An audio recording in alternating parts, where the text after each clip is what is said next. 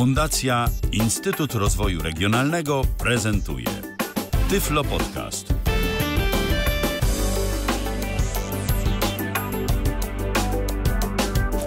Majówka, majówka i po majówce 180. chyba druga audycja Tyflo Przeglądu. Zgadza się. Dzisiaj, no taki całkiem duży e, mamy skład. Jest Paulina Gajoch, jest Mikołaj. Nie, jest Piotrek Malicki, Dobry jest wie- Michał Dziwisz. Piotr i- Machacz. Machacz, no. Piotr Machacz. Jej, No, to już mi się wszystko myli. E, Ale Ta majówka pozdrawiamy jest, Piotra. jeszcze, No nie wyszła, Tak tak. jest. Koło ja E, też. I Mikołaj też, właśnie. Tak, e, jest jeszcze Paweł Masarczyk, Paweł jak słychać, witajcie, Michał Dziwisz i ja, czyli Tomek Dobry wieczór. Y, No i po czas na przedstawienie newsów, ale dzisiaj newsy przedstawi sztuczna inteligencja. W dzisiejszym Tyflo Przeglądzie Mona for Mastodon oficjalnie w App Store. Konkurs International Low Vision Song Contest będzie transmitowany w Tyflo Radiu. Games for Blind Gamers 2 Jam zakończony. W co warto zagrać? W Japonii nie upijemy się przez przypadek, nawet jeśli nie widzimy. Co ma się znajdować na wypukłych mapach parków? Trwają badania w tym kierunku.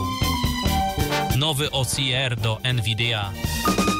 Gra Forza Motorsport będzie w pełni dostępna DLA niewidomych. Jak drukować pismo punktowe na drukarce 3D? Fundacja Prowadnica to wie i tą wiedzą się podzieliła. Piper. Nowy neuronowy syntezator DLA NVIDIA. Zaproszenie na prelekcję z cyklu Polscy Nobliści. Starostwo powiatowe w Bielsku Białej dostępne DLA niewidomych. Spektakl Kto puka w Sosnowcu. Nowości od Towarzystwa Muzycznego imienia Edwina Kowalika, nie tylko DLA miłośników muzyki. Narrator będzie lepiej czytać w Microsoft Excel. Kilka ciekawych blogów w serwisie Elten. Doświadczenia z targami pracy na platformie Brazen. Nowości w Seeing Assistant Home. Kilka małych newsów ze świata gier. Neuronowe głosy od Eleven Labs dostępne po polsku. Audon, Fediversowa alternatywa DLA Clubhouse. Home Assistant pozwoli na przerobienie telefonu stacjonarnego na centrum sterowania domem. Google Chrome pozwoli ominąć część kodów CAPTCHA. Stack Edit, edytor Markdown w naszej przeglądarce. Wszystko to, a pewnie jeszcze więcej, już za chwilę. Już za chwilę, a w zasadzie to już.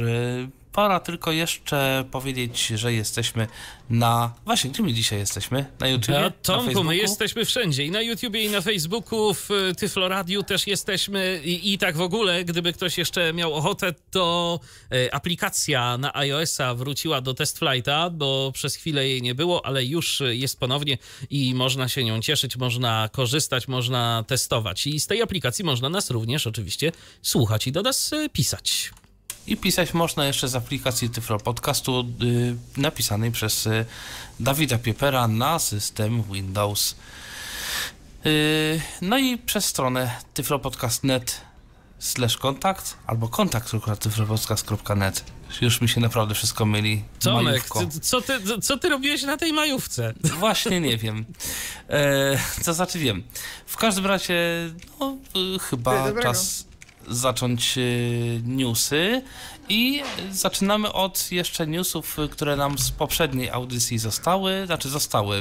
To rozwinięcie takiego tematu z poprzedniej audycji, czyli Mona Forma Stodont, y, oficjalnie w App Store'a. Dokładnie tak jak w zeszłym tygodniu Paweł mówił, że ta aplikacja niedługo się pojawi w App Store, no to ona właśnie się pojawiła. Jak mówiliśmy wcześniej, to jest naprawdę potężne narzędzie do obsługi Mastodona, do czytania, do pisania na nim, y, które jest w każdym, w każdym możliwym stopniu właściwie personalizowane. Jakie czynności mamy na pokrętle, jakie karty mamy, ile ich tych kart mamy. No, jest do tego stopnia, że Jonathan Mosen zrobił prawie 3 godziny podcast, który opisuje w każdą funkcję tej aplikacji, więc no, może bardzo dużo.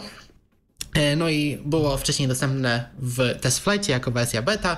No a teraz pojawiła się e, pełna wersja, już można ją sobie e, zarówno dla iPhone'a, iPada i Maca pobrać z App Store'a. To jest e, jeden link na wszystkie trzy wersje, po prostu wystarczy z waszego danego urządzenia sobie e, w niego wejść. Jak to wszystko wygląda cenowo? No, e, jest wersja darmowa, e, która właściwie pozwala nam troszeczkę zobaczyć, jak ta aplikacja wygląda, bo pozwala nam zalogować się na jedno konto, włączyć sobie jakieś podstawowe e, powiadomienia, mm, przeglądać sobie tego Mastodona, wszystko, bo możemy i szukać, możemy sobie nawet chyba inne serwery podglądać, też jest to możliwe. Mm, możemy pisać, aczkolwiek to pisanie jest troszeczkę okrojone, bo możemy pisać krótsze posty do 160 e, znaków i e, możemy odpowiadać na posty innych osób. Jeśli chcemy dostać e, dostęp do pozostałych funkcji aplikacji, których jest bardzo dużo, no to musimy sobie zakupić wersję Pro albo wersję Pro Max. A dokładnie jakie to są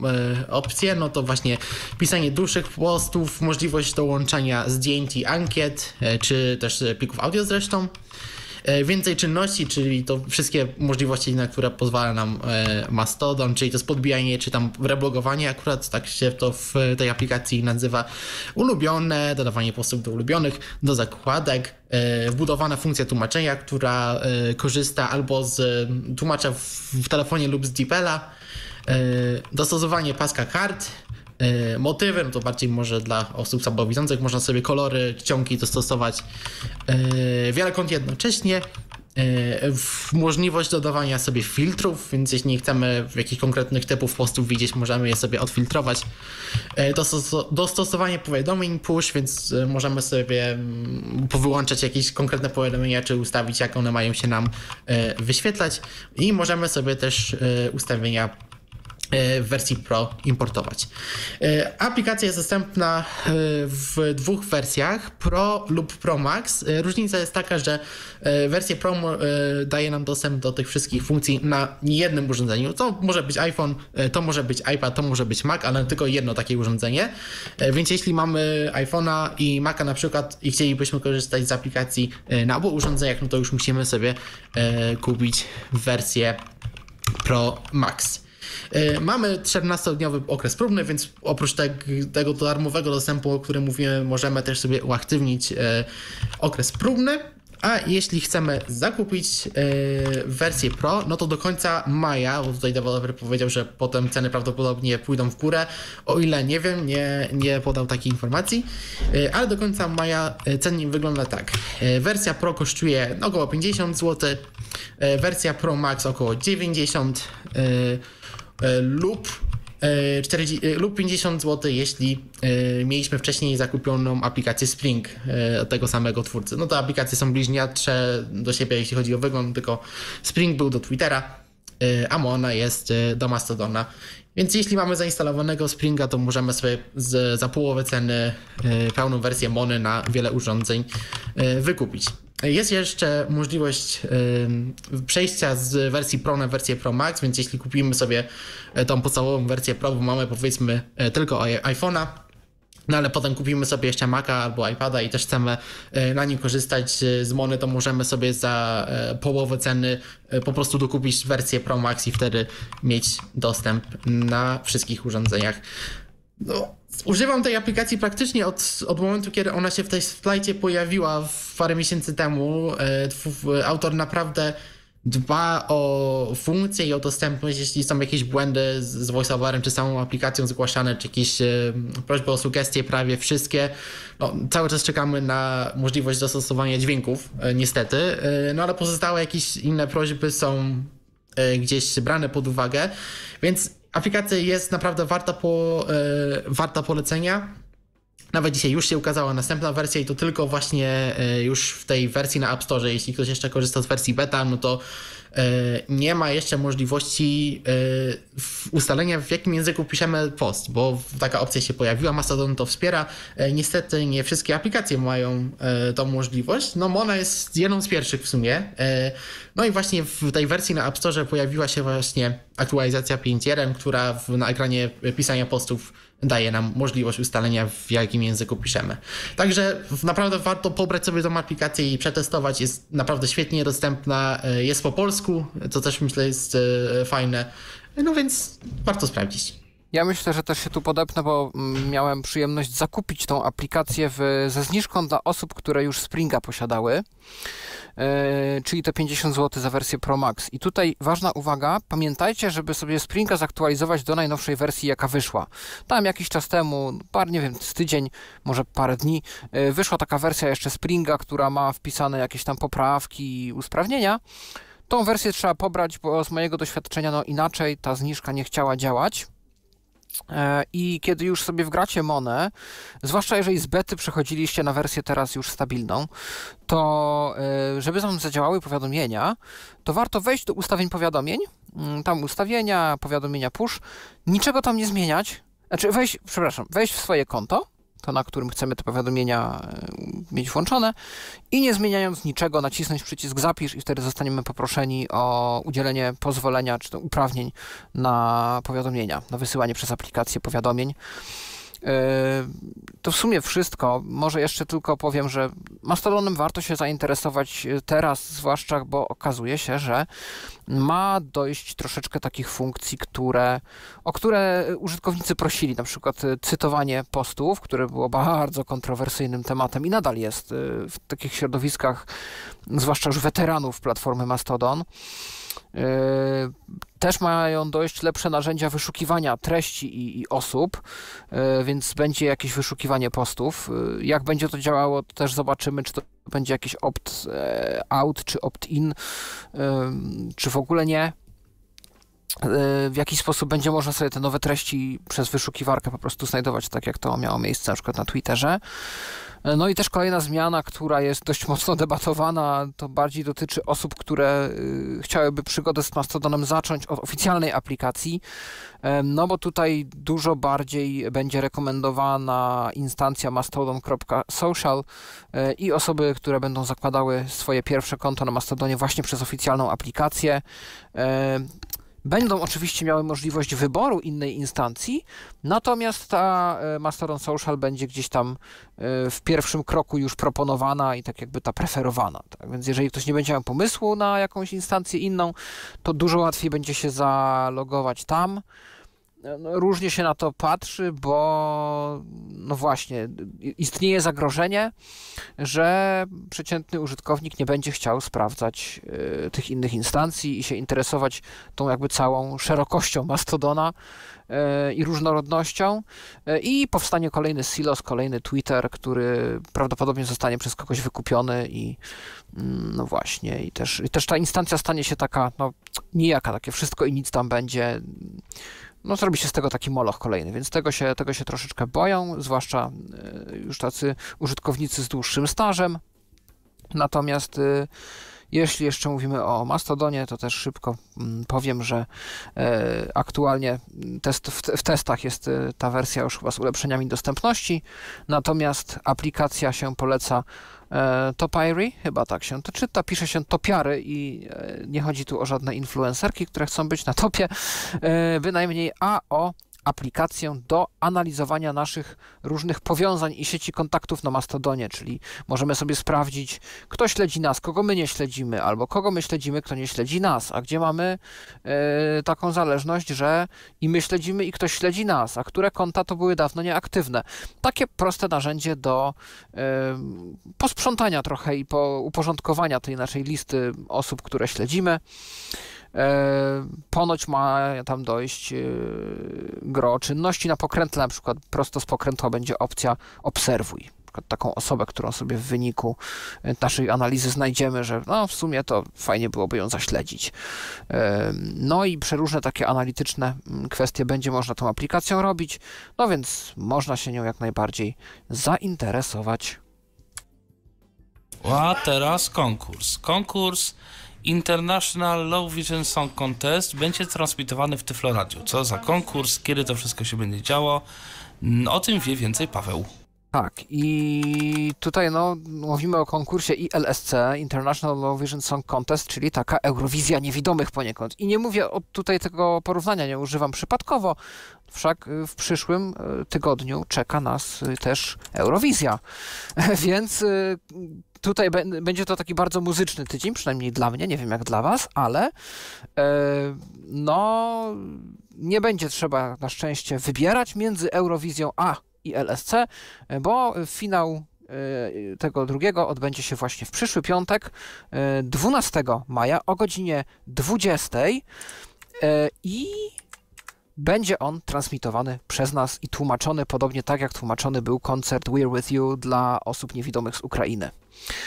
I już tutaj ustalamy jeszcze ostatnie szczegóły techniczne. Skład myślę będzie dość mocno zbliżony do tego który już znacie z We're With You, możliwe, że z drobnymi zmianami.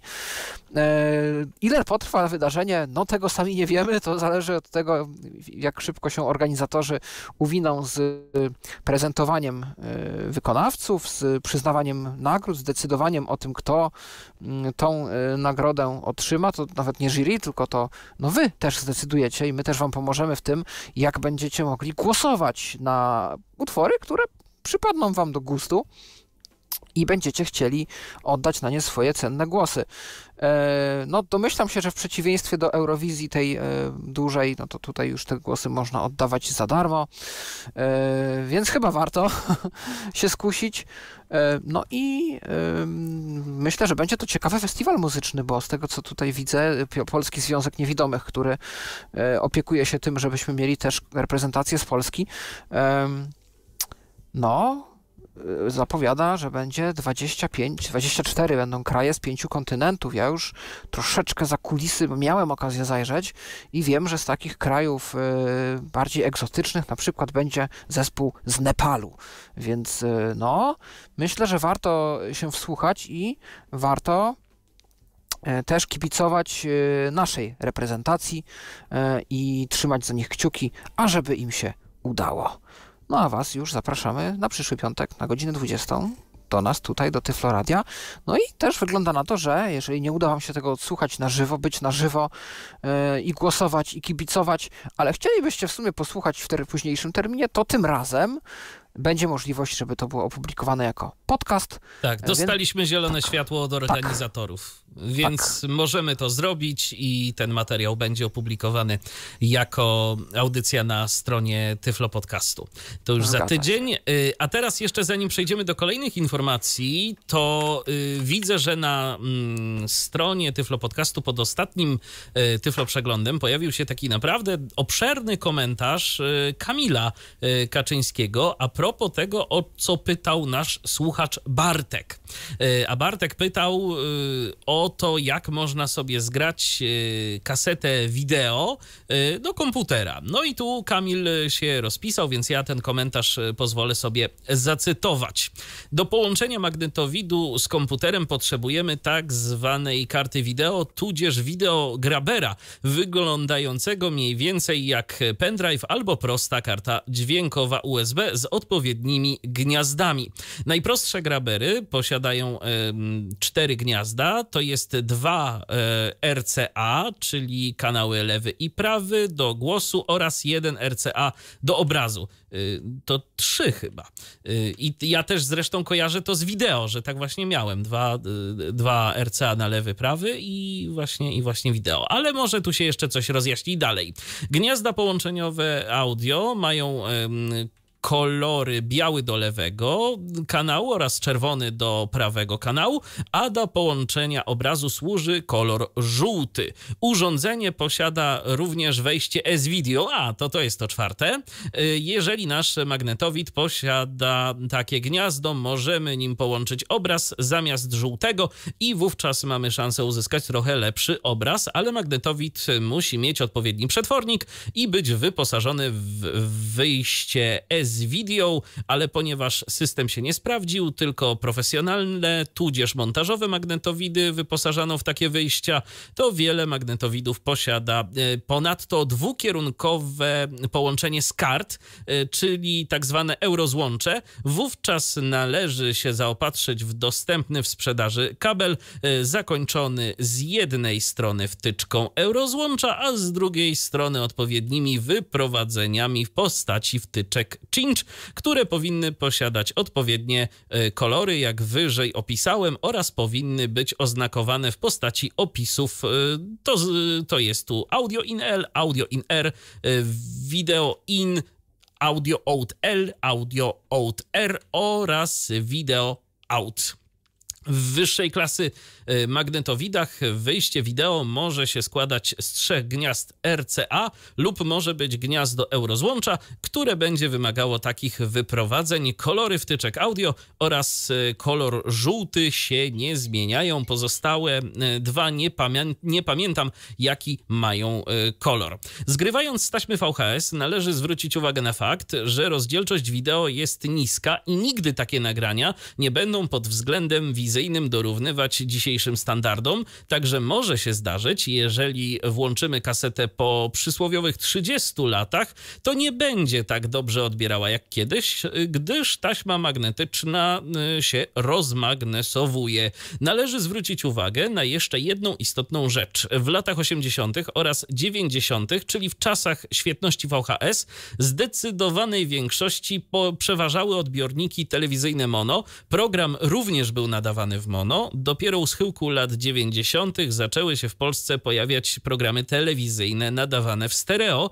oraz upowszechniać telewizory i magnetowidy stereo. Piszę o tym, gdyż trzeba zwrócić uwagę na ilość gniazd wyjściowych audio, gdyż w magnetowidach mono będzie tylko jedno gniazdo i będzie koloru białego. W przypadku, jeżeli w naszym e, magnetowidzie jest tylko jedno gniazdo do połączenia audio, co zdarza się często, wówczas e, dźwięk będzie nagrywał nam się tylko na jednym kanale, wtedy musimy dokupić odpowiedni rozdzielacz i podać to na wyjście liniowe w obu kanałach. W pierwszej dekadzie lat 2000 do digitalizacji VHS przede wszystkim wykorzystywało się kartę telewizyjną, którą montowało się w komputerze, aby oglądać telewizję. Urządzenie niniejsze działało jak tradycyjny odbiornik telewizyjny i tak jak do zwykłego telewizora można było podłączyć antenę, tudzież magnetowid, tak tam też można było podłączyć do karty magnetowid celem przegrania na komputer nagrania z kasety. Wtedy jeszcze dyski były znacznie mniejsze i droższe, także i programy do przechwytywania wideo oraz do samej obsługi karty telewizyjnej były dość skomplikowane. Dobre karty też nie były tanie. I jak już wspomniałem, do niniejszej e, karty było dołączone oprogramowanie, a profesjonalna e, karta kosztowała fortunę karty takie przechwytywały y, w nieskompresowanym AVI, to tak jak w dźwięku podstawowy Wave, godzina nagrania w nieskompresowanym AVI potrafiła zajmować jakieś 10 GB. Jedna kaseta miała od 3 do 4 godzin, więc już 40 GB na dzień dobry, a później trzeba to było po przegraniu skompresować, to i na kompresję potrzeba było przynajmniej jeszcze 40 GB.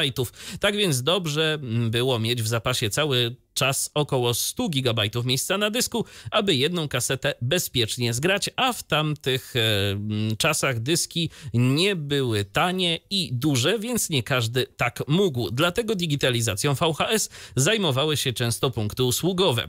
Od ostatnich 15 lat czasy się zmieniły, zwłaszcza, że mamy do czynienia z telewizją cyfrową, a ja chciałem powyżej napisać jeszcze o analogowej. W obecnej chwili są e, wspomniane przeze mnie grabery, które podłącza się przez USB nagrywają w MPEG 2 czyli w skompresowanym formacie od razu do formatu DVD.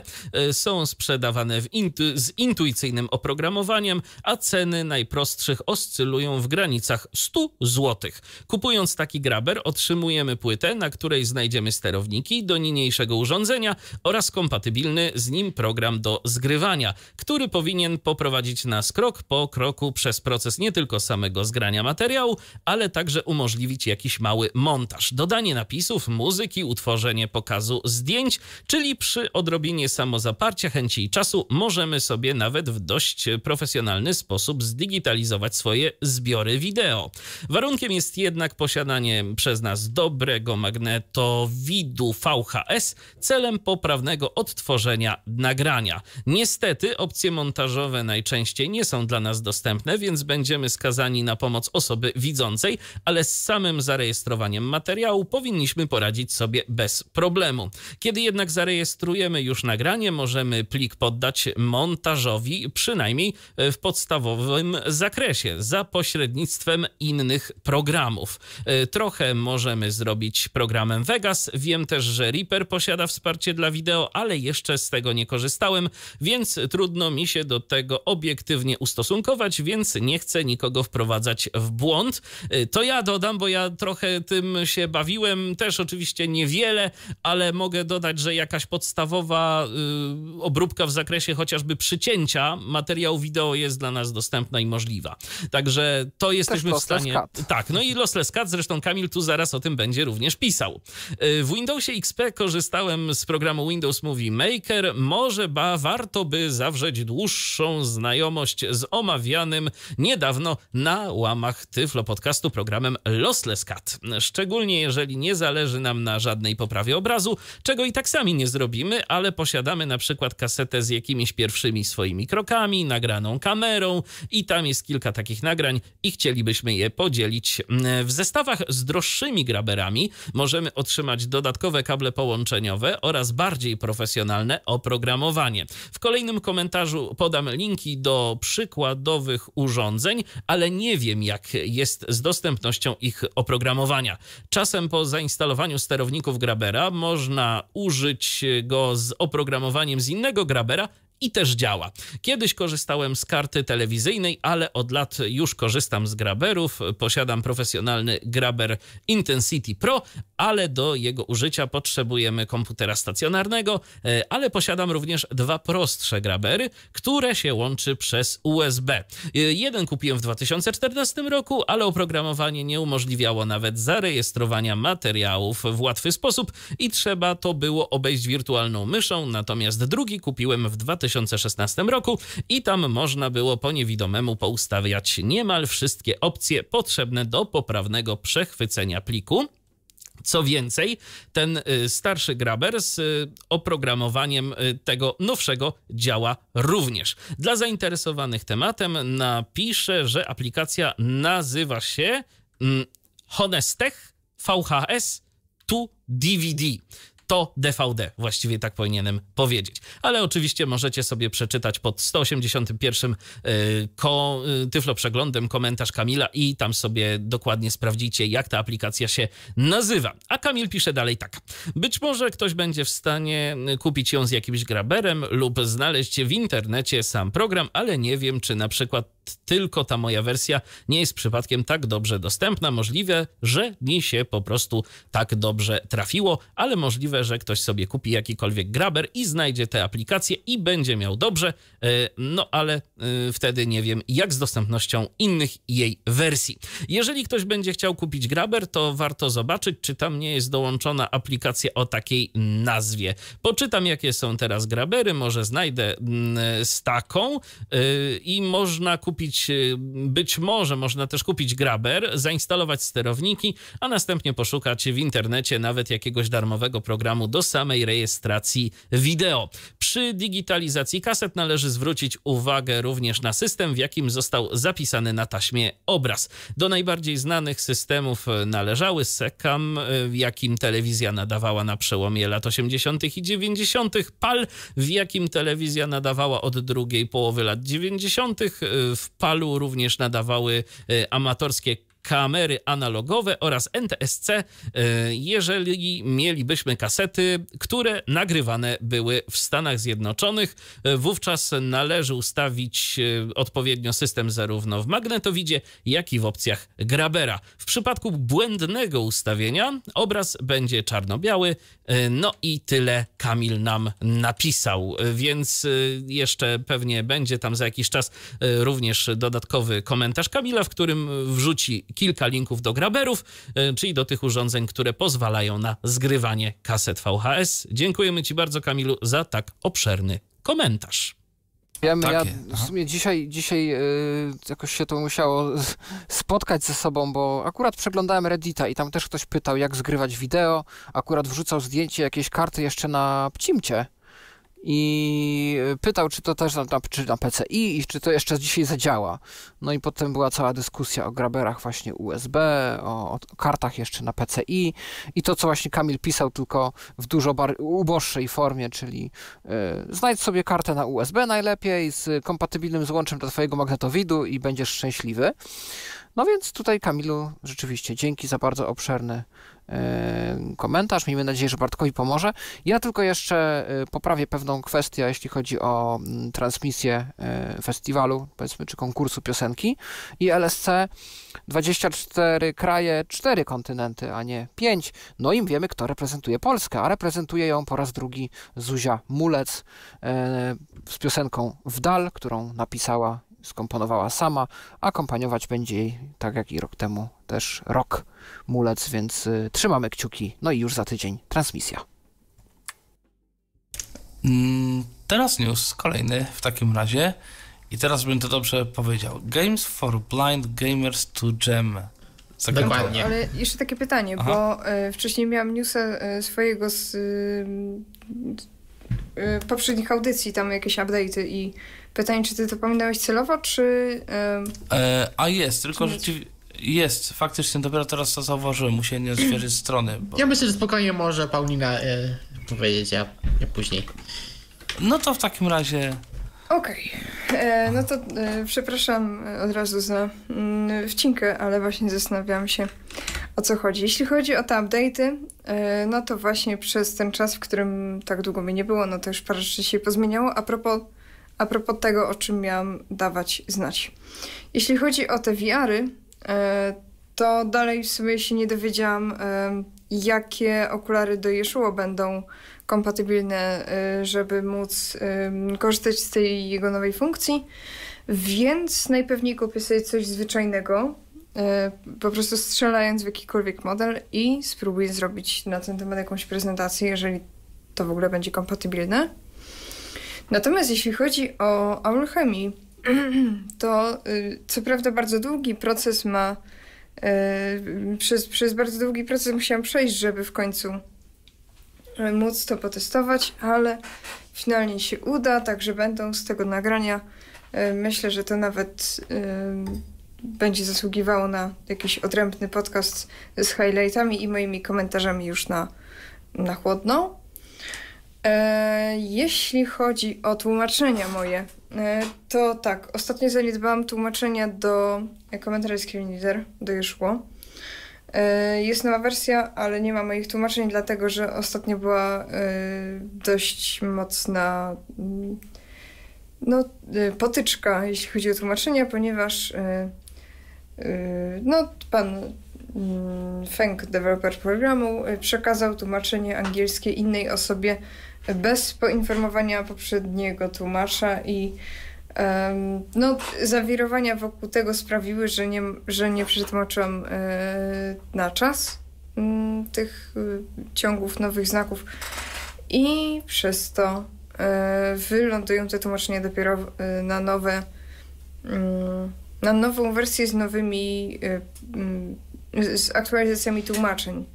Tak, czyli, czyli wtedy, kiedy będą jakieś nowe funkcje, które będą wymagały tłumaczenia, to dopiero wtedy te tłumaczenia trafią e, do obiegu. Ostatnio też um, usłyszałam taki um, trochę krytyczny głos, jeśli chodzi o moje tłumaczenia do ABK, e, czyli Advanced Braille Keyboard. Jak zobaczyłam na nie, to faktycznie też się przeraziłam, bo już zapomniałam, jak to wstrętnie wygląda. A to tak wstrętnie wygląda przez to, że pan deweloper e, zamiast e, wysłać cały plik z tłumaczeniem, tak żeby można było go e, poprawić, zrewidować, no to on wysyła tylko te fragmenty, które mają być przetłumaczone na daną konkretną wersję, wskutek czego nie da się zachować zgodności nazwowej, bo człowiek po prostu nie pamięta, jak wcześniej to przetłumaczył. Albo na przykład coś jest przetłumaczone bez kontekstu i wygląda zupełnie inaczej niż powinno. Przykładowo słowo focus mm, y, oznacza zarówno ostrość, jak i no właśnie fokus. E, I nie znając kontekstu, możemy przetłumaczyć coś zupełnie inaczej niż, niż byśmy tego chcieli. Mm, z rzeczy, które będą omawiane też tu dzisiaj na audycji, e, czyli co do Eleven Labs, e, to y, staram się tam o mm, praktyki lub zatrudnienie. Nie wiem, jak to finalnie wyjdzie. E, I dowiedziałam się między, w, w międzyczasie, że pracuje u nich jako moderator osoba niewidoma. Osoba, która używa screenreadera na co dzień. Więc e, to jest praca, która jest dla nas dostępna. Jeżeli byście byli ciekawi, zainteresowani dołączeniem, to, e, to jest też komunikat właśnie taki, że da się, że jest to w miarę osiągalne e, dzięki temu, że jedna z osób tam pracuje, a w... A coś możesz, Paulino, więcej powiedzieć na temat tego, na czym ta praca polega? E, znaczy, ta osoba, czyli um, Oniku Storm, czyli chyba z tego co wiem taki Rumun, niewidomy, Pracuję właśnie jako moderator yy, i Discorda i jakby przewodnik po platformie yy, odpowiadający na pytania użytkowników. I yy, ja najpewniej będę będę osobą, która będzie wsparciem płatnych użytkowników i z tego co wiem, ta osoba też się tym zajmowała przez jakiś czas.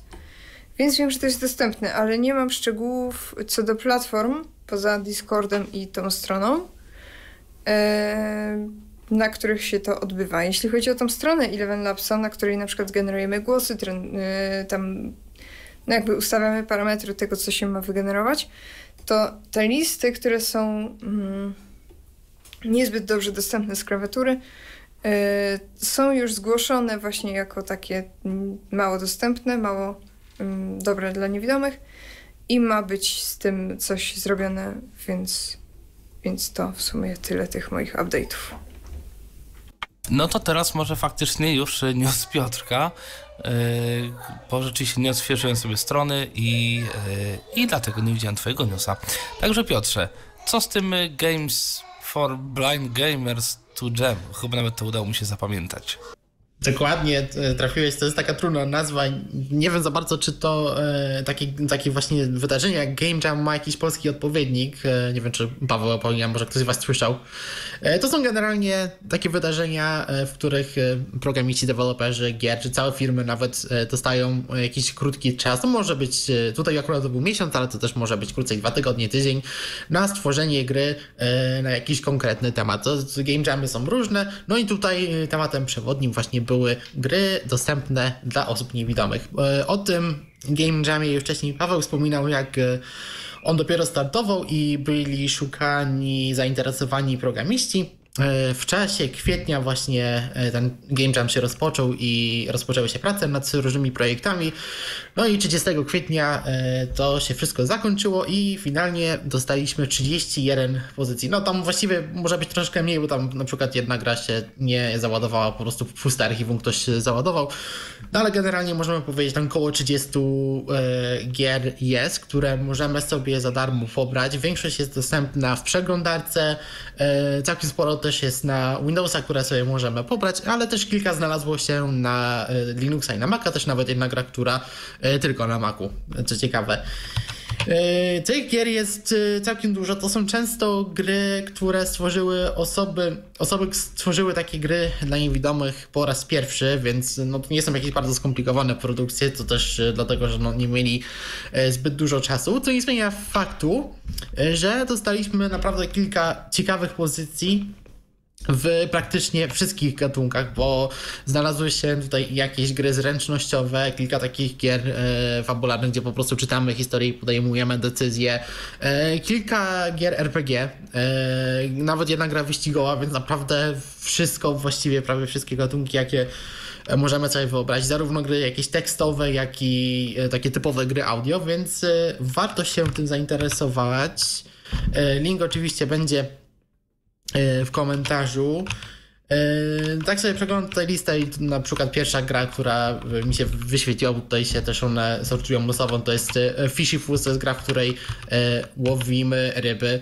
E, Agent Stealth to jest gra, na, która jest tylko na Macu, no to tutaj musimy zakraść się do jakiegoś budynku, uratować zakładników e, i przy okazji nie zostać e, złapani. The Fourth Dragon to, to jest właśnie jedna z tych gier RPG, w których e, jesteśmy smokiem i musimy uratować swoich kolegów, no i przy okazji uratować świat Mystery Artifacts, no to nawet nie jest tyle gra, co taki interaktywny utwór muzyczny, jak to autor napisał. To jest gra, w której e, musimy mieć joystick i po prostu po otwarciu e, aplikacji leci sobie piosenka i wszystkimi gałkami, przyciskami na tym joysticku mamy wpływ na to, jak ta muzyka brzmi.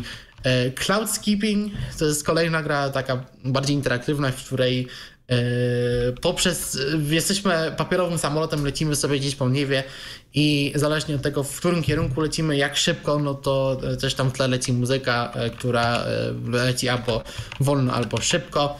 Jest kilka takich gier typu Simon, w których powtarzamy dźwięki no, Lifeforms też kolejnie taka ciekawa gra, w której gdzieś jesteśmy na mm, obcej planecie i y, musimy szukać y, obcych form życia. No, też naprawdę bardzo ciekawie y, dźwiękowo to zostało zrobione. E, Revmatch, no to jest ta gra wyścigowa, o której mówiłem, której y, musimy w odpowiednim czasie zmieniać biegi. E, Dryadson no to jest właśnie jedna z tych gier tekstowych. No naprawdę tych gier jest całkiem sporo.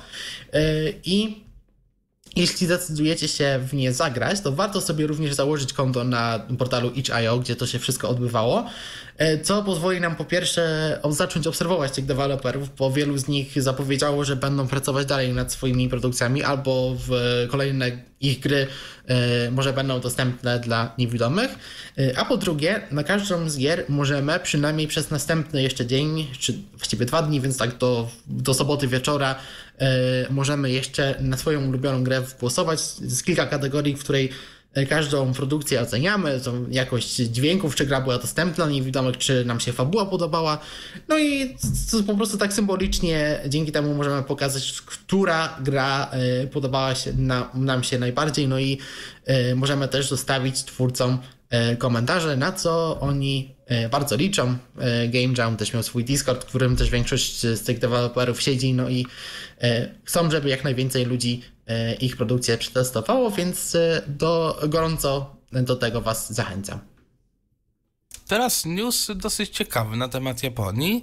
Yy, okazuje się, że tam nie upijemy się przez przypadek, nawet jeśli nie widzimy, tak jest napisane w newsie. Pawle, o co chodzi?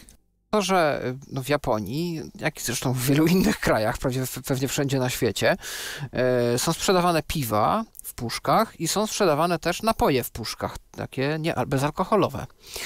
No i e, Japończycy wpadli na pomysł, i to nawet nie rząd, a po prostu browary się tak ze sobą zmówiły, że one będą no koło, e, tak powiem, miejsca, gdzie się puszkę otwiera, tej takiej za, zawleczki, e, będzie się e, instalowało napisy w Braille'u o tym, że jest to napój alkoholowy, że jest to piwo. E, no i tutaj każdy browar ma jakiś swój na to patent. Jedni piszą po prostu alkohol, drudzy piszą piwo wprost, trzeci piszą nawet jaka to, jaka to marka, że to jest ich browar. A wszystko po to, żebyśmy jako osoby niewidome e, przez przypadek sobie nie wzięli, chcąc napić się na przykład do śniadanka jakiegoś tam napoju, e, żeby nie napić się piwa. E, no i okazuje się, że oczywiście oprócz takich przyczyn no, typowych, o których możemy pomyśleć, że no nie zawsze mądrze jest napić się alkoholu, nie w każdej sytuacji, a czasami po prostu nawet nie chcemy, nie mamy na niego ochoty, tylko tam kiedyś, indziej, później, albo w ogóle nie pijemy, a te, to piwo to jest kogoś innego z naszych domowników, no to też e, jest tam powód trochę medyczny, bo w Azji e, osoby właśnie o azjatyckich genach mają bardzo zróżnicowane te genotypy i u niektórych osób spożywanie alkoholu kończy się no nawet nieprzyjemnościami zdrowotnymi. Nie są to jakieś śmiertelne sprawy, natomiast jakieś właśnie takie, że tu cała czerwona twarz, że bardzo gdzieś tam gorąco, że oddech się traci. Jakieś takie objawy, których no wolelibyśmy uniknąć, gdybyśmy chcieli. Więc jak wiemy, że nam alkohol nie służy, no to świadomie też go nie spożywamy. No a jeżeli mieszkamy z kimś, kto wręcz przeciwnie, no to warto mieć e, tego typu sytuacje pod kontrolą. No i właśnie z tego powodu, między innymi też, e, browary zdecydowały się e, swoje puszki jasno oznaczać, że jest to napój zawierający alkohol albo że jest to po prostu piwo. No i takie japońskie puszki z piwem mają Braille'a.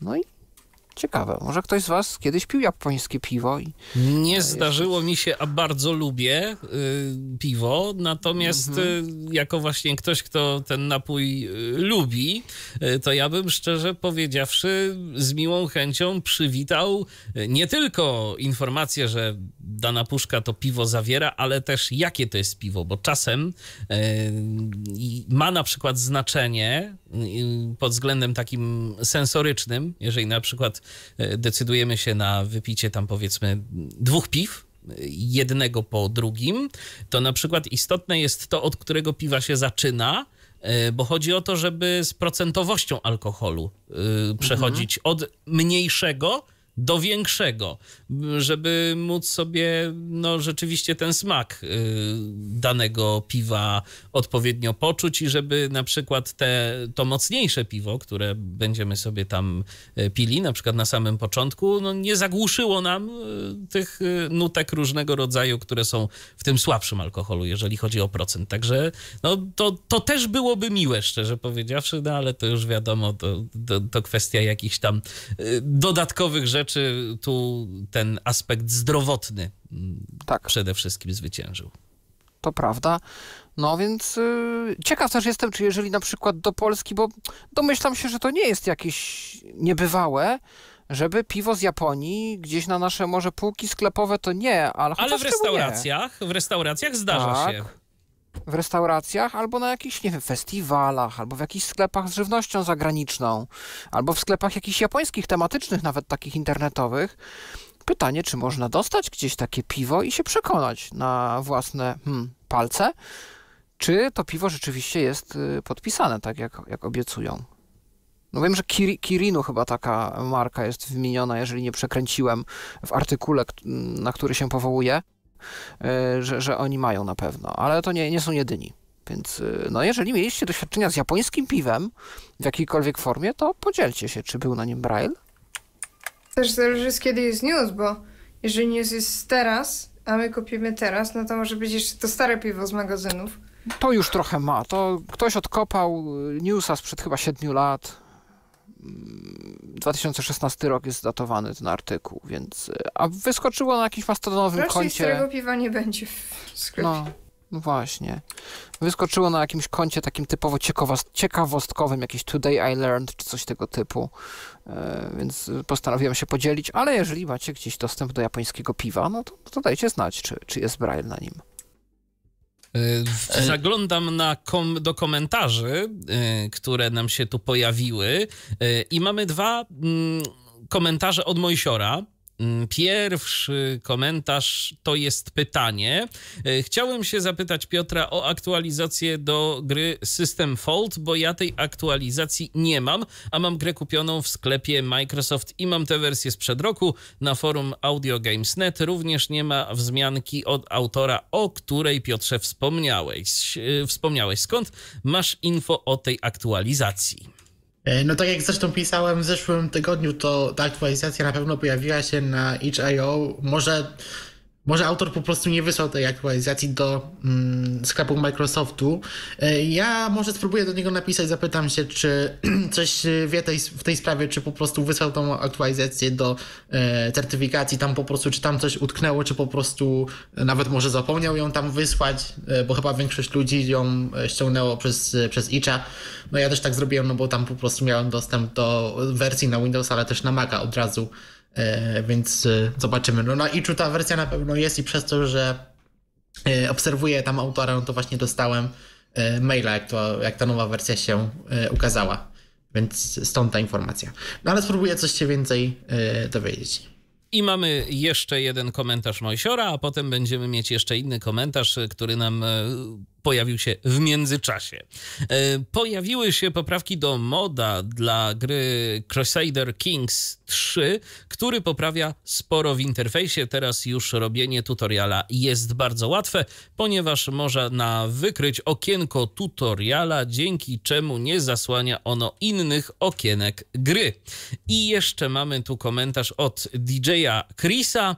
Ja tak na marginesie a propos tych graberów. Przy pomocy OBS-a też można zdigitalizować kasety VHS, wybierając transmisję lokalną i wybierając naszą kartę jako kamerę. No tak właśnie podejrzewałem, że tu OBS może być e, też do tego w jakikolwiek sposób przydatny. I jeszcze jeden komentarz, e, skoro już go widzę. Też Ewelina do nas napisała: Witam, mam Blind Quest 3. No to Ewelino, może jakaś audycja na temat tej gry. E, jeżeli miałabyś ochotę, to zapraszam do jakiegoś kontaktu i jeżeli będziesz chciała podzielić się jakimiś swoimi wrażeniami z tej gry, jak ona wygląda i jak się w nią tam e, gra, czy, czy fajnie, czy też nie, no to, e, to może warto będzie taką audycję zrobić. A teraz mój news y, dotyczący tyflografik, czy w zasadzie wydruków 3D map dla niewidomych, map parków różnego rodzaju krajobrazowych. Y, to znaczy kilkoro no, naukowców z kilku różnych uniwersytetów, jest WAT, czyli Wojskowa Akademia Techniczna, jest UKSW, Uniwersytet Kardynała Stefana Wyszyńskiego, jest jeszcze, uniwer- jest jeszcze o Jezu, już nie pamiętam, Uniwersytet w, Skierniewicach, Stefana chyba Batorego. Y, w każdym razie ci wszyscy ludzie y, badają to, y, jak najsensowniej robić plany, tyflogra- no, plany tyflograficzne czy mapy mm, różnego rodzaju parków. I założenie tutaj jest takie, żeby taki plan nie służył do tego, żeby można było po takim parku się samodzielnie poruszać, tylko po to, żeby można było zobaczyć, jakby czym charakteryzuje się jakiś styl y, danego parku, jakiś japoński, angielski, tam był wymieniony w przykładach y, i pewnie tam jeszcze kilka innych. Znaczy, innymi słowy, żeby można było zobaczyć, że jest powiedzmy jakiś styl jakiegoś parku ogrodu i o co chodzi w ogóle w takim, w tym stylu. I mm, oprócz tego, że mają, ma być stworzonych pięć y, planów, czy w zasadzie plany y, pięciu styli, czy stylów takich, y, takich parków, to mają być opracowane takie no, wytyczne, czy to jakaś praca naukowa ma być stworzona, która ma mm, mówić o tym, jak to zrobić dobrze. I teraz będzie w ciągu najbliższych dwóch chyba lat sześć sesji, w których będzie brał udział w sumie 20, zdaje się, osób niewidomych, które mają testować te wszystkie plany pod kątem tego, czy te plany są dobre, czy dobre jednak nie są. No i tu oczywiście jest kilka problemów, no bo mm, na takim planie teoretycznie można, można zrobić bardzo dużo. Problem polega na tym, że dotykiem, no dotyk ma stosunkowo niską rozdzielczość, w związku z powyższym E, no trzeba wybrać takie rzeczy, które będą najważniejsze i które mimo wszystko, no trzeba jakiś kompromis tutaj zawrzeć między tym, żeby w ogóle dało się cokolwiek zrozumieć, a tym, żeby dało się zrozumieć jak najwięcej e, z takiego, wyczytać jakby jak najwięcej z tego, z tego planu. E, więc no moim zdaniem to jest o tyle ciekawe, że E, rzeczywiście za, za, no, możliwe, że powstanie coś, na czym będą mogli oprzeć się ludzie, tudzież firmy, tudzież w ogóle jakieś instytucje, które w przyszłości będą chciały stworzyć tego rodzaju plan i wtedy już nie będzie czegoś takiego, że każdy będzie musiał robić no, taki research od zera i pytać niewidomych, a jak zrobić to, a jak zrobić tamto, e, a może tak, a może inaczej, a może ktoś będzie miał swój pomysł, tylko po prostu będą, będzie praca, która będzie mówiła, jak to zrobić, żeby to było dobrze, e, to lubię. Mm, a teraz niezbyt dobra wiadomość na temat Siri. Y, są różne błędy w Siri, które no, powodują duże problemy z funkcjami dla niewidomych, które są generowane przez Siri. No i właśnie tutaj mam wrażenie, że mm, media, z jednej strony może media technologiczne trochę podchwyciły temat od tej strony, e, a z drugiej strony mam też wrażenie, że rzeczywiście w tych krajach, gdzie Siri działa, to dla wielu osób y, z dysfunkcją wzroku to jest jakby główny sposób robienia czegokolwiek na iPhone'ie, mimo że VoiceOver to jest potężny, rozbudowany czytnik ekranu. Otóż y, jest taki błąd, y, dość dziwny w najnowszej wersji, czyli 16.4.1, mówię o wersji stabilnej, gdzie nie jest możliwe zapisywanie wydarzeń w kalendarzu ani odczytywanie tych, jakichkolwiek informacji o tych wydarzeniach, jeżeli one mają być, mają się odbyć 31 dnia dowolnego miesiąca. No i zdaje się, że kilka mm, amerykańskich stacji radiowych, a przynajmniej jedna gdzieś była podana, e, otrzymało w ogóle telefony od słuchaczy, którzy dzwonią i mówią, że oni są osobami niewidomymi i przez to, że e, ten błąd występuje, to oni nie są w stanie sobie wpisać wydarzenia do kalendarza. No i rzeczywiście ktoś tam się z tego radia, y, do którego jeden z tych telefonów napłynął, zainteresował, y, zadzwonił do Apple, do wsparcia technicznego. Apple w ogóle podziękowało jemu za to, że taki dość rzadki błąd wyłapali, sprawdzili go, ma to być jakoś tam naprawione. Natomiast no właśnie tak to mi uzmysłowiło, że gdzieś w opinii publicznej krąży takie przeświadczenie, że i to nawet jest napisane w artykule, że mimo, że jest voice over, to dla wielu osób Siri to jest jedyny sposób, czy najszybszy sposób, jak sobie e, wydarzenia w kalendarzu yy, dodać. I ja to nawet rozumiem. Natomiast no właśnie moment, w którym coś się psuje w Siri, to jest moment, w którym, i to już zauważyłem, bo to nie po raz pierwszy, e, media właśnie głównego nurtu technologiczne ruszają na alarm, że psują te są funkcje dla niewidomych. Więc tutaj taka, taka perspektywa z miejsc, gdzie Siri działa, ale rzeczywiście, jeżeli jakoś sobie radzicie za pomocą Siri, to ta funkcja chwilowo w ten sposób no, nie działa. Nie można zaprogramować y, wydarzenia na 31 dzień miesiąca. I teraz y, pozytywna wiadomość. To będzie kilka takich wiadomości przeplatanych, raz pozytywne, raz negatywne, bo pojawiła się, pojawiła się nowa wtyczka do NVDA, nowy OCR. To jest od Pauliny. Tak, to jest wtyczka, która korzysta z bajdu OCR. E, stworzył ją niedawno jakiś Chińczyk, ale nie jestem w stanie przeczytać, jak on się nazywa. Także przepraszam. Ale jest link do GitHuba i tam jest mm, no, jego nazwa użytkownika, więc możecie się zapoznać. W każdym razie, e, ta wtyczka e, właśnie oferuje wsparcie bajdu OCR wraz z e, publicznym kluczem, który nam daje do testów. Możemy sobie też wykupić swój, no ale dopóki używamy tego sobie tak przygodnie, to według mnie nie ma powodu, żeby kupować. E, potestowałam to i muszę powiedzieć, że to wcale nie jest taki głupi pomysł. Bo okej, okay, e, co prawda, jeżeli rozpoznamy coś po polsku, to na przykład dostaniemy z tego, e, no, rozpoznane coś bez polskich znaków, ale jeżeli rozpoznamy coś w jakimś innym alfabecie, to systemowy OCR zupełnie, zupełnie zawodzi. Natomiast tutaj e, bardzo fajnie sobie z tym radzi Baidu. E, sprawdzałam to, co prawda, może nie na wszystkich alfabetach, ale na, ale na wielu z nich. I poszło mi całkiem dobrze.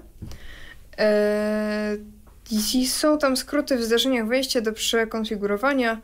Jest rozpoznawanie ze schowka, rozpoznawanie um, aktualnego obiektu i zmiana silnika rozpoznawania. Mamy tam e, online'owy OCR dokładny, znaczy nazwany jako dokładny, czyli Accurate OCR.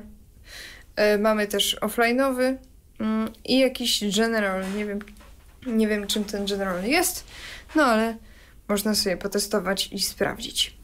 Od tego samego człowieka, od tego samego yy, Chińczyka właśnie wyszła też wtyczka do tłumaczenia i co prawda ona się nazywa a przynajmniej została określona jako multilingual translation, bo mm, nie wiem, parę nazw ma ta wtyczka w sumie. Ale niestety właśnie ona też się opiera na Baidu i w tej sytuacji to jest niestety, ponieważ mamy tam tylko chiński i angielski. Więc to multilingual to mm, niezbyt, niezbyt dobre jest. E, I to jest to. Natomiast jeżeli jesteśmy przy OCR-ach, to, e, wtycz, e, to jest aktualizacja do wtyczki Tesseract OCR od Royego Fontesa. Jest właśnie link w komentarzu w, w mojej notatce mm, do pobierania bezpośredniego. No i przy okazji to jest jakby też link do GitHuba, więc jeżeli się cofniemy o poziom w tym linku, no to będziemy mieli e, samo repozytorium. E, także to jest chyba tyle na ten moment. A to na tyle nie jest na pewno, jeżeli chodzi o komentarze, które do nas piszecie, bo tu mamy kilka wypowiedzi. Y, mamy pytanie od y, Pawła. Kiedy będzie transmitowany konkurs piosenek niewidomych i kto będzie z naszego kraju? Pawle, już za tydzień. Y, o tej porze, czyli po 20 w piątek. Po 20 tak. w piątek. A z naszego kraju Zuzia Mulec, zdaje się, tak, tak Pawle? Tak, tak. Zgadza się. Mhm. Potwierdzam. Roger, Roger. E, zaglądamy do kolejnego komentarza. Tu Patryk do nas napisał. E, iOS 16 beta 3 jeszcze nie u aktualniałem do bety czwartej. Siri z podstawowym językiem angielskim, brytyjskim i głosem także w tym języku jak najbardziej umie zapisać wydarzenie w kalendarzu na najbliższy 31 dzień miesiąca. Za to zapisanie na 31 września zgodnie z oczekiwaniami nie jest możliwe. O, no to dobrze. To czyli. Z... Jeszcze a propos komentarzy, już e, autor System Volta do mnie odpisał, tak, e, aktualizacje zostały wysłane do sklepu, tylko tam właśnie gdzieś w procesie weryfikacji utknęły. Bardzo podziękował za informację, bo napisał mi, że po prostu szturchnie te, w support Microsoftu może coś się uda w tej sprawie ruszyć, bo szykuje się jeszcze następna aktualizacja, więc e, przepraszam za utrudnienia, ale mm, pojawi, powinna się w jakimś czasie pojawić ta aktualizacja. To przechodzimy do newsów chyba w takim razie. E, I po newsie pozytywnym będzie news negatywny. E, niektórzy z nas, znaczy nie wiem czy z nas, ale niektórzy, mm, no, niektóre osoby, które znam, e, mówią, że jeszcze siódemka to jest to. Natomiast w tym momencie Windows już twierdzi, że dziesiątka to już nie to, bo nowych funkcji w Windowsie 10 już nie będzie. A swoją drogą pamiętacie, jak Microsoft mówił o tym, że Windows 10 to będzie ostatni, ostatni Windows, Windows, a potem tak. tylko aktualizacje? Zgadza się. Tak. Że... Yy, no i się okazuje, że yy, Windows 10 wersja 22H2 y, to będzie już ostatnia wersja, która wprowadza jakiekolwiek nowe funkcje E, I do października 2025 będzie to wydanie wspierane, no a już potem będą e, użytkownicy namawiani, e, żeby zaktualizować Windowsa do jednak 11, a może już nawet, bo tu się coraz głośniej mówi gdzieś w plotkach o 12 jeżeli będzie to możliwe. No i wersji 23 H2 dziesiątki na jesień już nie będzie. No więc jeżeli chcecie mieć jakiekolwiek nowe funkcje, a my o takich będziemy mówić i też dzisiaj, no to już warto o tej jedenastce na tym etapie pomyśleć. Tak, z drugiej strony to użytkowników Windowsa 10 e, czekają mniej więcej najbliższe stabilne dwa lata pracy. Tak, e, tak. można wnioskować, bo no tak. okej, okay, nowe funkcje nowymi funkcjami to jest niewątpliwie bardzo fajne, że Microsoft coś tam dodaje do tych systemów i że e, uatrakcyjnia korzystanie z nich, natomiast no dość często niestety, zwłaszcza ostatnimi czasy wiązało się to z różnymi dziwnymi problemami, i to też występującymi naprawdę różnie. Nie u wszystkich, niektórzy jakieś tam kłopoty mieli z tymi systemami, chociaż ta dziesiątka to już naprawdę y, jest takim systemem, mam wrażenie, dojrzałym i aż szkoda, że za dwa lata znowu kolejny system będzie tracił wsparcie. No Chociaż tak, i tak mam wrażenie, że ta jedenastka to trochę taka dziesiątka. Znaczy, to jest system, który mógłby być dziesiątką chyba, na dobrą sprawę. Mam takie dziwne, tam się jakoś na tyle mało zmieniło, przynajmniej tak z zewnątrz, że to jest no podobne, naprawdę podobne. Miało, miała być ostatnia się dwunastka ponoć szykuje, więc... No tak, tak. No, także, no zobaczymy. Tak. Y, gra Forza Motorsport będzie w pełni dostępna dla niewidomych. Dokładnie, to jest taka informacja, która e, spadła z nienacka i bardzo pozytywnie zaskoczyła społeczeństwo. Akurat, a, a propos, właśnie mamy pozytywne, negatywne i znów bardzo pozytywne wiadomości. E, cofnijmy się kilka lat do tyłu, kiedy ukazała się poprzednia gra Forza Horizon 2, nie 5, przepraszam bardzo, no trochę tych e, gier w tej, w tej serii się już pojawiło. No i w tej grze jakaś dostępność już się pojawiła, bo mieliśmy udźwiękowienie, aczkolwiek to udźwiękowienie nie było kompletne, e, bo na przykład nie była czytana mapa, tam też niektóre e, menu chyba jakoś słabo były czytane na ta mapa, to był e, największy problem. Ale też jeśli chodzi o samą dostępność dla niewidomych, no to tak naprawdę no to mogliśmy sobie tą grę ustawić tak, żeby ten samochód, bo to jest gra wyścigowa, właściwie prowadził się za nas, tak? Naciskaliśmy sobie gaz do dechy, no i tam nam gra po prostu robiła praktycznie wszystko E, za nas. No i to nie podobało się wszystkim. E, między innymi jednym z głośniejszych krytyków te, tego systemu był Brandon Cole, którego możecie kojarzyć na przykład z jego e, prac konsultacyjnych nad grą The Last of Us, która jak wiecie już zgarnęła wiele nagród za jej funkcję dostępności, w tym dla niewidomych. Najnowsza część nawet dostała audiodeskrypcję jako jedna z pierwszych gier, która coś takiego oferuje. No i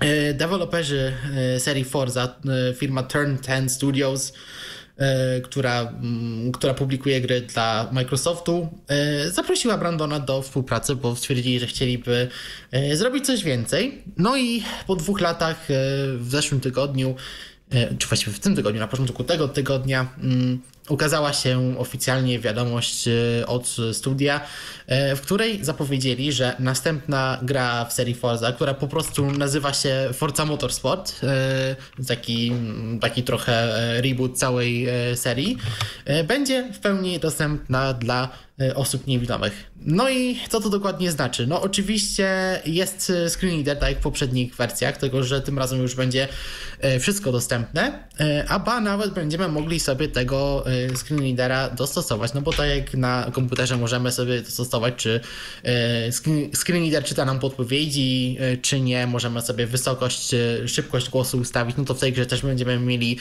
opcję szczegółowości, więc jak już się nauczymy na przykład jakie przyciski wykonują dane funkcje w menu jakiejś gry i nie chcemy, żeby za każdym razem nam screen reader mówił naciśnij A, aby wybrać, naciśnij B, aby cofnąć się i tak dalej, no to będziemy mogli sobie takie różne komunikaty powyłączać. E, te opcje, żeby gra nam sama prowadziła, też zostały, też je można bardziej dostosować. Teraz możemy sobie poszczególne e, elementy tego powyłączać, e, więc może nam po prostu sama skręcać, hamować i tak dalej. No ale jeśli chcemy właściwie sami sobie zagrać, to możemy skorzystać z takiej nowej opcji, E, którą e, producent nazwał Blind Driving Assist. E, co to jest? To są po prostu dodatkowe dźwięki, które nas będą informować, gdzie na, na torze jest nasz samochód i co powinniśmy akurat teraz robić. Więc w, w dźwięk silnika i kół samochodu będzie zmieniał swoją pozycję w stereo, trochę tak jak w grze Top Speed, żeby nam pokazać jak gdzie jesteśmy na tym torze, czy jesteśmy na środku, czy akurat podjeżdżamy pod którąś z krawędzi. Jeśli zbliżamy się bardzo w, pod krawędź, zaraz możemy uderzyć w ścianę albo jakąś inną przegodę, no to mm, przeszkodę, e, to dostaniemy jeszcze dodatkowe e, dźwięki ostrzegawcze. E, kiedy będziemy zbliżać się do zakrętu, no to dostaniemy trochę tak jak to było w, w, w Top Speedzie czy w innych grach wyścigowych najpierw komunikat, który nas będzie informował, czy zbliżamy się do zakrętu w lewo lub w prawo oraz e, jak ostry będzie ten zakręt. a kiedy już dojedziemy do tego zakrętu, no to dostaniemy inne dźwięki, które nas będą informować, kiedy ten zakręt się zaczyna i kiedy się zaczyna kończyć, więc już będziemy wiedzieć, że już nie musimy tak mocno skręcać, możemy bardziej starać się E, nasz samochód wyprostować. E, będą też dostępne dźwięki, które nas będą informować e, o tym, E, kiedy powinniśmy zacząć e, hamować przed zakrętem, no bo e, jak to Brandon powiedział, że on nigdy w życiu nie, nie prowadził samochodu i nie zdawał sobie sprawy, że właściwie w grach wyścigowych to nie, nie, nie jest tak, że cały czas trzymamy gaz do dechy, czy naprawdę na tych torach trzeba czasami po prostu przed ostrymi zakrętami zwolnić, więc gra nas też może o tym informować, ale też każdy z tych dźwięków możemy sobie dostosować, możemy zmieniać ich głośność, ich, to, ich wysokość nawet, więc jeśli mamy jakieś problemy ze słuchem, na przykład te dźwięki są dla nas e, za niskie albo za wysokie, to możemy je dostosować, albo też możemy je po prostu e, wyłączyć. Więc jeśli nie chcemy, nie chcemy żeby gra nas informowała, kiedy powinniśmy zacząć hamować, bo już po prostu znamy nasz samochód, ten tor, na którym akurat jeździmy, e, no to możemy sobie to powyłączać. Te funkcje będą dostępne zarówno w trybie jednoosobowym, jak i w multiplayerze, aczkolwiek tutaj e, producent i e, Brandon zastrzegają, że mm, te funkcje były bardziej optymalizowane pod e, grę jednoosobową, ale w multiplayerze też spokojnie zadziałają, więc jeśli po prostu zbierzemy się w kilka osób, czy znajomych, czy nawet kilku niewidomych, to będziemy mogli spokojnie sobie pograć.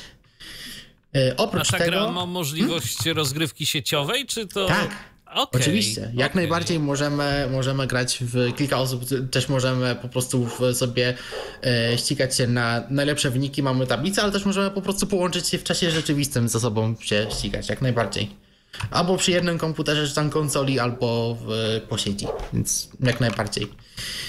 E, no i jeszcze na koniec, e, żeby było nam jeszcze fajniej, no to gra będzie też oferowała dynamiczną audiodeskrypcję, co to znaczy po prostu, jeśli będziemy mieli jakieś e, scenki w czasie gry, no bo tam będzie też często są jakieś fajne rzeczy pokazywane, na przykład jak zaczynamy wyścig, to najpierw kamera nam przesuwa się po całej trasie, pokazuje nam krajobrazy, przez które akurat będziemy jechali, a gra odbywa się w, na prawdziwych torach, które były jakoś laserowo skanowane, i będziemy ścigać się prawdziwymi licencjonowanymi samochodami, e, które brzmią naprawdę realistycznie, no to właśnie ta audiodeskrypcja będzie nam w stanie troszeczkę opisać, jak, e, jak te krajobrazy wyglądają. Ona będzie się też zmieniać, e, dostosowując się do tego, jaka akurat pogoda mm, panuje na torze.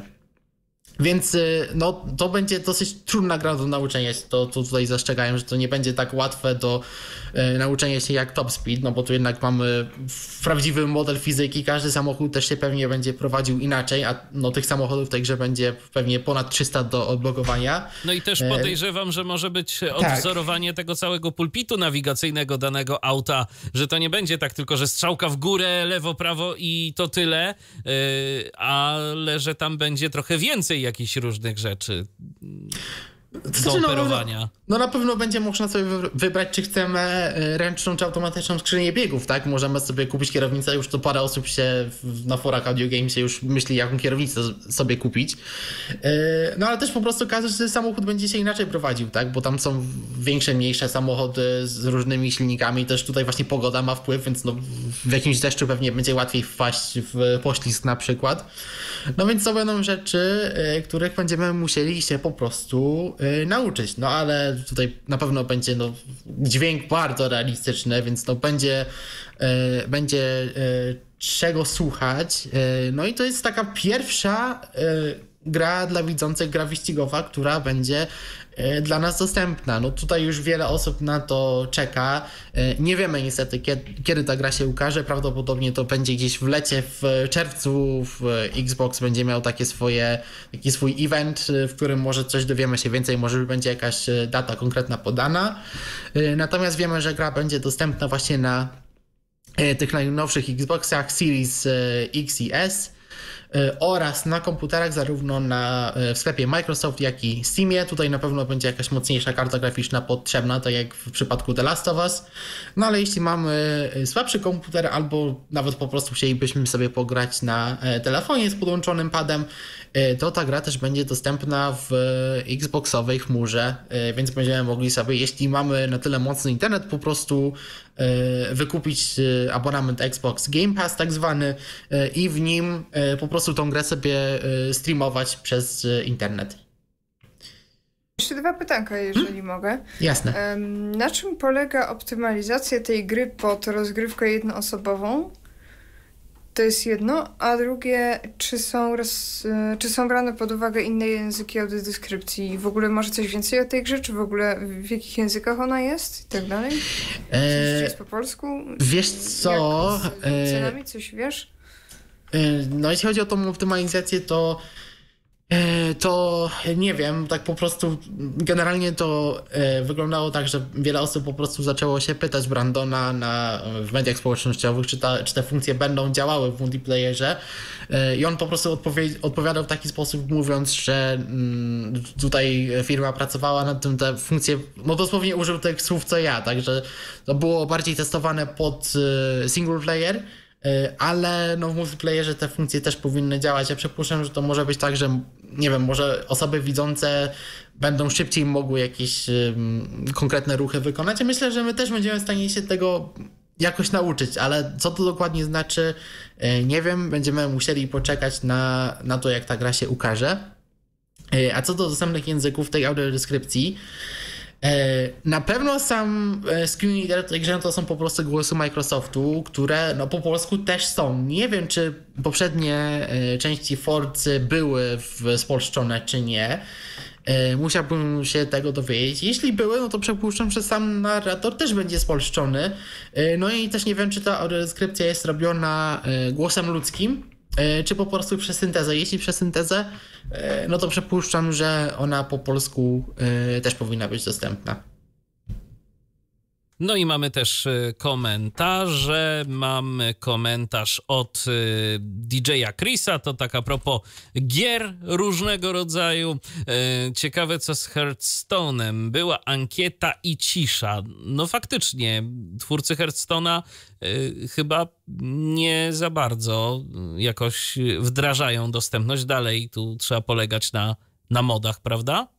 To jest tak jak y, chyba nawet kiedyś mówiliśmy z Pawłem, y, bo pamiętam, że kiedyś właśnie był wątek Hearthstone'a poruszony. Y, I tak, nawet pisanie maili do teamu dostępnościowego z zapytaniami, jak idą prace nad dostępnym Hearthstone'em, nie przynoszą zbyt wielkiego efektu.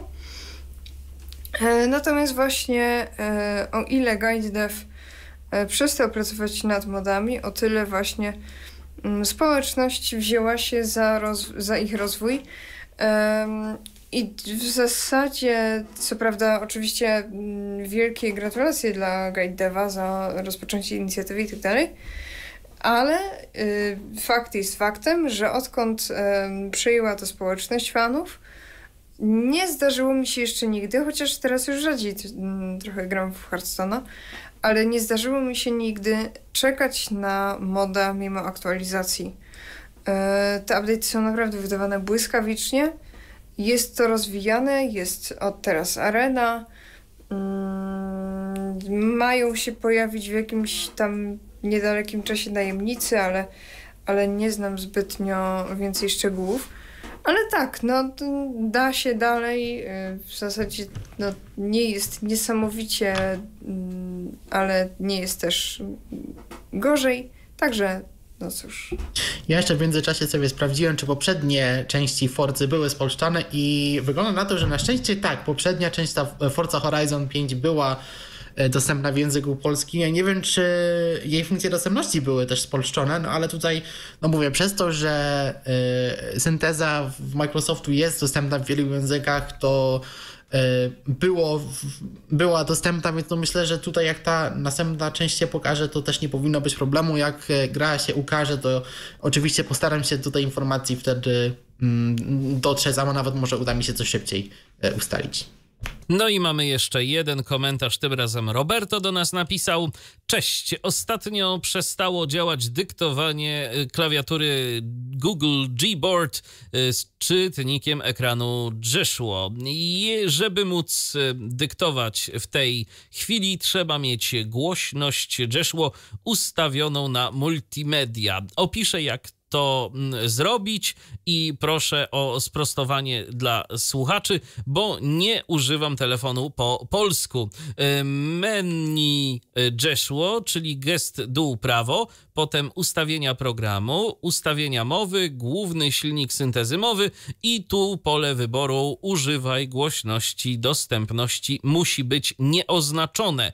Niestety wtedy synteza będzie na takiej samej głośności, co odtwarzana muzyka i cokolwiek innego oprócz dzwonków. Błąd jest prawdopodobnie gdzieś pomiędzy Jeshua i Gboard, e, bo z talkbackiem wszystko działa. Napisałem we wtorek e, do dewelopera Jeshua i na razie bez odpowiedzi, więc e, no ja też tu nie używam Jeshua akurat, więc pytanie do tych, co używają, czy te opcje tak się faktycznie nazywają? Drobna korekta, główny silnik TTS Chyba to się, chyba to tak przetłumaczyłam.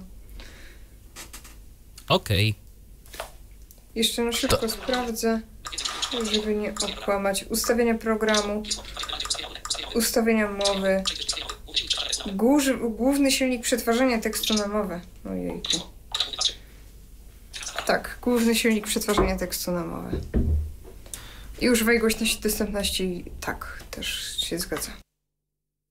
Mm, to teraz narzędzie do analizy naszej sieci kontaktów na Mastodonie. Nazwę ma taką, że w sumie nie wiem, jak to się wymawia. To Perry, ale ja już o tym mówiłem przy okazji Mastodona, więc yy, na początku audycji, więc można spokojnie, myślę, przeskoczyć dalej, bo to jest ta aplikacja właśnie, o której mówiłem na początku, do analizowania, kto nas śledzi, kogo my śledzimy i tak dalej. To przy okazji Mony pozwoliłem sobie troszeczkę porwać wątek. To nie wiem, chyba Michał tam miał dalej coś o druku 3D? Tak, yy, tak. Yy, bo Fundacja Prowadnica o, działa od stosunkowo niedawna, no i działalność tak dość dynamicznie tutaj rozwijają. I to w ciekawych I obszarach trzeba W przyznać. ciekawych obszarach, bo znowu wracamy do druku 3D. O druku 3D już dzisiaj było i teraz znowu będzie. Tym razem jak drukować Braille'a jest taka, no, spora praca w sumie. Znaczy spora, no chyba dość dokładna praca właśnie, taka, taki artykuł w zasadzie naukowy. Jak dokładnie drukować na drukarce 3D punkty brajlowskie. Dokładnie, bo wydawać by się mogło, że to jest y, w sumie nic takiego skomplikowanego, ale rzeczywiście warto się zapoznać y, z tym y, tekstem, który opublikował właśnie Dawid Pieper. Ja może przeczytam informację, którą zamieścił na forum Eltena w związku z tą publikacją. Jak zapowiadaliśmy na konferencji w ramach Fundacji Prowadnica, zdecydowaliśmy się na otwarcie całej naszej wiedzy o drukowaniu 3D Braille. Braille'a. Przyznam uczciwie, nie było to, nie był to łatwy krok, bo mówimy o 18 miesiącach pracy podanej na tacy, ale wierzymy, że jest to podejście słuszne. Y, a ja bym dodał, że w przypadku fundacji, w przypadku tego typu instytucji, to moim skromnym zdaniem, to jest moje zdanie i się absolutnie nikt y, nie musi z tym zgadzać, ale to jest jedyne słuszne podejście, y, bo tak naprawdę no, fundacje zwykle żyją z pieniędzy gdzieś tam tam e, różnych projektów i nie ma nic bardziej irytującego niż jak to, że realizowany jest jakiś projekt, e, są środki publiczne, natomiast na przykład wiedza e, wypracowana w ramach danego projektu gdzieś tam później jest schowana do szuflady, no bo takie, a nie inne decyzje zapadły. To moim zdaniem to, to jest bardzo dobra praktyka i powinno być to no, zwyczajnie i krótko mówiąc, powszechne. E, dzięki temu, kto ma, każdy, kto ma drukarkę 3D, czyli ośrodek dla niewidomych, szkoła masowa, szpital czy muzeum, będzie mogło wydrukować sobie tabliczki na drzwi. Pierwszy i najważniejszy element to opracowanie tłumaczące dokładnie, jak drukować Braille'a e, w 3D. Praca będzie jeszcze na pewno nieco redagowana, ale jej pierwsza forma jest już opublikowana.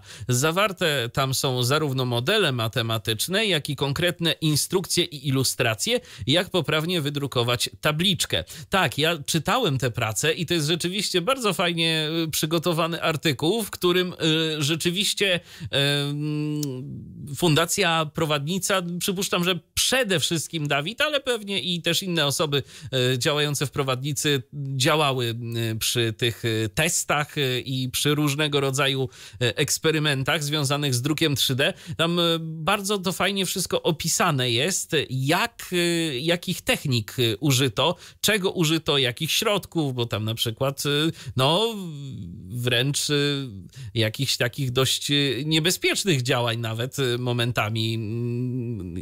Niebezpieczne działania podejmowano z różnymi środkami chemicznymi, dzięki czemu na przykład wygładzano te punkty brajlowskie. Także jest to wszystko opisane i myślę, że jest to tak czy inaczej bardzo ciekawa lektura. Rzeczywiście warto się z nią zapoznać. A jeżeli chodzi o link, to będzie oczywiście w komentarzu pod audycją, natomiast on jest taki dość prosty, więc myślę, że mogę już go podać 3dpoint.tech przez cecha ukośnik FDMB Braille. FDM Braille, czy Braille, tak na dobrą sprawę. Więc y, przez 2L.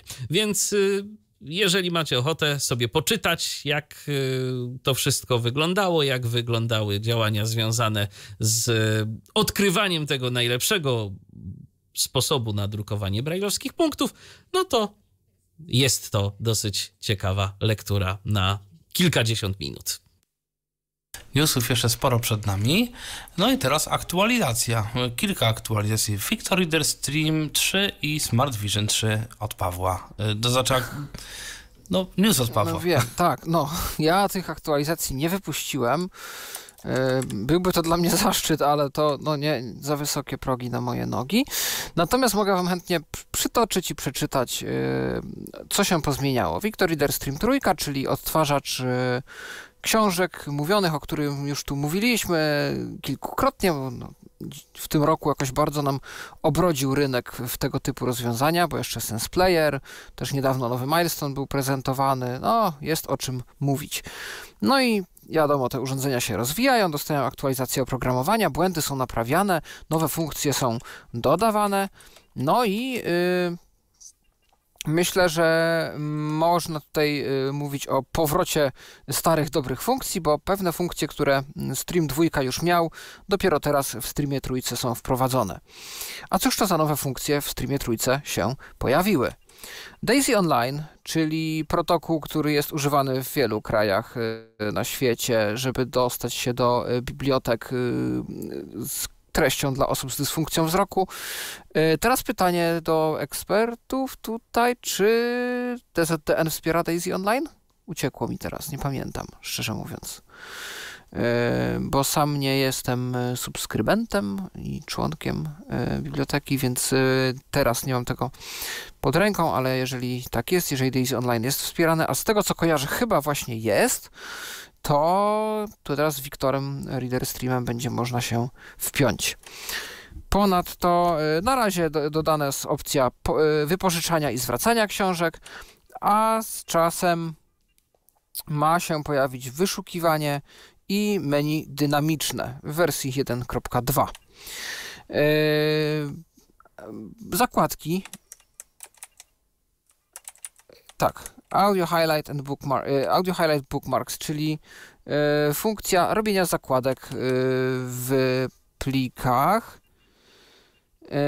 i są, jest ta opcja z powrotem. Zdaje się, że to są też zakładki właśnie audio, że możemy nagrać jakiś tam krótki taki klip, który będzie tą zakładką. I to również wróciło. Tutaj firma przypomina, że do prawidłowego działania tej funkcji wymagane jest posiadanie karty pamięci w urządzeniu. E, nagrywanie radia internetowego to też funkcja z dwójki streama, która pojawiła się e, w trójce. Nawigacja po rozdziałach w podcastach. No nareszcie zaimplementował to któryś odtwarzacz e, dla niewidomych, bo Wiele tych odtwarzaczy jest, wiele jest też, jest też Blind Shell Classic, takie urządzenia specjalistyczne i ktoś by pomyślał, że taka podstawowa funkcja, przecież my korzystamy z bardzo długich form audio, słuchamy różnych podcastów, te podcasty miewają często rozdziały i my no, znamy już ten system i mamy gdzieś do niego dostęp, czy na smartfonach, czy na y, komputerach. No, my mamy zaimplementowane to na naszej stronie y, tyflopodcast.net, y, a tu urządzenie za no, niemałe pieniądze oferuje przeróżne funkcje, ale takiej nie. No i nareszcie tutaj Humanware się wziął, wysłuchał próśb użytkowników i dodał rozdziały do podcastów. No więc nawet nasz Tyflo Podcast, nasze Tyflo Przeglądy użytkownikom e, tego e, urządzenia będzie się łatwiej gdzieś tam przeglądało. E, też zmiana drugiego głosu, bo mm, w Victor Reader Streamach można zainstalować sobie dwa głosy, głos do menu systemowego i głos do tekstów, no i ten głos drugi można sobie też, y, czy te, po prostu można mieć dwa głosy, tak żeby, żeby no, zmieniać między nimi dla różnych języków i tak dalej. E, no i tutaj teraz dodano opcję zmiany tego bezpośrednio na urządzeniu. Tu jest też wyjaśnione, jak to było wcześniej robione, że można było sobie zainstalować e, tylko i wyłącznie pakiety, bo to są głosy, staje się a cappella i one były oferowane na stronie Humanware w formie takich gotowych już paczek. I były też takie paczki kombinowane, że tam, nie wiem, angielski plus hiszpański. Jakiś tam plus jakiś tam. No i ciężko, żeby zaoferować w ten sposób wszystkie możliwe kombinacje języków, więc teraz będzie można też, e, jeżeli to dobrze rozumiem, te języki dociągać bezpośrednio na urządzeniu.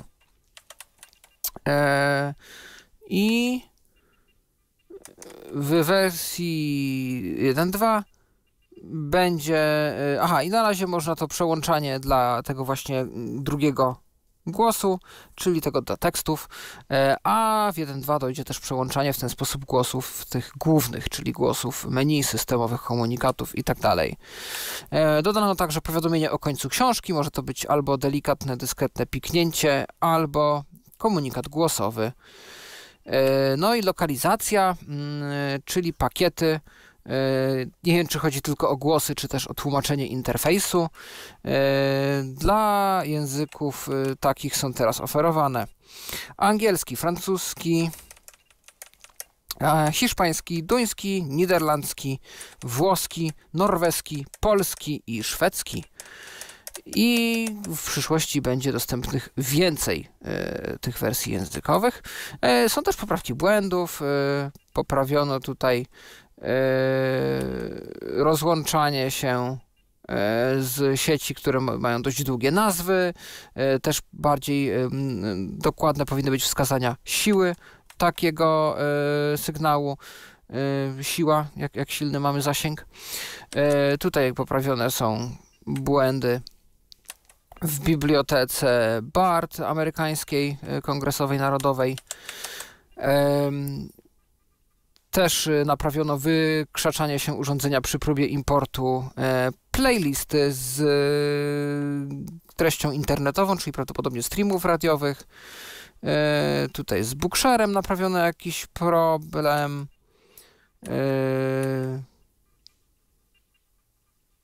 Aha, że po, mm, od teraz urządzenie powinno pamiętać, y, zapamiętywać pozycję, gdzie skończyliśmy czytać nasze książki przed jego zamknięciem. Widocznie y, do tej pory po restarcie urządzenia ta pozycja się gubiła. Y, I teraz, od teraz podcasty będą sortowane według daty publikacji. Konsolidacja notatek też lepiej działa, trochę jak bardziej jak na streamie dwójce.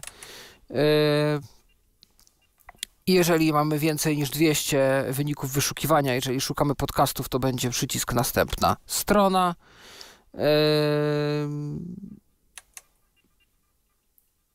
Tak, że będzie zapamiętana półka z książkami, na której byliśmy.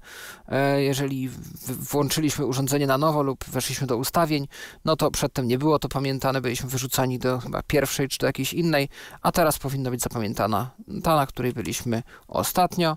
No i mamy, mamy też kilka mniejszych poprawek, o których już tu przedstawiciel Humanware nie pisze. Również Smart Vision trójka doczekał się aktualizacji z wieloma poprawkami. Taka funkcja, na którą użytkownicy z francuskiego podcasta Oxitude zwrócili uwagę, to, że od teraz można na WhatsAppie nagrywać już wiadomości głosowe y, bez użycia ekranu dotykowego, tylko bezpośrednio z klawiatury. Domyślam się, że to nie jest tylko i wyłącznie poprawka pod kątem WhatsAppa, tylko po prostu dodano możliwość y, wykonania gestu stuknięcia dwukrotnego z przytrzymaniem, no i dlatego też rykoszetem WhatsApp pozwala nam na nagrywanie wiadomości głosowych. E, e, no, Aha, dobra. E, jeszcze, jeśli mogę się dołączyć, bo jak zacząłeś, Pawle, wspominać o e, lokalizacji, ja przypuszczam, że to chodziło raczej właśnie o mm, spolszczenie interfejsu, jak jeszcze mhm. pojawił się polski. I to mnie skusiło, żeby wejść na stronę Harpo i zobaczyć, czy ten najnowszy Victor Reader może się w Polsce w sprzedaży pojawił. Jeśli pojawił się język polski, mówiono o tym, że w lecie ma się w Europie pokazać. No i na stronie sklepu Harpo jak najbardziej Victor Reader 3 e, już w sprzedaży jest oferowany e, i kosztuje on 2000 zł, około 1999, co jest bardzo konkurencyjną ceną, bo z tego co pamiętam on w Stanach kosztuje około 550 dolarów. Więc ta cena nawet wychodzi troszeczkę taniej w tym momencie, nawet niż e, na rynku amerykańskim. Nie pisze tutaj nigdzie, czy to jest jakaś czasowa promocja. Właśnie, czy to jest cena przedsprzedażowa, czy to jest cena. No nie pisze nigdzie, że to jest jakaś promocja, więc. Bo to jest fajna konkurencja też i dla Oriona, który. Tak. Orion kosztuje 1500, tak? Dobrze pamiętam? Hmm, chyba tutaj... tak. Tak, Jeszcze się rozejrzeć, być... czy tutaj są jakieś aktualności, e, ale no jeśli kogoś by to urządzenie interesowało, e, no to można śmiało zamawiać, jak widać już. Tak, i no to może być urządzenie takie dość też stabilne z tego, co, co czytam, yy, które może nie oferuje tyle, ile obiecuje SensePlayer na przykład, ale ma dużo mniej na przykład błędów, to oprogramowanie jest dużo bardziej dopieszczone. No i ma rozdziały wreszcie i można nas słuchać na nim wygodnie. E, to teraz syntezator do NVDA nowy i neuronowy. E, dokładnie. No właściwie informacje e, dostałem z Mastodona. Chodzi tutaj konkretnie o e, syntezator Piper, który powstał głównie dla, dlatego, że, że chciano stworzyć syntezator taki właśnie neuronowy, który byłby w stanie szybko reagować na urządzenia o takich naprawdę bardzo słabych procesorach jak Raspberry Pi, więc tutaj pewnie chodziło o jakieś e, asystenty głosowe i takiego typu, takiego typu rzeczy. No ale co za tym idzie, e, dzięki temu też ten syntezator jest w miarę responsywny na takich, do takich celi innych jak na przykład właśnie screen readery, no i praca na takich zwykłych procesorach. Tutaj do tego nie potrzebujemy jakiejś karty graficznej, no i ta mowa jest generowana po kilku sekundach, a e, nawet mniej. E, dodatek możemy sobie ściągnąć z GitHuba, jest e, link. Nie musimy oprócz tego dodatku nic innego instalować, wystarczy go sobie ściągnąć. Po instalacji, jeśli mamy pobranych żadnych głosów, to dodatek nam zaoferuje przejście na stronę, gdzie te głosy możemy pobrać. Możemy też wejść w ustawienia NVDA i tam na liście kategorii ten dodatek dodaje swoją kategorię Piper i z tego poziomu możemy zainstalować pobrane paczki głosów lub e, przejść na tą stronę. E, jest też dostępny jeden głos polski, aczkolwiek w aktualnej wersji dodatku jest e, błąd, który powoduje, że niektóre e, pliki instalacyjne właśnie w tym z tym głosem polskim się same nie zainstalują, chyba że nie zmienimy im nieco nazwy niestety, no ale autor obiecał, że to zostanie poprawione. No a czy warto te głosy instalować, to jest inna sprawa. Ja myślę, że to w dużej części zależy od tego, do czego chcemy te głosy używać i jakie języki e, nas interesują, e, bo no właśnie na przykład ten głos polski, który już sobie wcześniej zainstalowałem, ma problemy. No jak wiecie, głosy neuronowe często mają takie tendencje do tego, żeby czasami bardzo szybko zacząć wydawać ciebie jakieś niepokojące dźwięki i tą mowę jakoś zniekształcać. No, ten głos polski dosyć ekstremalnie te objawy pokazuje. Ja może po prostu szybko zademonstruję, jak to wygląda właśnie z tym głosem polskim, y, ale też y, kilka głosów angielskich, które działają y, znacznie lepiej. No ale zacznijmy od odgłosu polskiego, który myślę, że już słychać i ja sobie otworzyłem, o, właśnie przeszłem na porządek linii, to była jakaś litera, nie powiem wam jaka, bo szczerze e, nie zrozumiałem, e, co ten głos powiedział, no ale po prostu e, przeczytamy sobie tutaj kawałek tekstu. Jak zapowiadaliśmy na konferencji, w ramach Fundacji Prowadnica zdecydowaliśmy się na otwarcie całej naszej wiedzy o drukowaniu przy Dan Braille'a. Przyznam uczciwie, nie był to łatwy krok bo mówimy o 18 miesiącach pracy podanej na tacy, ale wierzymy, że jest to podejście słuszne. Więcej tam, to sama drukarkę. O właśnie, e, widać, że ten głos czasami jakieś e, rzeczy gubi, a no jeśli już po prostu próbujemy sobie nawigować po tym tekście. Miał nie wydrukować pismo punktowe na drukarce, czy też Fundacja Prowadnica, to wie i to... E, przeczytałem po prostu tutaj na kłówek, no to on tak to... On po e, prostu momentami zaczyna bełkotać, no tego się inaczej nie da określić. Tak, a ja to bardziej ekstremalnie mogę pokazać po prostu poprzez, nie wiem, chodzę sobie teraz Ctrl NVDA i ściałki.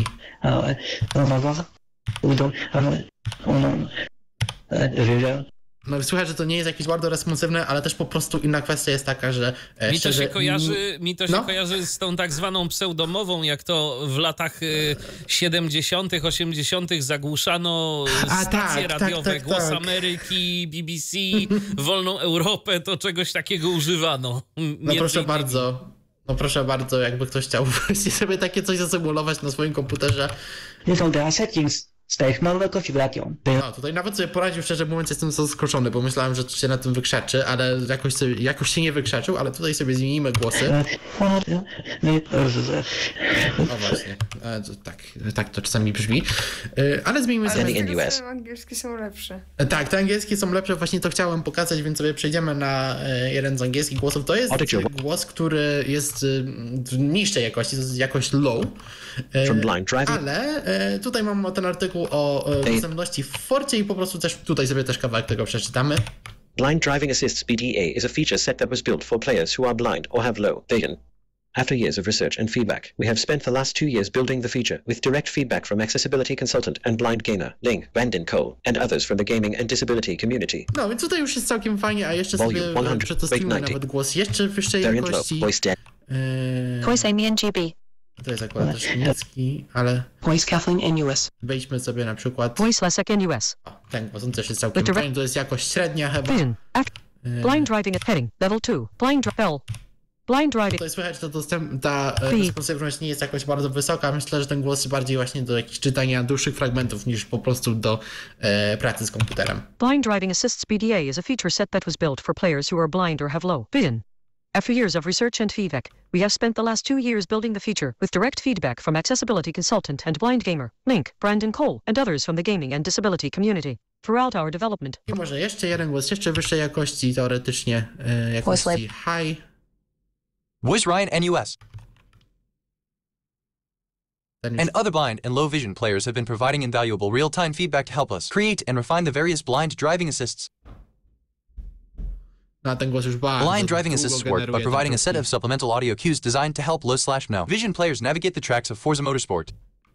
The feature set was driven by the audio. Team... No tutaj słychać jak on e, generuje te próbki, więc no to mniej więcej brzmi... E, Microsoft. Tak. Ja już sobie to wyłączę. E, co jeszcze obiecuje autor? No obiecuje, że ten dodatek e, za jakiś czas powinien działać szybciej, bo planuje przepisanie rdzenia tego syntezatora w, w języku RAS, który no, powinien być szybszy.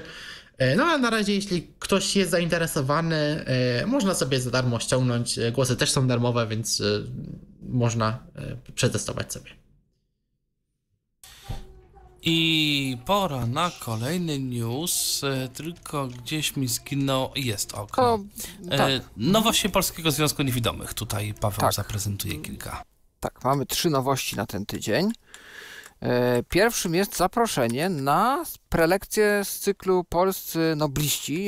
To się odbywa w Tyflo Galerii. 9 maja o godzinie 17 w Tyflo Galerii PZN odbędzie się prelekcja z cyklu Polscy Nobliści pod tytułem Droga Władysława Stanisława Rejmonta do Nagrody Nobla w, w dziedzinie literatury w 1924 roku. Serdecznie zapraszamy wszystkich zainteresowanych. Władysław Stanisław Rejmont to wybitny polski pisarz, prozaik i nowelista. Laureat Nagrody Nobla w dziedzinie literatury za powieść Chłopi. Autor m.in. Ziemi Obiecanej, Buntu oraz Komediantki. Prelekcję wygłosi Wiesława Dłubak-Bełdycka, emerytowana nauczycielka, e, przewodnik oprowadzający po Cytadeli, Muzeum Niepodległości, przewodnik wycieczek historycznych. Od lat współpracuje z Tyflogalerią PZN. Zapraszamy również na pozostałe wydarzenia zaplanowane w maju w Tyflogalerii PZN 23 maja o 17 e, koncert zespołu muzyki dawnej Furibondo i 30 maja Zielone Echa, mm, wieczór autorski Izy Galickiej. No więc tak, jeżeli w Warszawie jesteście, to takie atrakcje Was czekają. Jeżeli natomiast mieszkacie w Bielsku Białej, to na pewno ucieszycie się z tego, że Wasze starostwo powiatowe stało się bardziej dostępne. I tu, co ma do powiedzenia e, Polski Związek Niewidomych na ten temat. Wizyta w urzędzie, ośrodku zdrowia bądź placówce kulturowej nie dla każdego wygląda tak samo. Rozmowa z urzędnikiem czy obejrzenie filmu w kinie to dla osób z niepełnosprawnościami wyzwania życia codziennego. Na szczęście coraz więcej miejsc y, użytku publicznego w Polsce jest dostosowanych do osób z różnymi potrzebami. Instytucją, która wprowadziła wiele udogodnień dla osób z y, dysfunkcją narządu wzroku, ale nie tylko, jest Starostwo Powiatowe w Bielsku Białej, które od lat pracuje nad zapewnieniem jak najlepszej dostępności. W budynku przy ulicy Piastowskiej 44 osoby niewidome i słabowidzące mają do dyspozycji na każdym poziomie kolorowe tyflomapy, a na parterze mapę sensoryczną. Znajduje się na nich rozkład pomieszczeń ze spisem wydziałów i numerami pokoi. Informację przedstawiono w dwóch formach: w alfabecie Braille'a oraz głosowej, które można odsłuchać przez słuchawkę. Ponadto tablice są wyposażone w pętlę indukcyjną, która wspiera przede wszystkim osoby używające aparatu słuchowego. Już wcześniej Wielkie Starostwo wyposażono w cztery pętle indukcyjne, dwie stacjonarne i dwie przenośne. Na głównych ciągach komunikacyjnych starostwa znajdują się pasy informacyjne oraz ścieżki naprowadzające. Pier, yy, ścieżki prowadzące. Pierwsze podpowiadają, że właśnie zaczynają się lub kończą schody, zaś drugie pomagają w poruszaniu się osobie z dysfunkcją narządu wzroku, która używa białej laski. Cennym udogodnieniem są również oznaczenia kluczowych pomieszczeń tabliczką z wypukłym numerem biura i oznaczeniem w alfabecie Braille'a, która znajduje się nad klamką. Winda również posiada takie oznaczenia oraz jest udźwiękowiona. Natomiast osoby korzystające z aplikacji ToToPoint zostaną przez nią doprowadzone do każdej tyflomapy. Inwestycja została zrealizowana dzięki udziałowi powiatu w projekcie Państwowego Funduszu Rehabilitacji Osób Niepełnosprawnych pod nazwą Dostępny Samorząd, granty oraz ze środków własnych powiatu. No i to y, jest dobra wiadomość dla y, mieszkańców Bielska Białej, y, a z tych okolic właśnie województwa gdzieś śląskiego powiedzmy się nie ruszamy, bo w Sosnowcu też czeka nas uczta dla duszy, bo spektakl Kto puka. Pokaz spektaklu z audiodeskrypcją i zdaje się też z napisami, czy z językiem migowym, zaraz już o tym przeczytam. Tak. 20 maja o godzinie 18.00 w ramach projektu Scena Dostępna odbędzie się pokaz spektaklu z audiodeskrypcją, napisami i tłumaczeniem na język migowy. Organizatorem wydarzenia, organizatorami wydarzenia są e, Teatr Zagłębia z Sosnowca. Typowe mieszkanie w typowym bloku, w typowym mieście, w typowym kraju. Typowi bohaterowie i ich typowo łóżkowe tajemnice. Typowo ukrywane. Tylko po co? Musimy ciągle udawać, rozdarci między chceniem a zakaniem, pożądaniem a karą piekielną, tym co w głowie i tym co poniżej. Ale zaraz, czy naprawdę musimy? Pyta Dick Soltys, y, autor farsy Kto puka? No bo czego się tu wstydzić? Po co kryć się w szafie? Bo pewne rzeczy robić można tylko w domu pokryjomu? Bo co ludzie powiedzą? Bo co robisz w sypialni to twoja sprawa, więc się nie afiszuj? Kto puka? Wyciąga na jaw to, co bohaterowie farsy za wszelką cenę, choć może i nieudolnie, e, próbują ukryć. To splot przezabawnych wydarzeń w sytuacjach, które może jednak aż tak zabawne nie są, choć na pewno bawią. Farsa Kto puka została wystawiona po raz pierwszy w chilijskim Santiago pod koniec lat 80. pod hiszpańskim tytułem Ki en Empotra. Yy, mam nadzieję, że tu dobrze przeczytałem. Zwłaszcza, że to prawdopodobnie gra słowna i to taka raczej po 22, jak się domyślam. Po latach pochodząca z Chile i Argentyny grupa realizatorek i realizatorów pod wodzą reżysera Alejandro Denady wraca do klasycznego już tekstu, by przenieść go w sosnowieckie realia. Osoby pragnące skorzystać z powyższych udogodnień proszone są o kontakt z Biurem Współpracy z widzami, z widzami pod numerem telefonu 32 266 11 27. Raz jeszcze 32 266 11 27 lub mailowo pod adresem rezerwacje małpa teatrzaglebia.pl Rezerwacje małpa teatrzaglebia.pl Cena biletu to 35 zł. Serdecznie zapraszamy. I to wszystkie nowości Polskiego Związku Niewidomych na ten tydzień. To ja teraz zaglądam do komentarzy. Tu mamy jeszcze wypowiedź od naszego słuchacza Mojsiora. Ja testowałem Force 5 i niestety, aby używać funkcji dostępności, trzeba było ją przedstawić na język angielski. To tak jeszcze a propos tego, że zastanawialiśmy się, jak z dostępnością e, poprzedniej wersji tej gry. E, to teraz nowości też, ale od Towarzystwa Y, muzycznego imienia Edwina Kowalika. Tak, i to w dodatku będą nowości nie tylko dla tych y, zainteresowanych muzyką, a wręcz powiem, że od niemuzycznej nowości zaczniemy, bo jednym z działań, które to towarzystwo ostatnio podejmowało, był międzynarodowy projekt, który nazywa się DD Math, realizowany od października 2021 roku. Projekt ten miał na celu tworzenie i promowanie cyfrowych technik uczenia się matematyki oraz przedmiotów ścisłych przez osoby z dysfunkcją wzroku. W ramach współpracy z działającym we Włoszech głównym organizatorem udało się opracować w wersji polskiej program Lambda, e, pozwalający na komputerowe zapisywanie i odczytywanie wyrażeń oraz działań matematycznych w brajlowskim kodzie ośmiopunktowym. Na język polski przetłumaczono nie tylko sam program, ale też lekcje wideo ułatwiające przejście pierwszych kroków e, we współpracy z wspominanym narzędziem, a także stanowiących instrukcję jego obsługi podręcznik, e, który dostosowano do polskiej wersji oprogramowania z uwzględnieniem ośmiopunktowej notacji brajlowskiej zbliżonej do sześciopunktowej notacji stosowanej w naszym kraju. Wszystkich e, zainteresowanych towarzystwo zaprasza pod adres ddmatch EU. E, warto dodać, że udostępnione tam materiały są wciąż aktualizowane i e, będą jeszcze aktualizowane w miarę ich ulepszania przez niewidomych ekspertów. Towarzystwo zachęca do e, śledzenia rozwoju programu Lambda, no i oczywiście wdrażania również tego programu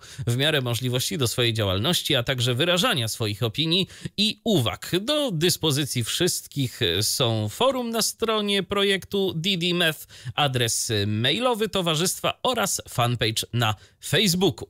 I to jeżeli chodzi o tę niemuzyczną część tej informacji, natomiast jak czytamy na stronie e, Towarzystwa Muzycznego imienia Edwina Kowalika, jeszcze też coś dla muzyków e, albo tych, którzy muzykami chcą zostać, się znajdzie.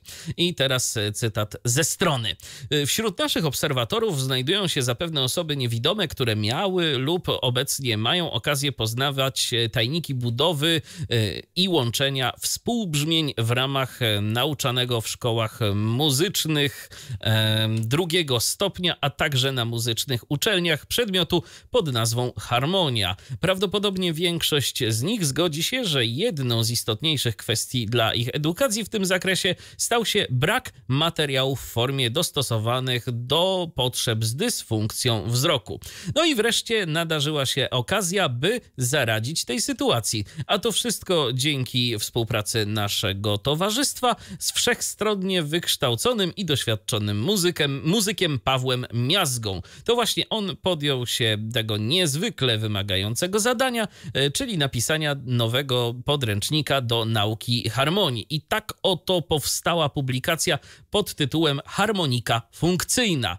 To To, co wyróżniają na tle innych znanych w Polsce pozycji o podobnym przeznaczeniu, to nowatorskie podejście do wprowadzania poszczególnych zagadnień, a także liczba przykładów z literatury muzycznej ilustrujących omawiane zjawiska. Oprócz dostępu do materiałów jest coś jeszcze, co spędza sens powiek niewidomym, zgłębiającym zasadę harmonii. Wielu z nich bowiem głowi się, jak z użyciem pisma punktowego zanotować wszystkie skomplikowane oznaczenia akordów zapisywane przez nauczycieli na tablicy, skoro reguły brajlowskiej notacji muzycznej tego nie precyzują. Od teraz nie trzeba już wymyślać własnych roboczych systemów. Do przedstawienia zawartych w podręczniku treści konieczne było opracowanie zestawu tego rodzaju symboli. Jego wykorzystywanie mm, testowały w praktyce osoby z dysfunkcją wzroku. Bazując na ich opiniach, zapewniamy, że przyjęte rozwiązania są intuicyjne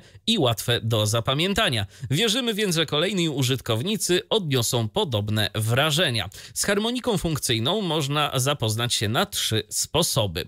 Tych, którzy preferują wersję elektroniczną w formacie HTML, zapraszamy do kontaktu przez Facebooka lub adres mailowy towmuz.outlook.com outlook.com mm, No i po otrzymaniu wiadomości zawierającej numer orzeczenia o niepełnosprawności prześlemy identyfikator i hasło pozwalające na dostęp do interesującego Was materiału zamieszczonego w zakładce Publikacje zabezpieczone. Znajdziecie tam też instrukcje, dzięki którym będziecie w stanie odczytywać na Waszych monitorach brajlowskich przykłady nutowe. A skoro mowa już o alfabecie Braille'a, to mamy coś specjalnie dla jego miłośników. Egzemplarze wydrukowane z użyciem pisma punktowego przekazaliśmy do kilku instytucji, m.in. działu zbiorów dla niewidomych Głównej Biblioteki Pracy i Zabezpieczenia Społecznego. Mamy zatem nadzieję na liczne grono osób chętnych do ich wypożyczania. Rzecz jasna, nie zapominamy również o czytelnikach słabowidzących i tu dobra wiadomość, w naszych zasobach zostało jeszcze kilka egzemplarzy wydanych drukiem powiększonym. Jeśli chcecie wzbogacić wasze półki z książkami o wspominaną pozycję, dajcie znać e, drogą mailową lub e, facebookową. Co oczywiste, aby gruntownie zapoznać się z jakąś dziedziną, sama teoria nie wystarczy. Każdy, kto uczył się harmonii, wie, jak istotny w jej przypadku jest trening wykorzystywania zdobywanej wiedzy w praktyce. W związku z tym nie chcemy poprzestać na wydaniu podręcznika i planujemy w niedalekiej przyszłości dopełnić go obszernym zbiorem zadań. I jeszcze taka informacja na koniec, którą instytucje finansujące lubią, a w tym przypadku polubi na pewno Państwowy Fundusz Rehabilitacji Osób Niepełnosprawnych, niepełnosprawnych bo to właśnie ze środków PEFRON-u powstała ta publikacja, została ona dofinansowana właśnie przez PEFRON. I y, teraz kolejny news.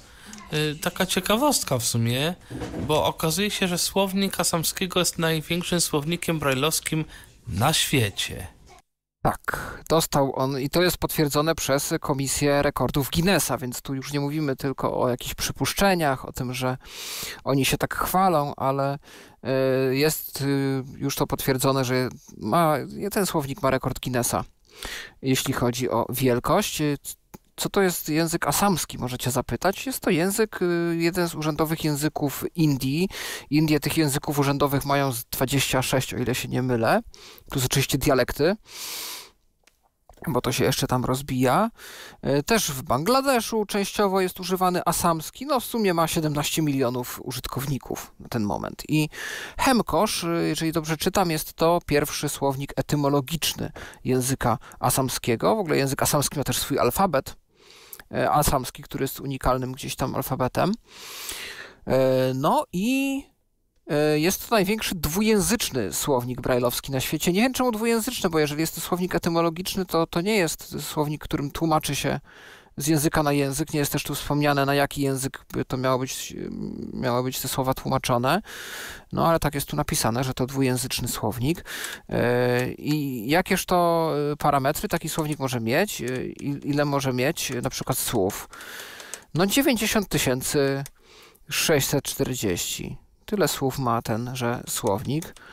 E, wydrukowanych e, w 21 tomach i 6 częściach e, na 10 279 stronach i waży cały ten słownik 80,800 tysięcznych kilograma. 80 kilogramów ponad. No, trochę Robi wrażenie. Tak, robi wrażenie, jak, jak najbardziej. Szkoda, że nic z tego języka asamskiego my nie rozumiemy, natomiast no, oni tam mogą, użytkownicy tego języka się pochwalić no, rekordem Guinnessa co do wielkości słownika. Ja w sumie oprócz jakichś wycinków w podręczniku do niemieckiego, to nie widziałem nigdy słowników brajlowskich. Wiem, że są, wiem, że są. Yy, słyszałem o na przykład polsko-francuskim, na pewno, ale, ale inne na pewno też jakieś są. E, ale ja takiego nigdy nie posiadałem w swoich zasobach. No, dobrze, że wychodzą. To jest ważne. A teraz ciekawy jestem, czy ktoś z słuchaczy używa jeszcze narratora, czy jeszcze no, używa narratora y, Windowsowego, bo jeżeli tak, no to dobra informacja właśnie dla użytkowników narratora, bo będzie ten screener czytał lepiej Excela. Dokładnie, właściwie nawet y, będziemy w stanie dostosować sobie, jak on ma tego Excela czytać i wydaje mi się, że chyba JOS na takie rzeczy pewnie pozwala, ale NVDA chyba już nie. Y, to jest też ciekawe, jak to zostało zrobione, no ale właśnie zacznijmy y, od początku. Na razie ta funkcja jest dostępna tylko w, insiderskich wersjach Windowsa 11 oraz Office'a. Konkretnie musimy mieć przynajmniej Windowsa e, wersję, wersji 23, 23403 e, i Office'a w wersji też insiderskiej, więc tam też trzeba się zapisać do tego programu e, w, w Office i tam Office'a musimy mieć w wersji 16 130. Właściwie to jest teraz Microsoft 365, tak właściwie ta nazwa Office już nie, nie funkcjonuje, no ale e, gdzieś została mi w pamięci. E, jest to też ciekawe, jak to zostało zrobione, bo jeśli mamy już e, tę wersję i Windowsa i Office'a, to po pierwszym uruchomieniu Excela i otworzymy sobie Excela, to on po prostu wejdzie do sklepu Microsoft e, i ściągnie sobie rozszerzenie do Excela, e, które poprawia e, pracę właśnie Excela z narratorem. To są takie trochę skrypty, tylko że to nie są skrypty, które są instalowane do screenreadera, tylko w tym przypadku tylko screenreader sobie instaluje dodatek do Excela. Jak już się to wszystko zainstaluje, e, no to e, to zoptymalizowane czytanie zostanie automatycznie uaktywnione i dostaniemy kilka dodatkowych skrótów klawiszowych. Konkretnie są to czy włączenie, wyłączenie tego optymalizowanego czytania to jest narrator Alt O Przełączenie czytania kontekstu na początku lub na końcu to jest narrator Alt-C. E, prze, e, zamienienie czytania nazwy i wartości to jest narrator Alt-N, czyli czy ma być czytana najpierw e, nazwa czy wartość. Czytaj bieżący kontekst to jest narrator Shift-C. Przeczytaj właściwości elementu komórki to jest narrator Shift-S. I przeczytaj zaznaczenie i to jest narrator Shift-E. E, co to nam da? No, zmiana czytania kontekstu e, spowoduje. E, kontekst to jest po prostu, to, to są informacje, które nas informują, gdzie w tej tabeli jesteśmy. Jeśli mamy na przykład nagłówki, no to tutaj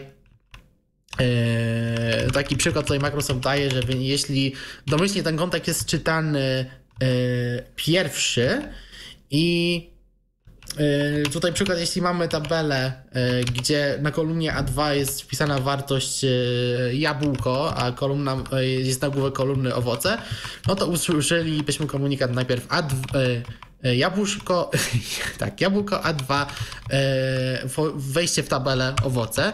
Jeśli przełączymy kontekst na początek, no to najpierw byśmy usłyszeli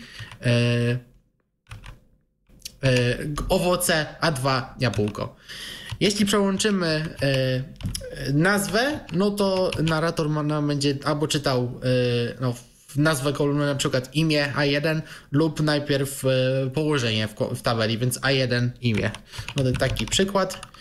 E, a co jeszcze nam to daje? No, e, na przykład lepsze czytanie podczas nawigacji po kolumnach oraz podczas zaznaczania konkretne komunikaty, kiedy komórka jest pusta, więc e, jeśli to było włączone, to nie było e, czytelne.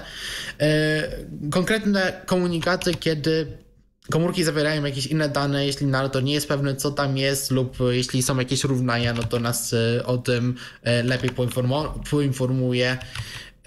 Lepsze radzenie sobie ze stalonymi komórkami. E, i e, będzie podawał dodatkowe informacje o innych osobach, które akurat w tym samym czasie edytują dokument, więc jeśli współpracujemy nad jakimś arkuszem e, jednocześnie, no to narrator nam będzie mówił, jeśli inna osoba akurat też jest w tym miejscu i coś na tym arkuszu zmienia. E, tutaj Microsoft jeszcze ostrzega, że na razie będzie czasami jakieś za dużo informacji podawane, kiedy nawigujemy między komórkami i e, ostrzega też, że na razie to jest wszystko zoptymalizowane pod mowę, ale e, Braille jeszcze nie jest do końca wspierany. No ale fajnie, że coś tam się z tym narratorem dzieje. Jakiś czas temu, e, pamiętam, były poprawki w e, Outlooku, e, że też to miało działać jakoś szybciej. Oczywiście cały czas no, jakieś zmiany się pojawiają w Edge'u. Zresztą też jakieś mniejsze poprawki w tej kompilacji Windowsa się pojawiły, jeśli chodzi o mm, obsługę narratora w internecie. No ale już tutaj te funkcje w Excelu wydaje mi się, że mogą być całkiem przydatne, zwłaszcza dla osób, które faktycznie dużo w, w tym programie może pracują i y, właśnie chciałyby sobie tak jakoś y, to czytanie dostosować, bo no, tak jak mówiłem, no NVDA takie rzeczy z tego co wiem nie pozwala. Jeśli na przykład no, pracujemy dużo z, w tabelach jakichś, gdzie mamy nagłówki kolumn i chcielibyśmy sobie to jakoś dostosować, no to Fajnie, że e, narrator nam może pozwoli na e, więcej, tak? bo to jest darmowa aplikacja, nie musimy nic za nią e, dodatkowo dopłacać, więc można mieć nadzieję, że to jest początek jakichś dalszych zmian. No i ten narrator będzie stawał się coraz bardziej konkurencyjny, no bo też przecież pojawiły się te głosy neuronowe, no po polsku jeszcze nie, ale kto wie, może kiedyś się pojawią, no pożyjemy, zobaczymy. RH Voice dostępny na iPhone'a, to dobra informacja. Nie po polsku. To gorsza informacja. Tak, na ten moment, tak jak Zwonimir e, Stanecic wspominał w, w naszej audycji o RH Voice, e, no, spełna miesiąc temu, e, może troszeczkę ponad, Wersja dla iOS-a ukazała się w pierwszej kolejności dla języków albańskiego i macedońskiego, no ponieważ są to języki, które domyślnie przez VoiceOvera wspierane nie są, więc były to języki pierwszej potrzeby, dla których tutaj RH Voice mógł uczynić największą różnicę. E, to też na jakieś specjalne zamówienie ponoć powstało, tam jakieś całe historie się jakieś yy, dzieją. Natomiast yy, firma jest jak najbardziej otwarta na to, żeby dalej powstawały kolejne języki. Kiedy to będzie się działo? No ciężko powiedzieć. Na razie mamy tylko te dwa. Też nie wiadomo, czy do nowych języków będzie potrzebna aktualizacja aplikacji samej w App Store, bo w ustawieniach widać, że jest opcja aktualizacji pakietów językowych przez Wi-Fi, więc możliwe, że tutaj nawet nie trzeba będzie wypuszczać nowej wersji aplikacji. E, link jest podany w komentarzu, więc gdybyście już chcieli na zaś e, sobie go, e, aplikację samą zainstalować, no to możecie to zrobić i czekać, aż wyjdzie wersja z językiem polskim. No, albo innym, którego używacie. No i na ten moment tyle możemy o tym mechanizmie powiedzieć. No, coś się powoli przebija ale jeszcze nie dla nas. Swoją drogą ciekawe, czemu został podjęty właśnie taki krok, żeby najpierw udostępnić tylko jeden język, a dopiero potem jakby całą. Ja sobie przyjrzałem e, stronę tego producenta, to jest tam ciekawie zrobione. Też dostałem tam informację, że niedługo też się powinna wersja na Maca pojawić, no bo to jest, no generalnie większość tego kodu jest zielona, więc no e, fajnie byłoby, jeśli Macowa wersja też by się pojawiła, natomiast tam e, też oferują głos e, bodajże portugalski i on też jest oferowany w troszeczkę innych zasadach niż pozostałe głosy RH Voice'a, bo trzeba e, instalować ich jakiś firmowy dodatek, który wymaga dodatkowej rejestracji. Tam piszą, że po prostu telemetrię chcą zbierać i, i dlatego są takie wymagania. To jest takie trochę e, dziwne, no bo pozostałe głosy takich rzeczy nie wymagają. Też nigdzie nie widziałem... Mm, gdzie kod źródłowy tego został w, w, w, wrzucony, a teoretycznie, jeśli Voice jest na licencji otwartej, no to powinien gdzieś być dostępny. No cóż. Tam, tam jest ogólnie jakiś taki rozłam. Kto rozłam, tak, bo to jest rhvoice.com, e, a cały projekt jest na rhvoice.org. Org i tam już tak. chyba no nie jedna firma się do tego brała, żeby coś na tym mhm. projekcie też dla siebie ugrać. No ale miejmy nadzieję, że skończy się to z korzyścią dla użytkowników. Zobaczymy. Y blogi, y, które no, byłbym w stanie polecić na Eltenie 2, które ostatnio się y, utworzyły. Y, pierwszy dotyczy nawigacji, czyli systemów tych nawigacyjnych dla niewidomych programów. Nawigacja.s litera s.elten.blog. To jest blog prowadzony przez Kamila Midzio. E, tam są póki co przynajmniej wpisy dotyczące programu Dotwalker i Sync Assistant Move. Jest kilka kategorii, to znaczy Dotwalker, nowinki, Sync Assistant Move. E, no i w Dotwalkerze mamy na przykład takie wpisy jak e, w zasadzie tylko dwa wpisy. Uwagi wstępne i rozglądanie się w Dotwalkerze. Nowinki. Now, nowości w becie Sync Assistant Move na Androida i nowość w Sync Assistant Move na iOS.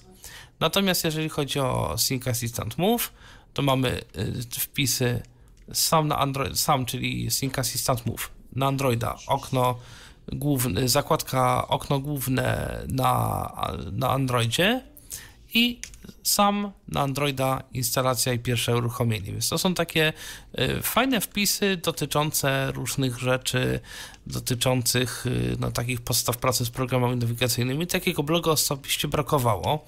Y, to znaczy, ja na szczęście dość dobrze znam tego typu programy, natomiast no, to jest taki temat, który jest bardzo no, taki mm, no nie, bardzo mało ruszony w ogóle w, w środowisku osób niewidomych. Mało kto ogarnia tę nawigację, a to jest rzecz, która no myślę jest bardzo potrzebna, bo rzeczywiście to pozwala nam być znacznie bardziej niezależnymi.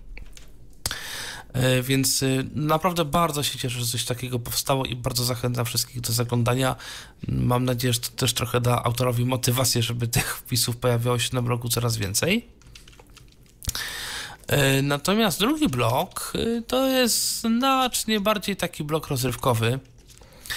E, automatic.s.elten.blog to jest blog, w którym, na którym są głównie różnego rodzaju zabawy sztucznymi inteligencjami, syntezatorowami mowy, chat GPT i tak dalej, i tak dalej.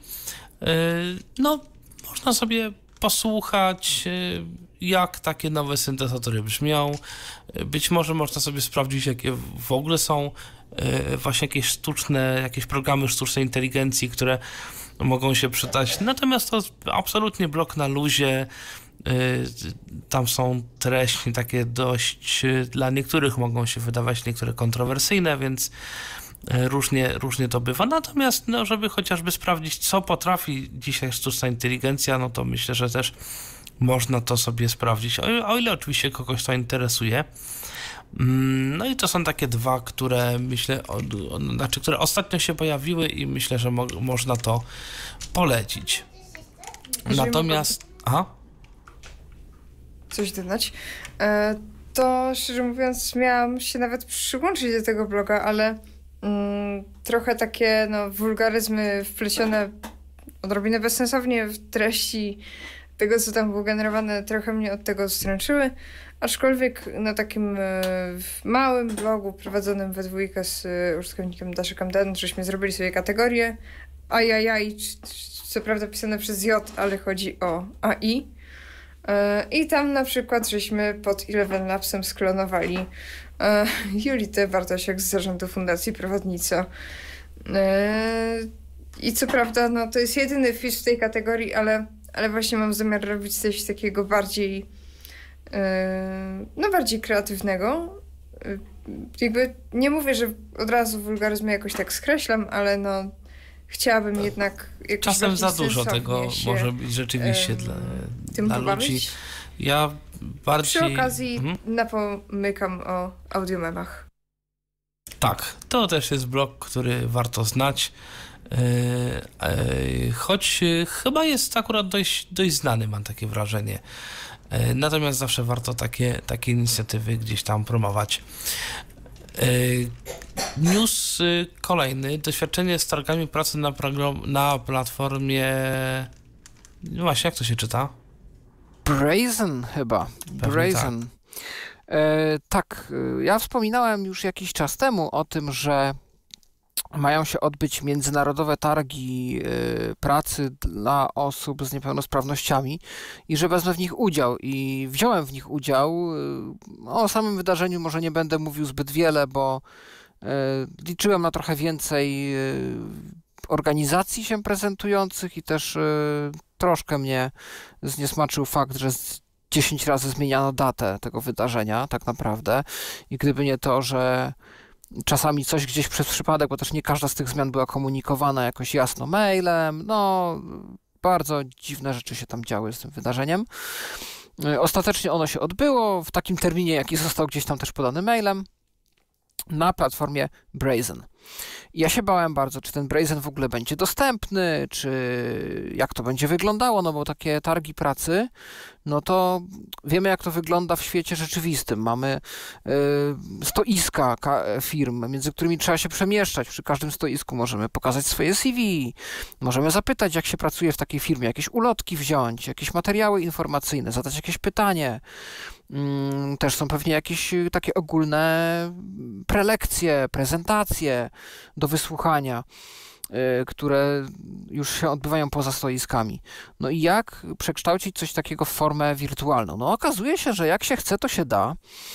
I Brazen jest platformą, której do dostępności, a jakże pomyślano. E, bo po zalogowaniu się na wydarzenie, my tam się logujemy naszym mailem, otrzymujemy dostęp do e, całego terenu wystawy, tego wirtualnego oczywiście terenu. No i mamy tam listę. E, jest to taka jakby aplikacja trochę ariowa, e, robiona widać, że specjalnie pod dostępność, bo mamy tam dostęp do całej listy tych stanowisk takich, tak, tych stoisk, booths, czyli tak jakby te budki, stoiska, no po prostu stoiska.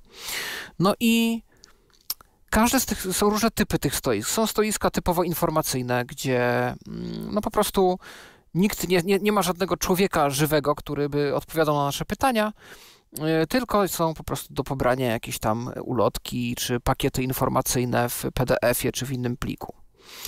E, są e, tak zwane booths chyba, czyli po prostu stoiska tekstowe czatu tekstowego.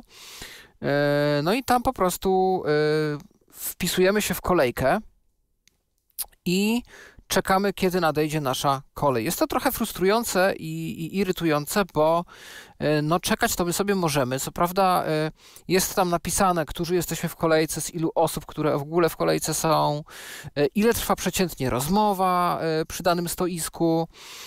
E, I no, możemy się troszkę naczekać, bo każdy petent, każdy interesant by chciał, interesariusz chciałby się dogadać e, i uzyskać odpowiedzi na swoje pytania.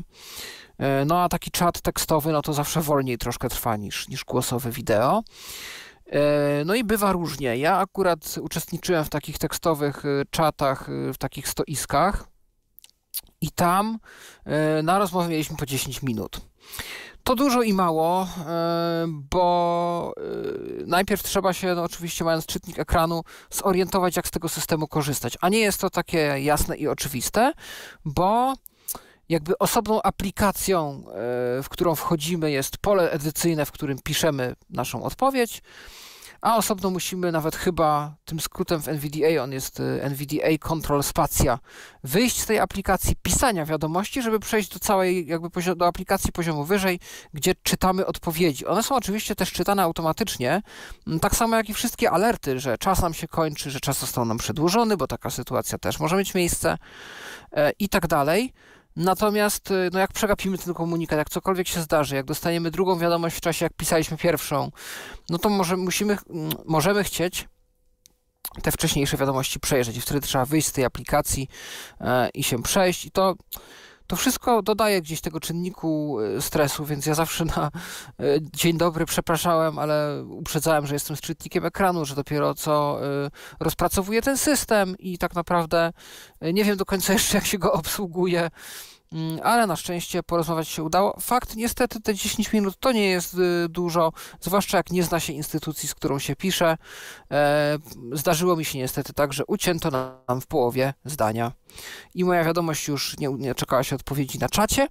Na szczęście e, istnieje taka opcja jak follow-up, czyli nasz rekruter, czy powiedzmy osoba, która reprezentuje firmę na takich targach, czy tam organizację, może E, do nas napisać maila i my możemy przez ten kontakt mailowy e, dalej sobie pewne kwestie jakieś wyjaśnić. Są też y, stanowiska audio i wideo rozmów jeden na jeden. E, ja w takich niestety nie miałem okazji uczestniczyć, bo żadna z organizacji takich nie zaoferowała. Teraz nie pamiętam, chyba są też te rozmowy grupowe audio-wideo, ale teraz nie jestem tego pewien. Natomiast są też y, stanowiska, które są live streamami. I to jest taki jednostronny live stream, do którego my się podłączamy, trochę jak do no, transmisji na żywo, na przykład na YouTubie. I wysłuchujemy i oglądamy, co nam mają y, organizatorzy do powiedzenia lub do pokazania. No i e, tutaj już po prostu no, zapoznajemy się z takim streamem. E, tam są też e, różne informacje, można sobie przejrzeć informacje o uczestnikach tego, znaczy o osobach reprezentujących, kim oni są, jakie stanowiska reprezentują. Można sobie też jak zwykle pobrać jakieś tam materiały, zapoznać się troszeczkę, firma może się tam jakoś opisać. Mm, w, taki, w, na takim stanowisku. No i, i tak to w dużym skrócie wygląda.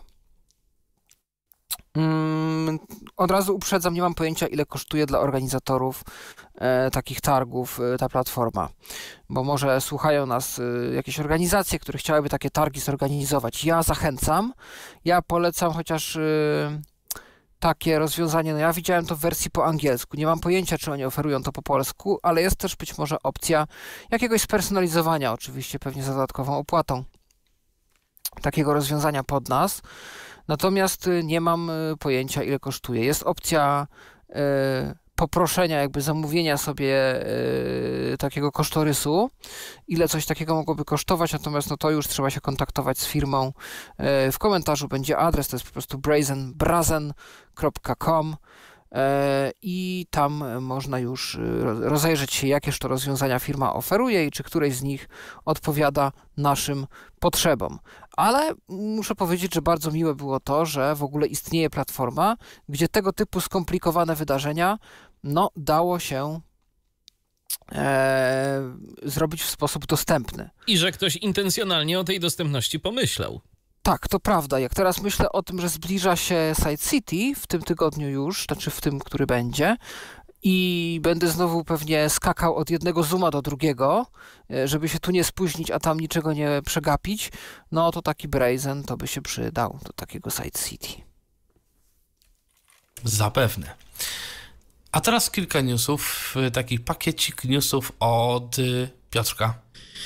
Tak, tutaj mam takie kilka krótkich informacji o aktualizacjach, ale też nie tylko takich nowościach, które może za jakiś czas się pojawią, które myślę, że e, Was mogą zaciekawić. E, najpierw o rzeczach, które przyspieszają, a trochę tych e, rzeczy jest. Konkretnie tutaj mówimy o NVDA najpierw, bo w, na razie w wersjach alfa, więc to pewnie w następnej stabilnej wersji te rzeczy się pojawią. Kilka takich istotnych rzeczy zostało wprowadzone, w większości dzięki Jamiemu tej, który właściwie teraz pracuje dla Mozilla, ale e, też czasami do, do NVDA jakieś poprawki e, wrzuca. No i wrzucił takie dwie dosyć, wydaje mi się, istotne, właściwie trzy nawet. Po pierwsze, poprawił dosyć irytującą kwestię w NVDA, gdzie aplikacja bardzo lubiła się zawiesić, jeśli jakaś aplikacja przestała odpowiadać. No i często po prostu, dopóki my tej aplikacji nie ubyliśmy, e, co czasem nie było bardzo łatwe, no to, to nie mieliśmy mowy i było bardzo trudno ją odzyskać. Teraz e, MVDA zachowuje się tutaj dużo lepiej, nie powinniśmy tej mowy stracić i ja faktycznie to zauważyłem. No to generalnie działa E, dużo bardziej responsywnie. E, też zostało poprawione czytanie, e, jeśli chodzi o responsywność, czytanie kursora w polach edycji. Teraz NVDA powinien reagować trochę szybciej, tam jakieś timery zostały troszeczkę skrócone i dzięki temu NVDA reaguje dużo szybciej, a też powinien dużo szybciej reagować sam dźwięk, który się z tego NVDA wydobywa, bo Jamie wprowadził do NVDA obsługę systemu Wasapi, e, czyli to jest taki najbardziej współczesny system, przez jaki aplikacje w Windowsie e, przesyłają dźwięk. E, no i dzięki temu ta domowa powinna być bardziej responsywna, nie powinna się tak zacinać. Czasami w niektórych przypadkach no to ta mowa lubiła się gdzieś przerywać. To na przykład ma bardzo fajny efekt przy starym wokalizerze, tym jeszcze pierwszym wokalizerze Automotive, który mimo to, że dostaje aktualizację, to w najnowszych wersjach, zwłaszcza e, w głosach kompaktowych faktycznie tam mowa lubiła e, gdzieś się czasami gubić, trzeszczeć coś, no to jeśli mamy to Wasapi włączone, ono domyślnie jest w tych wersjach alfa włączone, no to ta mowa działa dużo, dużo lepiej, już tak nie, nie przerywa. Natomiast E, to wsparcie WhatsAppi akurat właśnie nie lubi się z tym syntezatorem Piper, e, wtedy to się wszystko zawiesza, więc jeśli chcecie się Piperem pojawi, e, pobawić, a macie tę wersję alfa, no to w ustawieniach zaawansowanych musicie sobie to wsparcie WhatsAppi na jakiś czas wyłączyć. To jest NVDA. szybko dodać? No. Są dwie kwestie, bo też bardzo zauważalny jest skok wydajności, właśnie responsywności na WhatsAppie i na urządzeniach y, Bluetooth. O, widzisz, tego nie sprawdzałem akurat. Tak dalej. Widzę, że. Y, chyba, że to placebo, ale. Nie, bardzo możliwe, bo to jest ale dużo wydaje... nowszy standard, więc. Tak. Y, no. Wydaje mi się, że jakoś tam to przychyżyło. Natomiast ostrzeżenie takie, jeśli chodzi o mm, użytkowanie tej alfy, jest takie, że jeżeli ktoś yy, użytkuje program Elten i właśnie chciałby się przerzucić na Alpha NVDA, yy, to jest taki problem, że na yy, jakby skacząc tabem po wpisach tekstowych yy, użytkowników nie są one czytane yy, ani jakby nazwa użytkownika, ani sam wpis. Trzeba to yy, strzałkami czytać. Ale mm, jakby myślę, że profity tej alfy i tak zwyciężają to, że czasami czytam Eltena, więc, więc dalej na niej jestem, bo naprawdę przychyżyła mocno. E, no właśnie, tutaj to naprawdę przyspieszyło, no to jest właśnie wersja alfa, e, tutaj też warta uwaga, jeśli chcecie się tym pobawić, a na przykład nie chcecie jeszcze sobie mm, aktualizować głównej instalacji, to warto sobie po prostu e, zrobić wersję przenośną, możecie sobie po prostu mieć tą alfę zainstalowaną osobno i ją testować, jak już wszystko będzie zaktualizowane, no to, to po prostu się wtedy na nią przejść, aczkolwiek moje wszystkie dodatki na razie nie narzekały na tą alfę, więc no, oprócz tutaj tego, co Paulina mówiła. A, e, tak z ciekawości, no? czy ty używasz tego dodatku LBL? Nie. Nie. Bo on nie, podobno więc... właśnie do tej pory przynajmniej bardzo się nie lubił z wszelkimi alfami, nie działał prawidłowo. No więc tutaj się niestety też e, no, może zobaczę. nie wypowiem.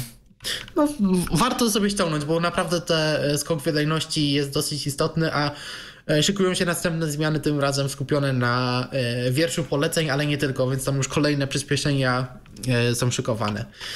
No a no propos, przy... sklep też w tak. przyszłym tygodniu w Alfie ma się pojawić z dodatkami. Jakaś pierwsza jego już wersja wstępna. Tak. No, też może być Jak ciekawe. to się pojawi, to na pewno jeszcze do tematu wrócimy, bo myślę, że no to też cały czas, zaciekawi. No, tak, cały czas na liście deweloperów gorące dyskusje a propos sklepu. Tam, tam cały czas coś no sklep, wokół tego się dzieje. No sklep coś tam jest robione, tylko właśnie interfejsu brakuje. No interfejs ma no się pojawić, więc na pewno do tematu wrócimy. No a propos rzeczy, które przyspieszyły, mm, jeśli pamiętacie, oj, nie wiem, to już będzie rok, jak nie więcej, e, e, jak e, chyba Mikołaj mówił o tym, jak w Firefoxie też doczekaliśmy się dużych zmian w infrastrukturze dostępności, które spowodowały, że ta przeglądarka przyspieszy. No tylko wtedy to też właśnie było w tych wersjach nightly, więc wersjach niestabilnych.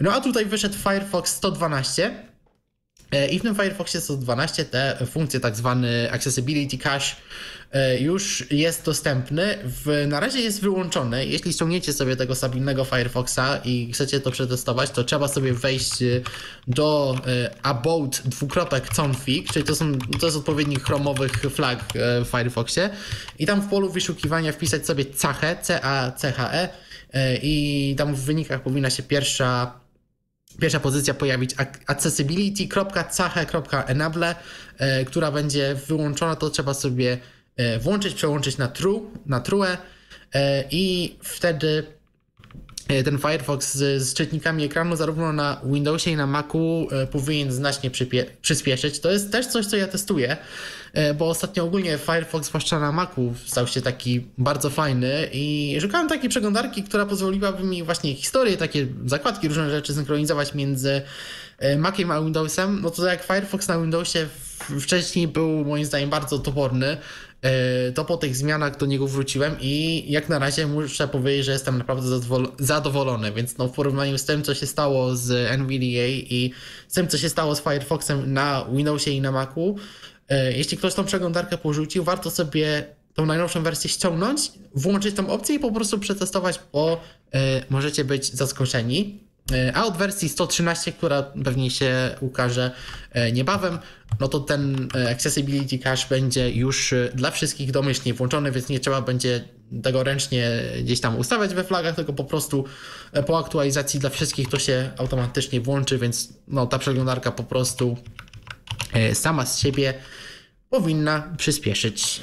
E, następnie mamy Sense Playera, tutaj była mowa właśnie o aktualizacjach e, Wiktora Streama e, trójki.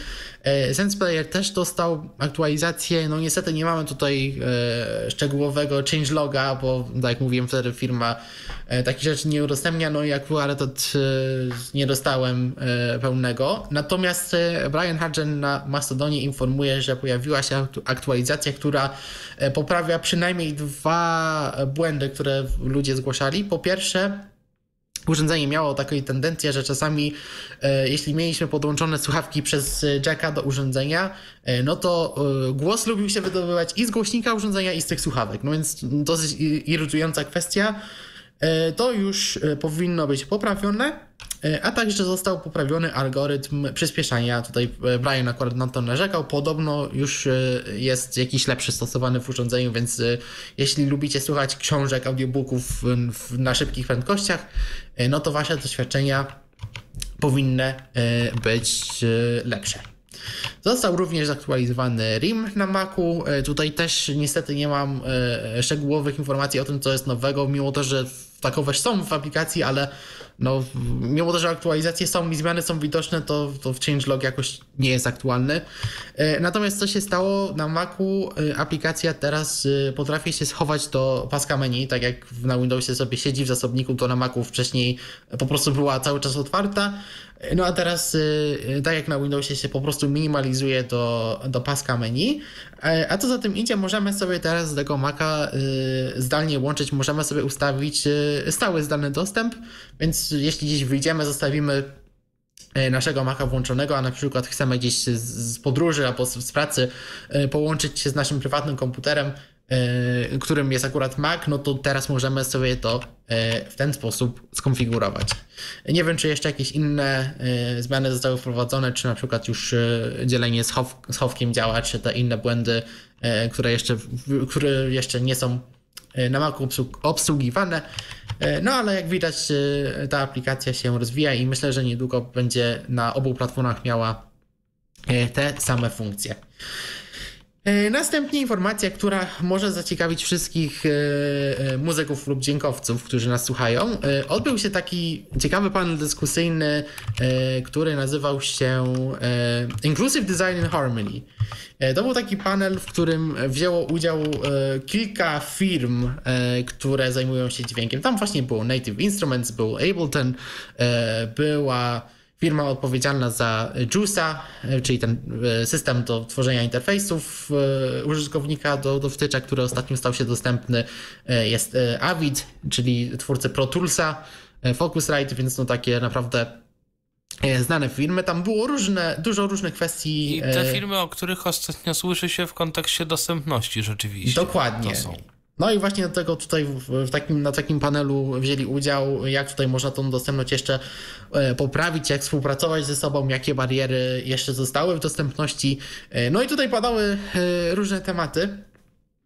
Prowadzący tę całą dyskusję wywołał każdą firmę po kolei do tablicy. No i dzięki temu dowiedzieliśmy się kilku ciekawych rzeczy. Ja tutaj dałem link do filmu, który przewinąłem do tego miejsca, gdzie te tematy akurat się zaczęły. E, I takie dwie ciekawe informacje, tutaj nie mamy konkretów niestety, ale myślę, że jest na to czekać, bo e, tak jak wspominałem w przypadku dostępności maszyna od e, Native Instruments, tutaj, że ludzie oszczą sobie zęby na traktory, czyli te kontrolery do DJ-owania, no to tutaj pracownik firmy potwierdził, że jest, są już prowadzone prace dostępności nad traktorami, więc niedługo myślę, że też te urządzenia do nas przemówią. E, a tak samo e, kiedy Paweł mówił o aplikacji Ableton Note na iPhone'a, rozmawialiśmy też o pełnej wersji Abletona, czyli to jest e, Ableton Live, to jest takie całe właściwie studio nagrań i nie tylko, like, no, taka alternatywa dla Reapera czy Logica. No tutaj też firma potwierdziła, że rozpoczęły się prace nad wsparciem dla czytników ekranów tej aplikacji.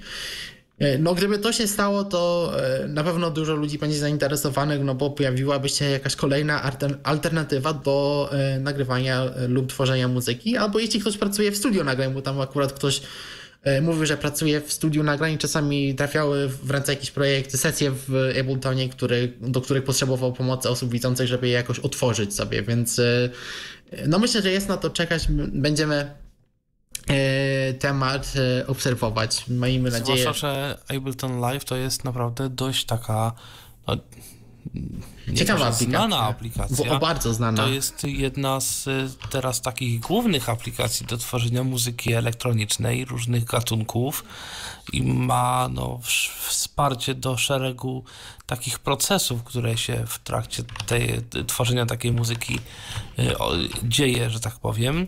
Y, więc no, to na pewno dla twórców właśnie muzyki to może być bardzo fajny news. Tak, więc tutaj mam nadzieję, że coś będzie dalej się w tym temacie y, zmieniało, bo no właśnie tutaj, tak jak mówisz, to właśnie FL Studio i Ableton chyba takie najbardziej popularne do tworzenia muzyki elektronicznej. Wielu youtuberów, których śledzę akurat właśnie z tej aplikacji y, korzysta, więc no nawet sam jestem ciekawy, y, co, co oni w niej widzą, tak? Chętnie sam też to przetestował. No i jeszcze kończąc temat... Chodzi o sam sposób tworzenia muzyki. Tak. W Reaperze no to masz Reaper to jest coś, co głównie jest do miksowania i tam masz bardzo dużo narzędzi takich wyciągniętych na zewnątrz dotyczących właśnie samego procesu miksowania. Y, ścieżki, które y, można wysyłać na inne ścieżki, tworzyć foldery i tak dalej, i tak dalej. Masz ileś takich rzeczy, które są na wierzchu, natomiast edycja MIDI, no to wejdź sobie ewentualnie w edytor MIDI i tam coś jest. Natomiast w Abletonie to te wszystkie rzeczy, które służą do tworzenia muzyki z kwantyzacją na czele, to jest absolutnie na wierzchu yy, paterny, czyli właśnie takie małe cząstki, z których potem składa się piosenki, no to jest coś, co jest taką absolutną podstawą tworzenia yy, muzyki, yy, tworzenia tych, tej warstwy rytmicznej, jak to zrobić szybko i efektownie, to wszystko w Abletonie Live jest zrobione z tego co wiem, no bardzo tak y, y, fajnie i, i no tutaj, tutaj jest duży nacisk położony na to, żeby tworzyć muzykę taką elektroniczną jak najszybciej i w taki oczywiście profesjonalny sposób. No właśnie, więc no miejmy nadzieję, że też e, jako osoby niewidome niedługo dostaniemy e, do tego dostęp. No ta aplikacja Notes no to podbiła e, Mastodona. Jeśli chodzi o niewidomych, dużo osób tam wysyła swoje kreacje, więc no, miejmy nadzieję, że tutaj też coś się będzie działo. No i jeszcze na koniec a propos dźwięku, pojawiła się kolejna wersja alternatywnego oprogramowania dla interfejsów GoXLR, o których już wspominałem, był podcast. E, w którym zresztą pokazywałem e, takie funkcje, które były na razie w stadium eksperymentalnym, a mianowicie e, dodatkowe komunikaty, które są podawane na screen reader, kiedy przełączamy niektóre przyciski na urządzeniu, efekty, wyciszanie poszczególnych kanałów, no to były takie bardzo w surowym stanie wersji eksperymentalnej. Teraz pojawiły się wersje dwie właściwie, bo 0.11 i dzisiaj jeszcze 0.11.1 E, które już tą mowę wprowadziły oficjalnie do aplikacji. Te komunikaty już zostały e, uproszczone i skrócone. Już wszystkie funkcje, które powinny być udźwiękowione są. E, no i przy okazji też suwaki są lepiej czytane, bo tak jak może pamiętacie na początku suwaki miały takie wartości surowe, tam od 0 do 255, na przykład obok było E, pole edycji, w którym widzieliśmy prawdziwą wartość, na przykład w procentach. No teraz te suwaki też już podają w, e, te prawdziwe wartości e, w procentach, co też się przydaje na przykład jeśli ustawiamy te efekty wbudowane, korektory, bramki, no to tam już te suwaki naprawdę fajnie są teraz czytane, więc jeśli ktoś taki interfejs ma lub jest zainteresowany, no to polecam mój podcast, no a też później to narzędzie, bo jest naprawdę fajnie zrobione i e, twórca tutaj dba o dostępność. Sporo osób e, już teraz z tego korzysta, e, zgłasza błędy, sugestie, więc też jakieś poprawki są na Macu. Z tego co wiem, już parę osób tego na Macu testowało. No więc fajnie, że tutaj też coś się zmienia. Mm, I teraz jeszcze nowości, ale tym razem w konkretnym programie Sync Assistant Home. Tak, bo nowa wersja Seeing Assistant Home się ukazała niedawno. No i e, nowości są ciekawe. Nowości są ciekawe mm, ja tutaj pozwolę sobie zacytować e, rozszerzoną listę taką dość techniczną e, zmian, która, którą też można przeczytać w aplikacji samej Seeing Assistant Home. Natomiast ja ją tutaj mogę sobie mm, podglądać na komputerze i ją zaprzytoczę. Dodano możliwość wyświetlania w aplikacji SA Home e, zawartości, do której odsyłają adresy HTTPS zapisane w kodach QR. Stosowne kontrolki znajdują się w sekcji ustawienia sposób otwierania adresów HTTPS zawartych w kodach QR. Uwaga, gdy w ustawieniach wybierzesz otwieraj w tej aplikacji włączone, a zawsze pytaj wyłączone, Następnie przejdziesz do okna funkcji skanuj kod i ustawisz tryb skanowania na wyświetl lub wyszukaj. Wybierzesz, żeby były skanowane tylko kody QR lub wszystkie, a kod QR zawiera tylko jeden adres i nie będzie w nim innych elementów takich jak tekst, adres, e-mail itp. To nastąpi automatyczne wyświetlenie lub odtworzenie treści, do której prowadzi dany URL. Nie będzie konieczności stukania w link. Nie będzie takiej konieczności, po prostu. Inaczej mówiąc, gdy przy powyższych ustawieniach zeskanujesz kod QR zawierający jeden adres HTTPS, to nastąpi automatyczne przejście do treści, do której on prowadzi. Może to być tekst, obraz, plik audio lub wideo. E, I to jest super, bo muzea bardzo często, na przykład różne instytucje kultury stosują tego typu e, system, gdzie my po prostu skanujemy kod QR i to jest taki przewodnik audio, że on tam otwiera z tego kodu QR e, daną część przewodnika, więc ten przewodnik tu by się od razu na przykład odtworzył. To jest fajne. E, ten sposób działania aplikacji będzie bardzo przydatny we wszystkich miejscach, w których w kodach QR zawarto adresy HTTPS odsyłające do różnych rodzajów treści, takich jak numery pokojów w hotelach czy urzędach, yy, opisy eksponatów w muzeach czy na wystawach, w przestrzeni miejskiej i tym podobne. Tryb ten nazwaliśmy trybem szybkiego skanowania kodów QR. Poniżej opiszemy sposób jego aktywacji. Przy użyciu specjalnego gestu wykonywanego smartfonem. Jest to gest bujania. Ważne. Otwieranie adresów HTTPS wewnątrz aplikacji umożliwia wyświetlanie i odtwarzanie treści, do której prowadzą linki zapisane w kodach QR i szybki powrót gestem do skanowania kodów. Ich otwieranie w domyślnej przeglądarce internetowej nie daje takich możliwości. We wcześniejszej wersji Seeing Assistant Home treści, do których odsyłały adresy URL, mogły być otwierane jedynie w zewnętrznej aplikacji domyślnej przeglądarce internetowej. Dodano możliwość błyskawicznej aktywacji trybu szybkiego skanowania kodu QR z użyciem gestu bujania na boki smartfonem.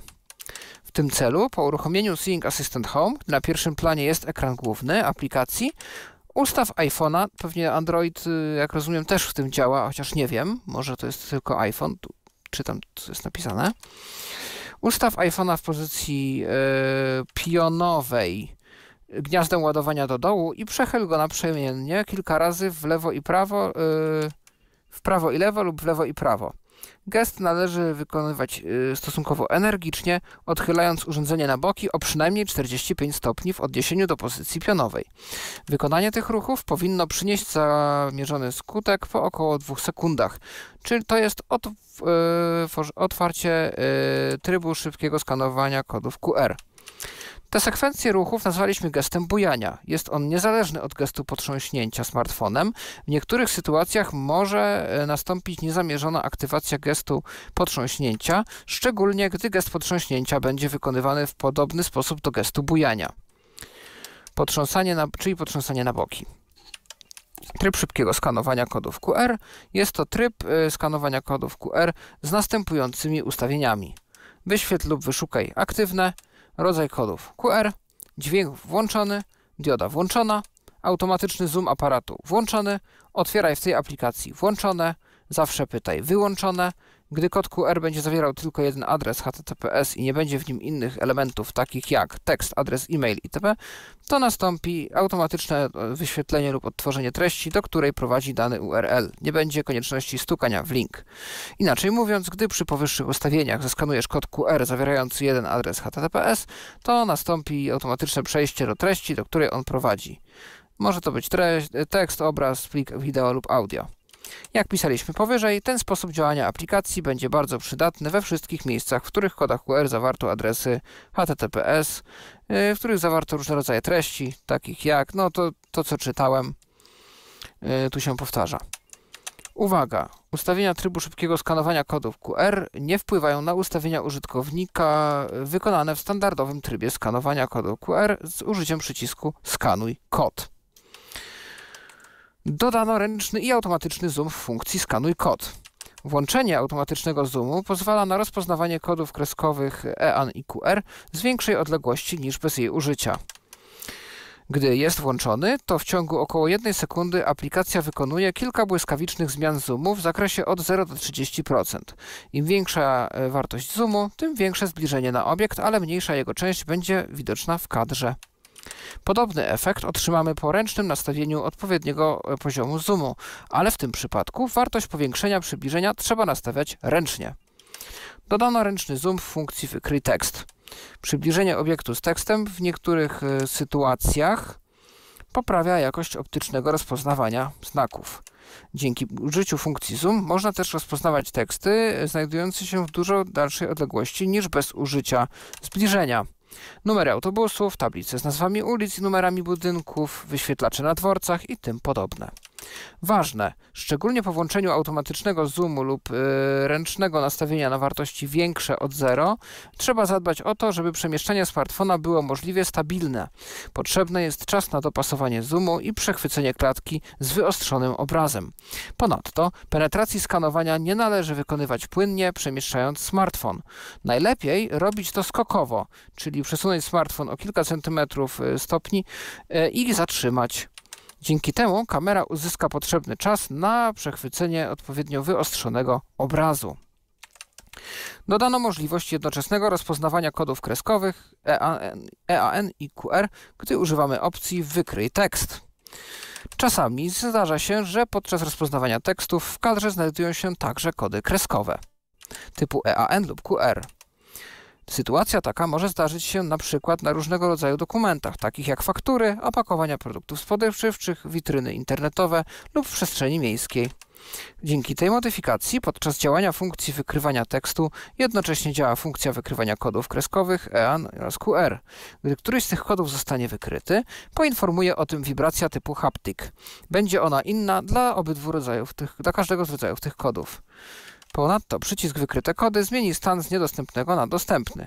Gdy przycisk staje się aktywny, to stuknięcie w niego lub wykonanie wyżej, e, wykonanego, wyżej wspomnianego gestu bujania spowoduje otwarcia widoku, w którym znajdą się wyniki wyszukane dla danego kodu EAN lub treść zapisana w kodzie QR. W jednej sesji wykryj tekst zapamiętywanych jest maksymalnie 10 wykrytych kodów. Wykryte kody w trakcie wykrywania tekstu są także zapisywane na liście ostatnio skanowanych kodów. Dodano nową funkcję skanowanie dokumentów. To funkcja pomocna w skanowaniu i optycznym rozpoznawaniu znaków. Rozpo wykorzystaliśmy do tego narzędzie dostarczane przez Apple.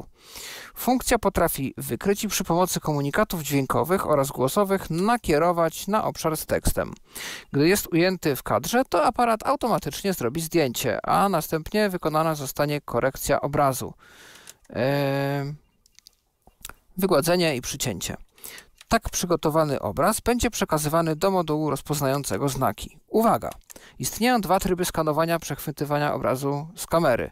Ręczny i automatyczny. Służy do tego dwustanowy przycisk autom ręczny. Domyślnie wybrany jest tryb autom, czyli automatyczny. W obu trybach można wykonywać skanowanie pojedynczych lub wielu y, y, stron dokumentów z tekstem. Na początek sugerujemy naukę i kalibrację skanowania z użyciem trybu ręcznego. Dzięki niemu można nauczyć, można nauczyć się skanowania dokumentów w taki sposób, żeby w kadrze znalazł się cały tekst. W tym celu ułóż kartkę z tekstem na yy, jednolitej powierzchni, nie zawierającej innych tekstów i nakieruj kamerę i iPhone'a na tekst. Słuchaj komend głosowych przekazywanych przez narzędzie skanujące. Gdy przestanie informować o konieczności przesunięcia aparatu, to oznacza, że najprawdopodobniej cały tekst znalazł się w kadrze. Wtedy trzymaj iPhone'a stabilnie i wykonaj zdjęcie z użyciem przycisku na ekranie. Ćwiczenie najlepiej wykonać z rozmiarem kartki, z którym przychodzi Wam pracować najczęściej. Gdy wybrane jest automatyczne robienie zdjęć, to aparat co około 2 sekundy automatycznie wykona zdjęcie tekstu znajdującego się w kadrze. Znajdzie się tak nawet, jeżeli w kadrze będzie się znajdował wciąż ten sam tekst albo tylko jego fragment. Aby uniknąć powielania skanowania tych samych tekstów, należy po każdym wykonaniu automatycznego zdjęcia pożądanego tekstu zakryć aparat albo podmienić tekst na kolejny. Zmiana strony albo nakierować obiektyw na obszar bez tekstu. Z kolei, aby unikać sytuacji, w której fragment tekstu zostanie automatycznie sfotografowany, zalecamy rozpoczynać skanowanie z większej odległości, nawet około pół metra i przybliżać do kartki z tekstem. Alternatywnie umiejscowić obiektyw mniej więcej na środku dokumentu do zeskanowania i dość szybkim ruchem podnieść go na wysokość około 40 cm, zachowując równoległe ułożenie względem tekstu. Optymalnym rozwiązaniem będzie zastosowanie odpowiedniego stasywu lub e, podobnej konstrukcji, na której można ustawić właściwe ułożenie iPhone'a względem skanowanego dokumentu. W tych procesach bardzo przydatna może być e, pomoc osoby widzącej. Gdy chcemy zakończyć sesję skanowania, należy stuknąć w przycisk Zachowaj. Wówczas e, tekst zostanie poddany procesowi optycznego rozpoznawania znaków, przetworzony na tekst edytowalny. Gdy pojawi się okno z propozycjami krawędzi do przycinania, oznacza to, że proces przycinania obszaru skanowania nie poradził sobie z wyodrębnieniem yy, krawędzi tekstu. Yy, wtedy pojawia się możliwość wykonania przycinania ręcznego, ale osoba niewidoma nie będzie w stanie zrobić tego samodzielnie. Sugerujemy w takich przypadkach pozostawić obraz bez przycinania i użyć przycisku pozostaw skan pozostaw skan. Skanowanie dokumentów można wykonywać w każdym ułożeniu iPhone'a, na, na płasko, pionowym poziom oraz poziomym. Funkcja skanowania dokumentów rozpoznaje teksty w każdym ułożeniu, pionowym, poziomym, skośnym i do góry nogami. Proces optycznego rozpoznawania znaków odbywa się w pamięci iPhone'a, a dane użytkownika nie są wysyłane do serwisów y, działających w chmurze. Treść skanowanych dokumentów zostanie zapisana na liście wykryte teksty. Najlepsze wyniki rozpoznawania znaków będą dostępne dla urządzeń z zainstalowanym iOS 16 lub wyższym. W starszych modelach iPhone'ów automatyczne wykonywanie zdjęć może nie zadziałać, dlatego zalecamy wykonywanie zdjęć ręcznie. Wyniki optycznego rozpoznawania znaków przy użyciu funkcji skanuj dokumenty powinny być lepsze niż z użyciem wykryj tekst. Tej drugiej funkcji nie ma nakierowania na skanowany obiekt z tekstem i mimowolne ruchy ręki mogą e, powodować dostarczanie gorszej jakości tekstu do modułu rozpoznającego znaki. Inne zmiany. Naprawiono funkcję wykonywania i przywracania e, bazy z kodami w pamięci smartfona. Naprawiono funkcję archiwizacji bazy kodów użytkownika na koncie Dropbox. W funkcji skanuj kod, gdy aktywny jest tryb rozpoznaj i wypowiedz, dodano przycisk wyświetl zawartość kodu. Będzie on aktywny po zeskanowaniu i rozpoznaniu kodu QR.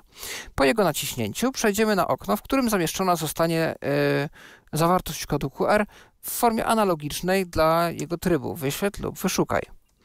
Usprawniono skanowanie dynamicznych kodów QR. Do ich yy, obsługi niezbędny jest dostęp do danych internetowych. Zachęcamy do zapoznania się ze specyfiką działania i możliwościami wykorzystania dynamicznych kodów QR. Na liście zawierającej ostatnio wykryte teksty dodano informację o pozycji, numerze danego elementu na tej liście. Jeśli czytasz ten tekst, to znaczy, że odnalazłeś i stuknąłeś w nowy przycisk zawierający dokładniejszy opis ostatnich zmian. W sekcji więcej zobacz inne nasze aplikacje, dodano link do aplikacji EchoVis. I tu jest opis aplikacji EchoVis. My już o niej mówiliśmy, więc y, myślę, że nie ma y, sensu tego dalej cytować. No i tak wyglądają y, te zmiany, jeśli chodzi o Seeing Assistant Home.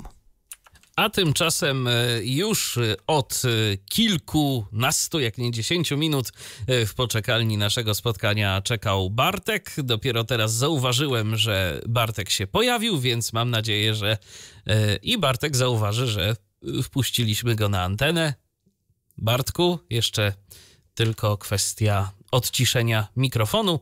Y, ja jeszcze może w międzyczasie zajrzę do komentarzy, które tutaj są. Y, Borys do nas napisał pytanko co do mobilnego kombata. Czy to fair play? Y, to nie wiem, co autor miał na myśli. Szczelam, że tutaj chodzi o to, czy w tej grze są jakieś mikropłatności. No niestety są i z tego, co czytałem, to, to trochę jest pay to win, czyli po prostu jeśli ktoś płaci, to jakąś przewagę ma niestety. No i jeszcze tu pytanie od Kuby, czy coś wiemy na temat premiery asystenta głosowego Sara? No ale chyba nadal nic nie wiemy na ten temat. Ja przynajmniej nie, nie nic... jak będzie wiadomo, to damy znać. To na pewno powiemy, tak, ale na tak. razie niczego więcej nie wiemy. Bartku, czy jesteś już z nami? No teraz miejmy nadzieję, że się słyszymy. Słyszymy się Słyszymy chyba. się. Okej, okay, bo lekko tutaj słyszę przebicie z drugiej strony, ale to znaczy, że już jestem na antenie. No de facto troszeczkę się naczekałem, to było około pół godziny, ale widać, że cierpliwość popłaca. Na sam początek chciałem tylko podziękować e, Kamilowi za ten dość obszerny komentarz. E, miejmy nadzieję, że może w jakiejś przyszłości ta wiedza też mi się przyda, także jeszcze raz dziękuję.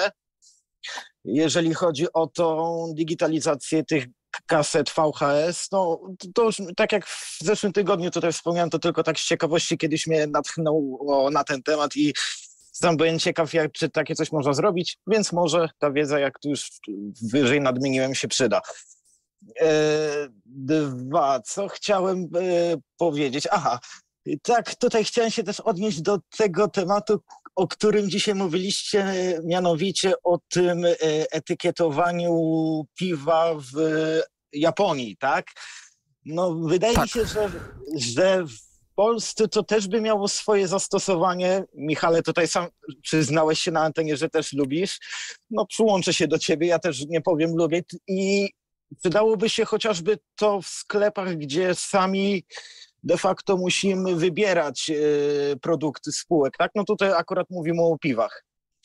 To znaczy, wiesz, oczywiście, ale to nawet nie tylko jeżeli chodzi o piwa, tylko no, generalnie fajnie by było, jakbyśmy mieli te etykiety, ale to dotyczy tak naprawdę każdego produktu. A Z tym to się zgodzę. w dzisiejszych tylko, czasach to tak naprawdę mamy tylko, mamy tylko leki, tak, o- obrajlowane i ewentualnie czasem jakieś tam firmy e, wychodzą z taką inicjatywą, natomiast... e, Ja ostatnio kupiłam herbatę. O widzisz, no to, no to Tak, jest... z tym też się A, a czy spotkałem. Paulino jesteś w stanie, że tak powiem, jeżeli oczywiście możesz i to będzie możliwe podać jakiej firmy?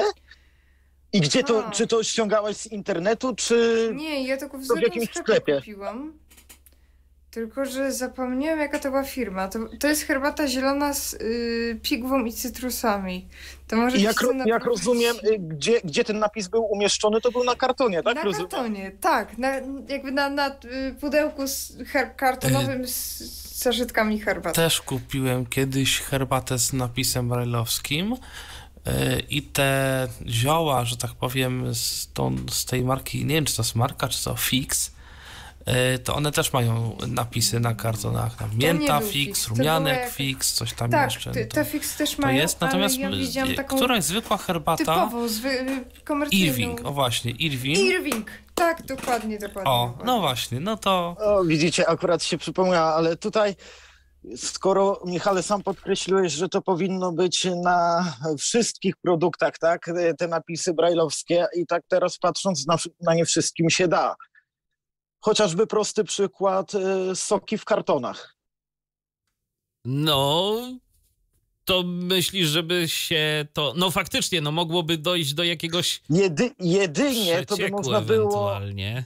Tak, na samym kartonie. Ale dlaczego nie można... Ale, ale, ale zaraz, Ja myślę, żeby się dało. Ale, ale słuchajcie, no jakby się nie dało? Co byłby za problem na przykład y, stosować jakieś naklejki, tak? Nie bezpośrednio No właśnie, pisać no właśnie po do tego samym, chciałem po uderzyć, samym tak. kartonie, tylko no, tak naprawdę to Miejsce dałoby się... jest na to. Oczywiście, że tak. Dałoby się w zasadzie na wszystkim. Kwestia jest po prostu chęci i tak naprawdę no, jakichś procesów produkcyjnych, no bo to, o to tu jest największy problem, tak? Bo to Tylko trzeba niestety do tego procesu to wdrożyć.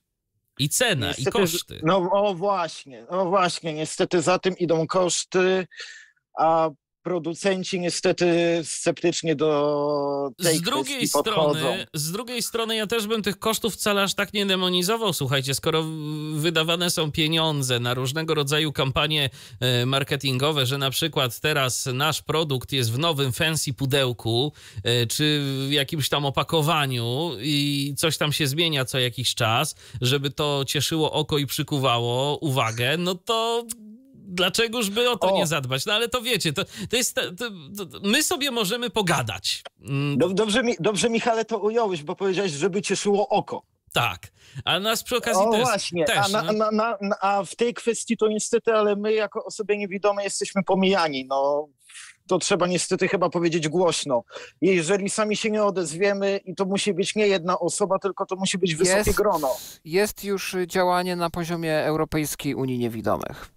Jest konsultacja, była wyrażona opinia y, odnośnie strategii tam y, Sustainable Food, czyli żywienie na przyszłość, które... Bo, bo nie wiem, czy w lata. przypadku leków to czasem nie były narzucone już tutaj. było, Tak, było właśnie. na pewno. I dlatego, a tutaj to my Natomiast- możemy tylko polemizować, że takie coś będzie e, e, wprowadzone. No w No- Hiszpanii jest to już prawem na przykład. Mm, Natomiast niektórych też jak ktoś ma. Jeżeli ktoś ma Androida, to naprawdę bardzo polecam aplikację Lookout, bo no to jest aplikacja, która rzeczywiście bardzo nam się ostatnio, znaczy ostatnio, w ogóle nam się przydaje do, do sczytywania różnych właśnie rzeczy, z jakichś pudełek, kartonów, butelek i tego typu rzeczy. No i też y, niedawno zdaje się Navilens takie mi info wysłali, że w związku z tym, że teraz nowe mają jakieś różne nowości, to podobno teraz zwiększają ilość tych kodów, y, które udostępniają użytkownikom. Y, Nie wiem ile, coś mi chodzi po głowie, jakaś liczba tysiąc, czy, czy tyle tych kodów można sobie wydrukować, różnych. W każdym razie, no, no też może być jakiś e, pomysł, no bo przecież są te e, etykiety, które można sobie, są te, te arkusze etykiet w formie kartek A4, które można sobie kupić, wydrukować u siebie czy gdzieś i przyklejać. Ja w końcu muszę taki arkusz sobie kupić, trochę poeksperymentować i być może y, przydałoby, być może zrobię podcast, jeżeli to zadziała, o tym właśnie, jak sobie y, takie kody wydrukować, poprzyklejać na, na różne rzeczy w domu i w ten sposób y, taki bezwzrokowy sobie okleić różne, różne fajne rzeczy. A jeszcze tutaj takie właśnie pytanie a propos Sync Assistant Home mi się nasunęło, skoro tutaj Paweł mówiłeś o tym. Takie mhm. moje pytanie jest, czy to by mogło zastąpić chociażby czytniki cen w sklepach? no nie do końca, bo ten tryb wykrywania kodów kreskowych jest i on w wielu przypadkach się sprawdza. Ja bym od tego zaczął przede wszystkim, że to jest nieporęczne. Jakby to, ta cała technologia, którą na ten moment mamy, nawet jak sprawdzi nam się w domu do rozpoznania produktów, nie wiem, odróżnienia jednej puszki od drugiej, jednej butelki od drugiej, no to nie jest to wygodne, kiedy musimy lecieć po supermarkecie, wiedzieć, co na jakiej półce stoi. No nie będziemy każdego produktu ściągać z półki i go skanować. To po jest pierwsze... jedno. Poza tym druga mhm. rzecz jest taka, że w kodzie paskowym, który jest w sklepie, nie ma żadnej informacji o cenie. Tam jest kod znormalizowany, tam ilość cyfrowy, chyba 10 albo 9, nie pamiętam, e, który po prostu określa numer produktu. I to jest chyba numer na poziomie co najmniej krajowym, jeśli nie europejskim, e, który mówi, że produkt X to ma numer taki a taki. I teraz w jakimś systemie, który ma sklep, e, jest napisane, że produkt numer taki a taki ma cenę taką a taką. A, w ten deseń to funkcjonuje. Z tego co wiem, to, to w, te, w to. Tak, my tak też mówiliśmy działa. o tym chyba dwa tyflo przeglądy temu, że nadchodzą jakieś nowe kody y, kreskowe, dwuwymiarowe i one mają już więcej informacji móc nieść i takich informacji też y, i dla sprzedawców, i dla nas. Więc jest jakaś nadzieja w tym, że tutaj coś się dla nas też poprawi, ale to wszystko zależy od tego, jak będą to producenci no, implementować. No bynajmniej według mnie to lepiej chyba tam gdzieś sobie stanąć przy regale i sobie samemu ten produkt zeskanować, niż stać godzinę, no może przesadziłem przy samym czytniku i szukać tego kodu. Chociaż patrząc na dzisiejsze sklepy, to tylko chyba bodajże jedna sieć, no mogę chyba powiedzieć nazwy Lidl ma udźwiękowione y, czytniki cen, ale sam się przekonałem, że zanim ten kod się namierzy, manu, manewruje się tym produktem, manewruje i to jest jednak czasochłodne. No tak, no na ten moment zakupy samodzielne w supermarkecie to jest, to jest ciężki temat. No Może my, my coś... możemy liczyć tylko na pamięć, że nic nie zostanie przełożone i po prostu kierujemy no. się pamięcią. Że to na przykład tak. E, produkt A stał na przykład obok e, produktu B. Ale to się zmienia, to, to, to w ogóle. No, no właśnie nie mówię, ma... możemy tylko na to liczyć. W mniejszych sensu, sklepach bo... osiedlowych może, ale w takich ale supermarketach, w marketach takich to nie ma absolutnie żadnego sensu, bo to co jakiś czas zmienia się ustawienie tych produktów, ułożenie ich względem siebie po to, żeby klient sobie chodził i yy, nie jakimiś utartymi ścieżkami, że na przykład, no nie wiem, produkt A jest zawsze obok produktu B, tylko żeby jeszcze sobie przeszedł gdzieś i przy okazji zobaczył, że jest produkt C, a w sumie może kupię. No tak, to jest marketing. Zawsze jeżeli idzie klient i po coś konkretnego, a zobaczy coś yy, po drodze, to a, dobra, przyda mi się to. No i, no i na tym to właśnie ma polegać niestety. Taki, jak to powiedzieliby, chwyt marketingowy. Yy, dobrze, no to teraz Pozwólcie tylko, że króciutko przejdę jeszcze do kwestii technologicznych. Y, najpierw może odniosę się do tych dodatków z nowymi głosami, które prezentował Piotr kilkadziesiąt minut temu. Powiem tak, no, według mnie do ten polski głos nawet by nie nadawał się chociażby do codziennego funkcjonowania, bo ja słyszałem po pierwsze jaka jakość, po drugie tak jakby on lekko moim zdaniem harczał. Te głosy angielskie były o wiele lepszej jakości, to tak mogę powiedzieć to znaczy- subiektywnie. Znaczy, to znaczy tak, z tym głosem polskim jest kilka w ogóle problemów. To jest nagrane jakoś w ogóle zupełnie amatorsko, tak źródłowe jakby nagranie jest nagrane jakoś amatorsko. Tam jest dużo pogłosu, żadna synteza nie lubi pogłosu.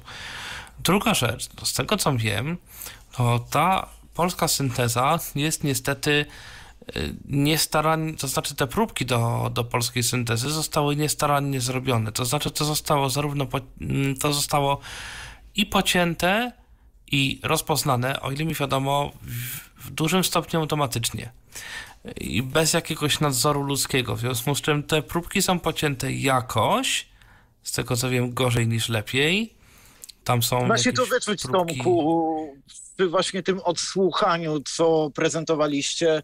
Tam nawet jak można to by było odebrać, jakby to tam nawet były jak brane oddechy. Tak, bo to jest, y, to jest wzięte z książki dostępnej na licencji publicznej. La, to chyba lalka. Nagrał to niejaki Piotr Nater i ten, te próbki są dostępne do pobrania bez żadnych problemów, jakby zupełnie legalnie. Można z tymi próbkami robić wszystko. Dlatego na tych próbkach właśnie bazuje m.in. ten syntezator, ten i jeszcze parę innych projektów z polską syntezą mowy. Y, natomiast właśnie w związku z tym, że te próbki zostały pocięte zupełnie automatycznie, no to mm, powoduje to szereg problemów. Właśnie takich, że czasami to się wszystko sypie, jeżeli chodzi o mm, w ogóle sposób czytania. Mm. No moim zdaniem to czytanie byłoby jednak chytry plan, żeby chwilę. spróbować wytrenować na tym jakiś głos, który jest na przykład w RH Voice. Natomiast y, no, to nie jest taki hop Nie wiem na przykład ile potrzeba tych próbek, żeby wytrenować taki syntezator. Kiedyś słyszałem o kilkunastu godzinach próbek. To jest bardzo dużo i żaden głos RH Voice'owy to tyle nie ma. Nie ma nawet jednej piątej tego, bo tam naj, naj, największe głosy RH Voice'owe to jest troszkę ponad dwie godziny materiału. Jeżeli tu jest potrzebne kilkanaście, no to będzie to jakiś problem, żeby to zrobić dobrze. Więc e, no zobaczymy, ale może mi się mimo wszystko uda coś, coś zrobić. E, no jeżeli tak, no to, to będzie fajnie. Ale no nie obiecuję niczego.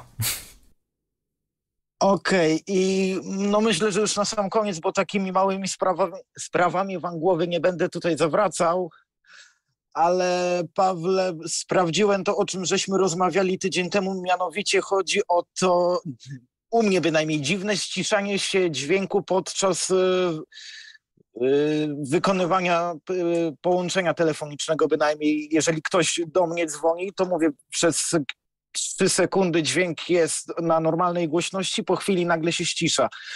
I zaleciłeś mi tutaj sprawdzić, czy to czasem nie jest przez złagodzenie dźwięku w voice-over i muszę niestety powiedzieć, że jednak problem nie leży po tej stronie.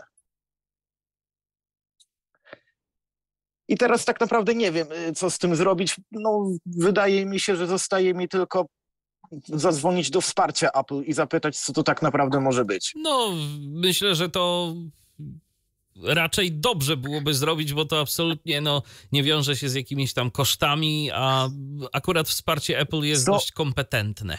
Co prawda nie robiłem eksperymentu z wyłączonym voiceoverem, ale wątpię, żeby to cokolwiek zmieniło tak naprawdę. No, to też warto by było mimo wszystko jednak sprawdzić. Ja bym sprawdził. Zastanawiające jest to, dlaczego tylko na tym modelu mi tak się zachowuje iPhone, bo jak miałem e, jeszcze no, z dwa miesiące temu, tak, chyba będzie dwa miesiące temu jeszcze SE drugiej generacji, to wszystko tam było w porządku. Jeszcze tak zapytam z ciekawości, to się dzieje zarówno na słuchawce, jak i na głośniku, tak? Y, znaczy się, y, y, Michale, mnie, mnie, konkretnie chodzi o to, że mam połączenie przychodzące, no. voiceover, odczy, voice, voice, o, przepraszam, voiceover odczytuje mi identyfikator dzwoniącego, mamy trzy sekundy normalnej głośności dzwonku, dzwonka i po chwili on nagle się ścisza, tak A... jakby... Przepraszam, że ci wejdę w słowo. Jaki to jest model iPhone'a? Trzynastka. A to tak ma być, yy, bo to nawet osoby widzące mają, to jest na takiej zasadzie, że jak dzwoni telefon Aha. i osoba widząca zaczyna się patrzeć na ekran, bo on potrafi wykryć tymi czujnikami, czy patrzysz się na niego, yy, to on wtedy ten dzwonek ścisza nawet yy, osobom widzącym. I... A przy kurtynie to też tak działa? Gdzie? Przy kurtynie, no bo ja mam załączoną tak, kurtynę. Bo to, to używa tych, tych samych e, czujników co do Face ID, tylko to nie rozpoznaje twarzy, tylko po prostu okay, patrzy, czy, czyli... Ale czy patrzy się na czekajcie, telefon. czekajcie, bo, bo ja mam też y, trzynastkę I u mnie coś takiego absolutnie nie występuje. Więc E, być to może zna- to jest jakaś opcja, którą. Albo no inna rzecz, że ja się nie patrzę specjalnie na ten ja, telefon. Ja tej opcji nie widziałem, ja też zobaczę Znaczy się ja, ja tylko kieruję, żeby wiedzieć, gdzie palce skierować, prawda? Chociaż sam dźwięk powinien nam o tym wywnioskować. Chociaż to No. też powinno działać na takiej zasadzie, że jeżeli przez chwilę się na ten telefon popatrzymy, bynajmniej w teorii, no w naszym przypadku to my te, tego telefonu fizycznie nie widzimy i nagle a odwracamy może wzrok, to to- powinno wrócić. A ty masz je, aktywną tę funkcję podnieść, aby obudzić? Bo może to jest Nie. jakoś skorelowane z tym. Nie, tej opcji włączonej nie mam. A to to jest Ja generalnie jest mam ciekawe. dzwonek po prostu ściszony, więc może też tego tak nie zauważyłem. Na pewno wiem, że w, na iPhone'ach moich tutaj pozostałych osób w domu, e, osób widzących, no to tak to jest. Ja po prostu nawet słyszę, jak gdzieś dzwoni im telefon, podnoszą go do ręki, coś tam rozmawiają i słyszę, że ten dzwonek się ścisza, zanim oni go odbiorą. E, Więc to tak jest na pewno. A to ciekawe, No. od czego to zależy, bo tak jak mówię, ja w tego nie W twoim przypadku, zaobserwowałem. Michale, y, to jest nor- y, normalne, tak, że masz połączenie, bierzesz telefon do ręki i na, on jest na takiej samej głośności, jak, jaki był, kiedy leżał na Tak, no biurku na ewentualnie voiceover powie, jaki jest telefon, To- kto to dzwoni, voice- no to to się tam tak. czasem trochę przyciszy, ale potem To- ta głośność to tak, dzwonka tak, wraca. Tak, bo, bo jak rozumiem, ty, Michale, to złagodzenie dźwięku prawdopodobnie też masz włączone. No bo ja sobie różnie. to, Ja sobie to ustawiłem na pokrętle i czasem to mam włączone, czasem wyłączone. No, no de facto to też jest, że tak powiem, kwestia Bo czasem jest mi to potrzebne, czasem nie. Ja- Czyli mówię, muszę wykonać ewentualnie dwa kroki. Najpierw zrobić y, ten test z wyłączonym VO, albo zadzwonić do wsparcia, zobaczyć, co oni mi powiedzą. Nie powiem, żeby to było irytujące, tylko zastanawiam mnie, dlaczego tak się dzieje.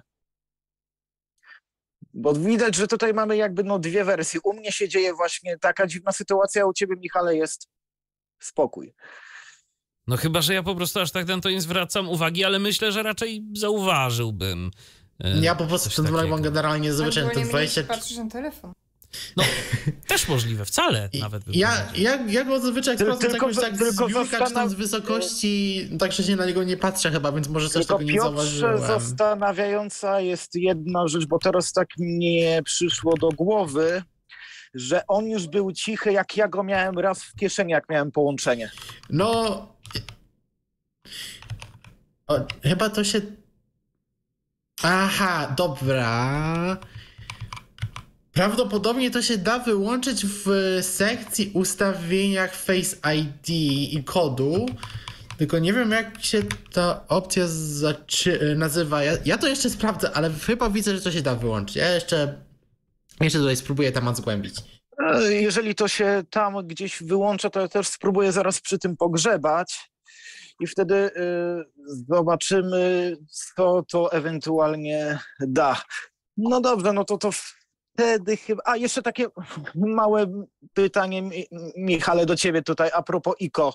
Nie Słucham. zauważyłeś, nie zauważyłeś ostatnio, że u ciebie bynajmniej powiadomienia, jeżeli chodzi o powiadomienia w tle o IKO, że one przychodzą z opóźnieniem, a powiadomienie w aplikacji już się znajduje? Y, Wiesz co, no akurat tak bardzo tego nie sprawdzałem, natomiast y, Ja fakt bynajmniej miałem faktem, dzisiaj, tak, ja miałem dzisiaj E, taką sytuację. Fakt faktem, że czasem powiadomienia o płatnościach, na przykład płatnościach kartą, potrafią przyjść z opóźnieniem nawet kilku godzin.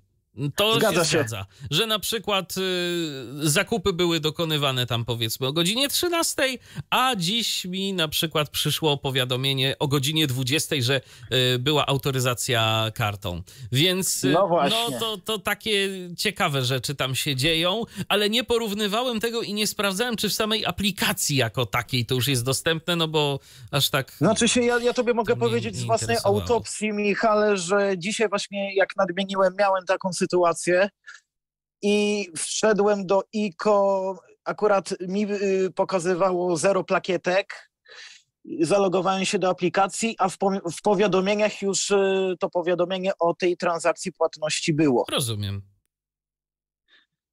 Więc nie, nie wiem, czy to y, kwestia samej aplikacji, czy też może, y, nie wiem, y, bo ostatnio pokazała się mikroaktualizacja, tak to można powiedzieć, bo ona miała niecałe 100 megabajtów, o ile dobrze pamiętam, samego iOS-a. 14, nie, 16, nie, to 4, nie ma nic 1, wspólnego, Bartku, od razu tak? powiem, to nie ma nic wspólnego jedno z drugim, bo te opóźnienia w aplikacji ICO to już są nie od dziś. One są od paru, nawet bym powiedział, miesięcy. I to nie zawsze.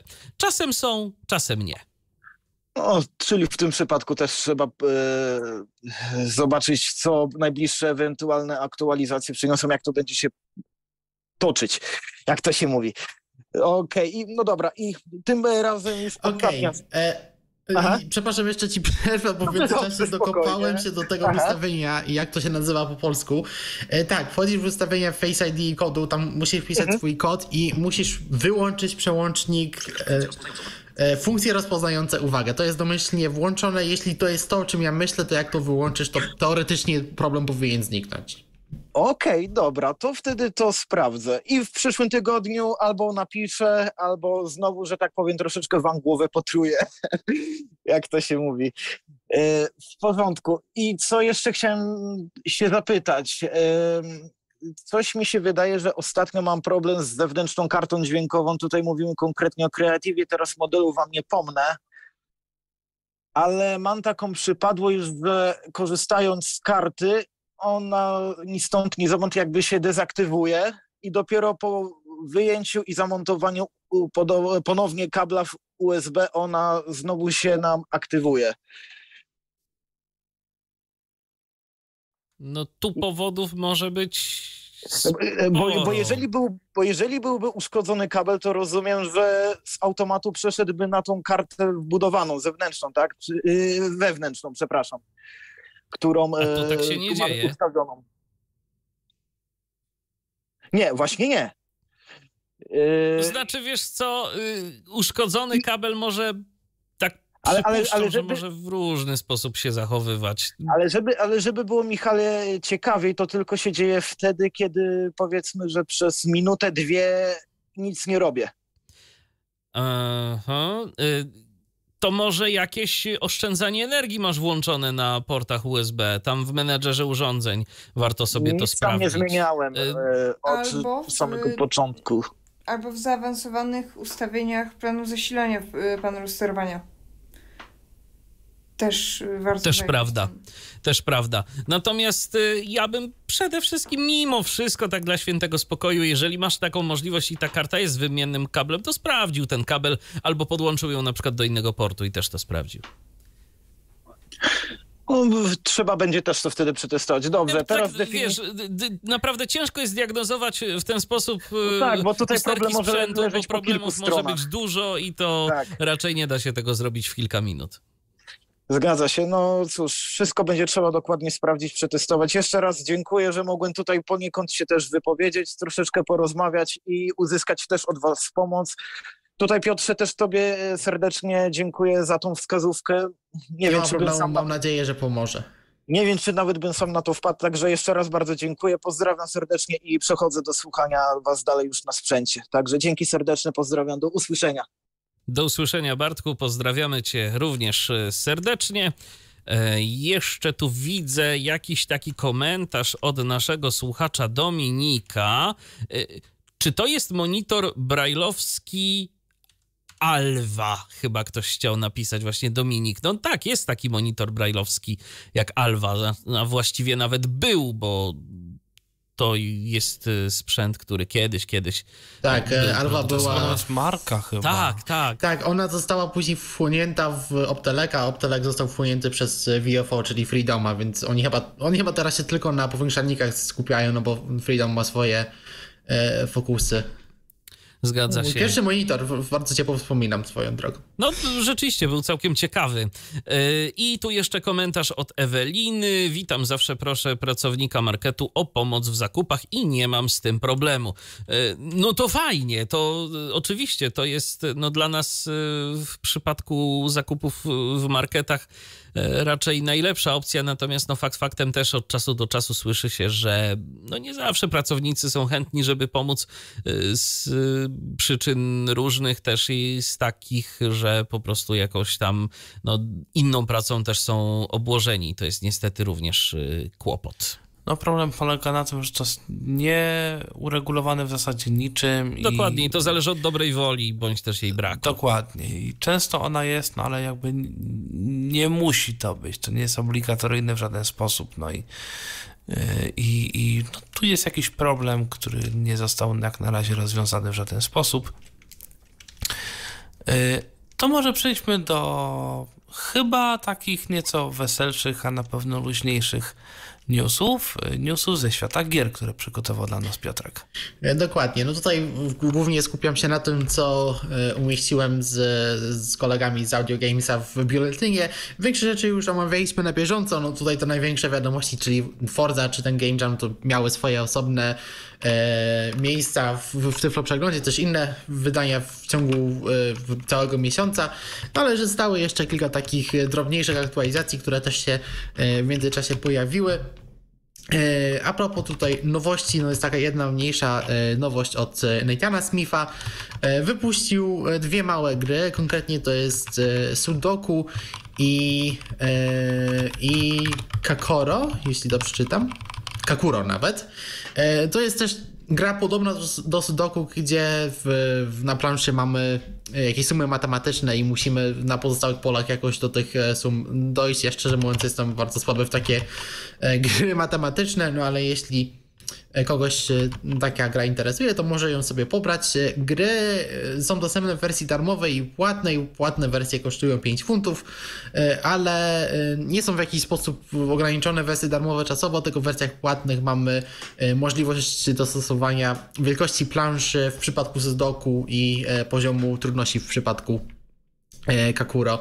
A tutaj Nathan mówi, że jeśli ktoś nie, nie potrzebuje tych wersji płatnych e, i po prostu woli sobie na tych wersjach darmowych pograć, e, to nie ma, nie ma problemu.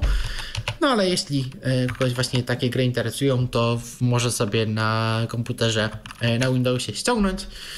No i jeszcze zostało kilka aktualizacji. Tutaj też niektóre omawialiśmy, ale nie wszystkie. No tutaj jak zwykle dużo dzieje się w świecie modów różnych E, na przykład e, w Erion Moodzie pojawiły się e, dodatkowe dźwięki w soundpacku, który teraz też może sam się aktualizować. To jest chyba na podstawie musz klienta, więc jak ktoś w Alter Eona gra też, no tutaj będzie mm, aplikację kojarzył. Oprócz tego, jak zwykle, są nowe zaklęcia i umiejętności, no i system zdarzeń w grze teraz pozwala nam ustawić naszą strefę czasową. To jest bardzo fajne, więc jeśli no tutaj mieszkamy w Polsce, a ten mód chyba, nie wiem, gdzieś jest w Stanach hostowany, no to możemy sobie e, ustawić naszą strefę czasową i dzięki temu nie przegapimy e, różnych e, zdarzeń. No tutaj o aktualizacji Broka to już Patryk mówił kilka tyfl przeglądów temu, więc teraz możemy sobie w komunikaty w grze E, kopiować do schowka, co za tym idzie, dzięki temu na przykład możemy grać w grę po polsku, więc no myślę, że tutaj wiele osób się ucieszy. No, tak jak też mówiłem, demo tej gry pojawiło się na e, wszystkich dostępnych platformach więc jeśli ktoś chce przetestować, zanim kupi na komputerze lub na konsoli dowolnej, to teraz można. E, gra Warsim, w której jesteśmy królem dosyć dużego królestwa, e, też cały czas się aktualizuje, to jest gra tekstowa RPG. E, w wersji 1.02 pojawił się szybki start, więc jeśli gra na początku nam zadaje dosyć dużo pytań, jeśli chcemy po prostu jak najszybciej zacząć, to możemy sobie teraz wykorzystać ten szybki e, start. E, też tej aktualizacji E, możemy, e, możemy nachodzić inne nacje. E, no i jak zwykle dos, doszły jakieś nowe budynki, nowe misje, które możemy wziąć i różne przedmioty. Potem pojawiła się jeszcze jedna aktualizacja 1.03, w której możemy naszych jakichś współpracowników po prostu zamordować, jeśli nam się z jakiegoś powodu nie podobają, dają nam jakieś złe porady. No, jak ktoś chce tak grać, to można. E, ale też zostały rozwinięte zdarzenia związane z e, berłem Królestwa Goblinów, więc tutaj można je e, przejąć i w ten sposób zyskać sympatię Goblinów. Też jak zwykle poprawki różnych błędów. Kolejny mood y, Classic Six Dragon, tutaj też y, zostały poprawione samouczki. Tutaj też doszło więcej dźwięków do ich y, soundpacka. I klasa nekromanty powróciła do gry, więc jeśli ktoś chciałby sobie zagrać nekromantę, to może. Sanctuary in Time, kolejna gra, która została zaktualizowana, to jest też taka gra tekstowa, w której z całego, całej, całego czasu przyszłości i przeszłości ściągamy różne różnych wojowników do siebie. E, do gry też doszedł cały system e, miłości, więc możemy zakochiwać się w, z różnymi e, postaciami, które gdzieś tam do siebie rekrutowaliśmy. Możemy nawet się z nimi żenić. No i dzięki temu doszły jakieś nowe misje z, z tym związane. Kolejny mód Altereo, no to już chyba wszystkim znane. Tutaj jak zwykle też doszły nowe przedmioty, w tym razem skupione na krawiectwie. E, nowe jakieś, e, nowe jakieś przestrzenie, które możemy sobie eksplorować. No i e, niektórzy sprzedawcy teraz są w stanie tworzyć losowe przedmioty, więc które są jakoś proceduralnie tworzone, więc tutaj też więcej rzeczy się pewnie E, od nich będzie można kupić. E, kolejna gra tekstowa Text Space, znów, tutaj znów mamy klimaty science fiction. E, dodano do gry system gildii. Nasza postać teraz może dołączyć do jednej z 13 bodajże gildii. Każda z nich daje nam jakieś unikalne umiejętności, więc warto się na tym zastanowić. A dodatkowo też możemy do naszej postaci uzupełnić jakieś dodatkowe dane biograficzne, bo to jest taka gra tekstowa RPG, gdzie no, możemy bardzo szeroko sobie fabułę naszej postaci e, rozpisać, jeśli ktoś by chciał. No i jak zwykle nowe statki, nowe budynki i ogólnie nowe, nowe przedmioty. E, tak jak mówiliśmy o, o, grze Blind Quest, o której zresztą już dzisiaj było, e, trzecia część tej gry pojawiła się zarówno na iOSie i Androidzie. E, gra też jest oczywiście dostępna na e, komputerach. E, kolejna gra tekstowa Timecrest została przepisana, w sensie tutaj nie, nie tyle samej aplikacji, co po prostu tekstów w grze, które zostały jakoś tam poprawione. Doszło prawie 100 tysięcy słów. To jest taka gra o tyle ciekawa, że nawiązujemy kontakt z e, czarodziejem, który tam żyje kilkaset lat do tyłu e, i e, co jakiś czas on nam zadaje pytania, co ma zrobić dalej. Jeśli my mu odpowiemy, no to wykonuje jakąś czynność, która jakiś czas faktycznie, faktycznie zajmuje, więc na przykład on nas pyta, czy ma pójść w lewo czy w prawo powiedzmy, bo widzi przed sobą jakieś góry czy coś, to my mówimy idź w prawo, no to on mówi dobra, to mi zajmie jakieś 2-3 godziny, to ja się z tobą za 2-3 godziny skontaktuję. I faktycznie tak jest. I pod trzech godzinach nagle dostajemy powiadomienie, to wygląda jak taki e, komunikator, o e, słuchaj, doszłem, no i podejmujemy dalsze de de e, decyzje. Jak już raz przejdziemy, to tam są takie tryby, gdzie możemy ten czas skrócić sobie, więc jeśli już chcemy zobaczyć jakieś inne ścieżki, które mogliśmy obrać, no to już później możemy to w ten sposób zrobić. A propos Hearthstone'a, mówiłem już wcześniej o festiwalu Legend, to jest następna paczka kart. Ona już się pojawiła, tutaj jest motyw muzyczny. Każda klasa dostała nowe karty, każda mm, klasa też dostała unikalną broń. To są instrumenty muzyczne, jakieś gitary, różne takie właśnie motywy muzyczne.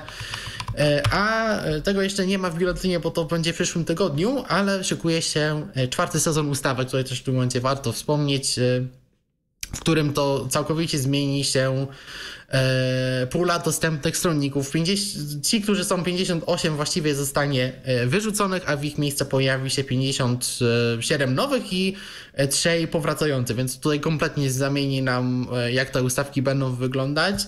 E, ta aktualizacja pojawi się we wtorek i wtedy już będziemy mieli e, więcej informacji, jacy to dokładnie e, stronnicy będą, ale te poszczególne typy tych stronników będą stopniowo wypuszczane w ciągu najbliższego bodajże tygodnia albo dwóch.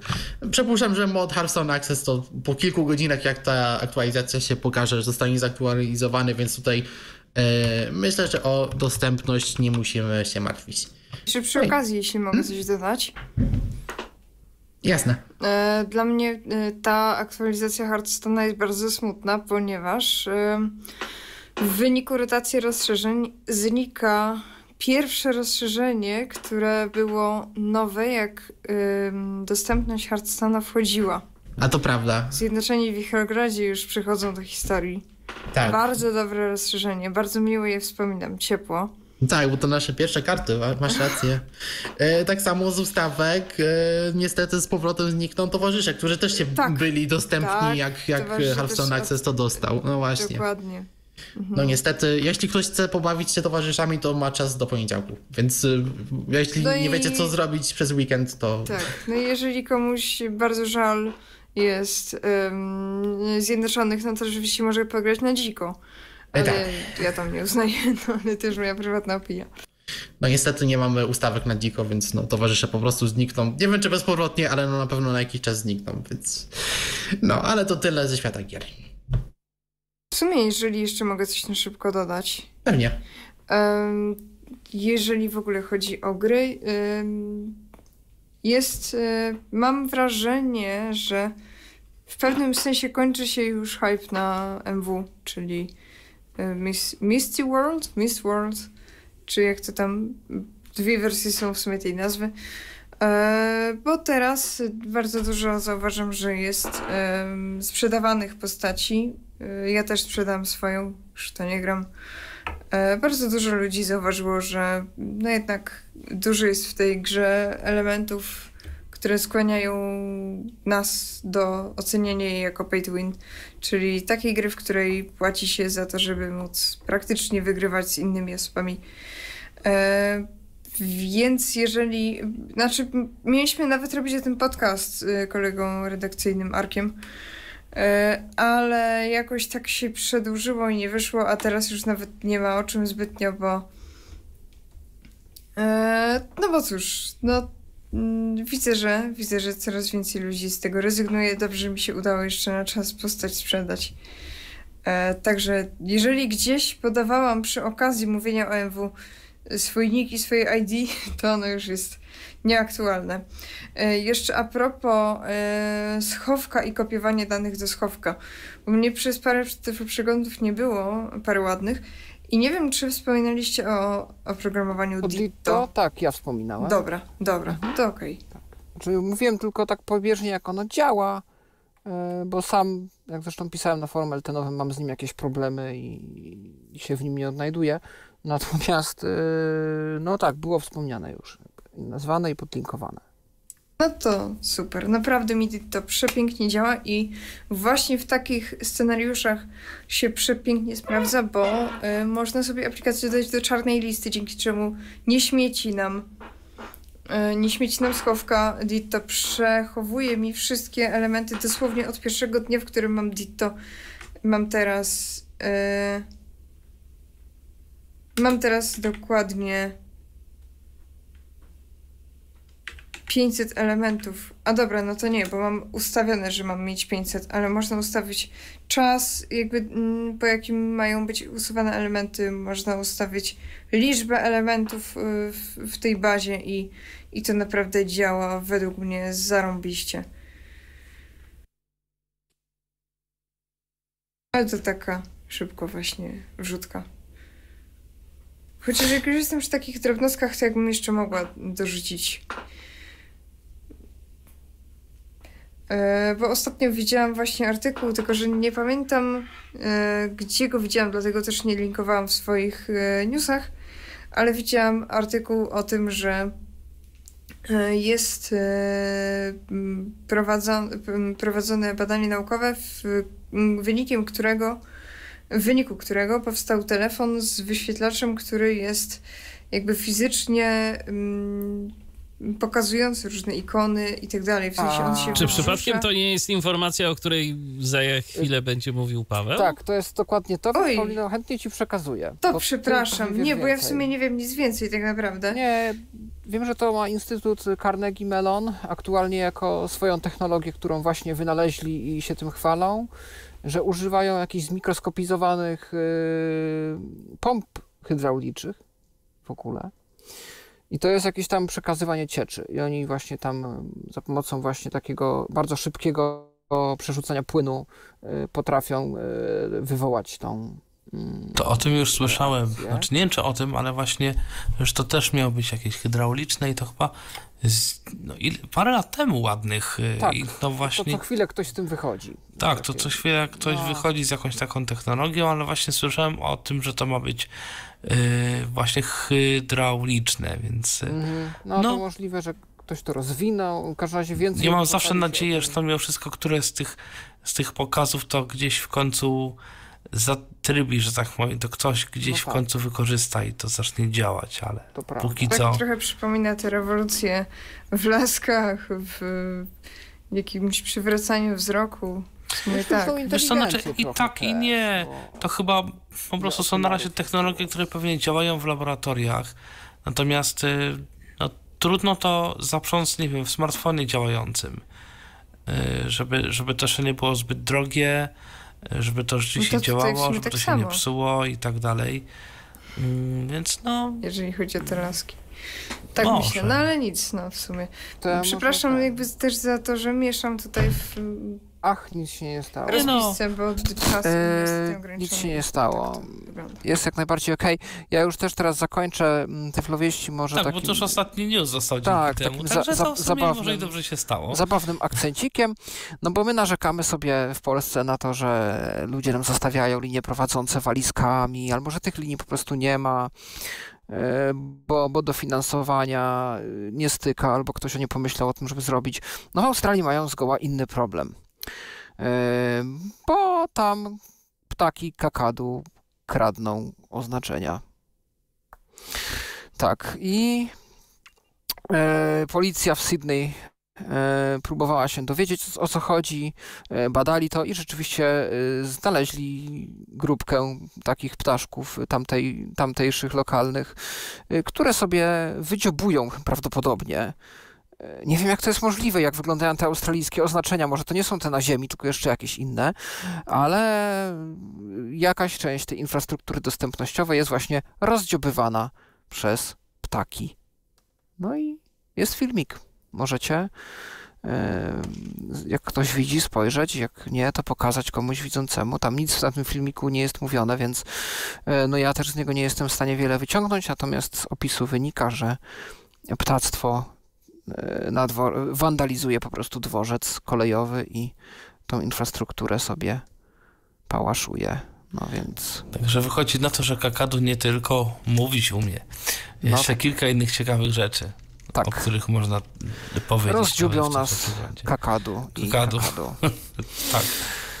E, to skoro Paweł jesteś przy głosie, to na pierwszy news w technikaliach też należy do ciebie.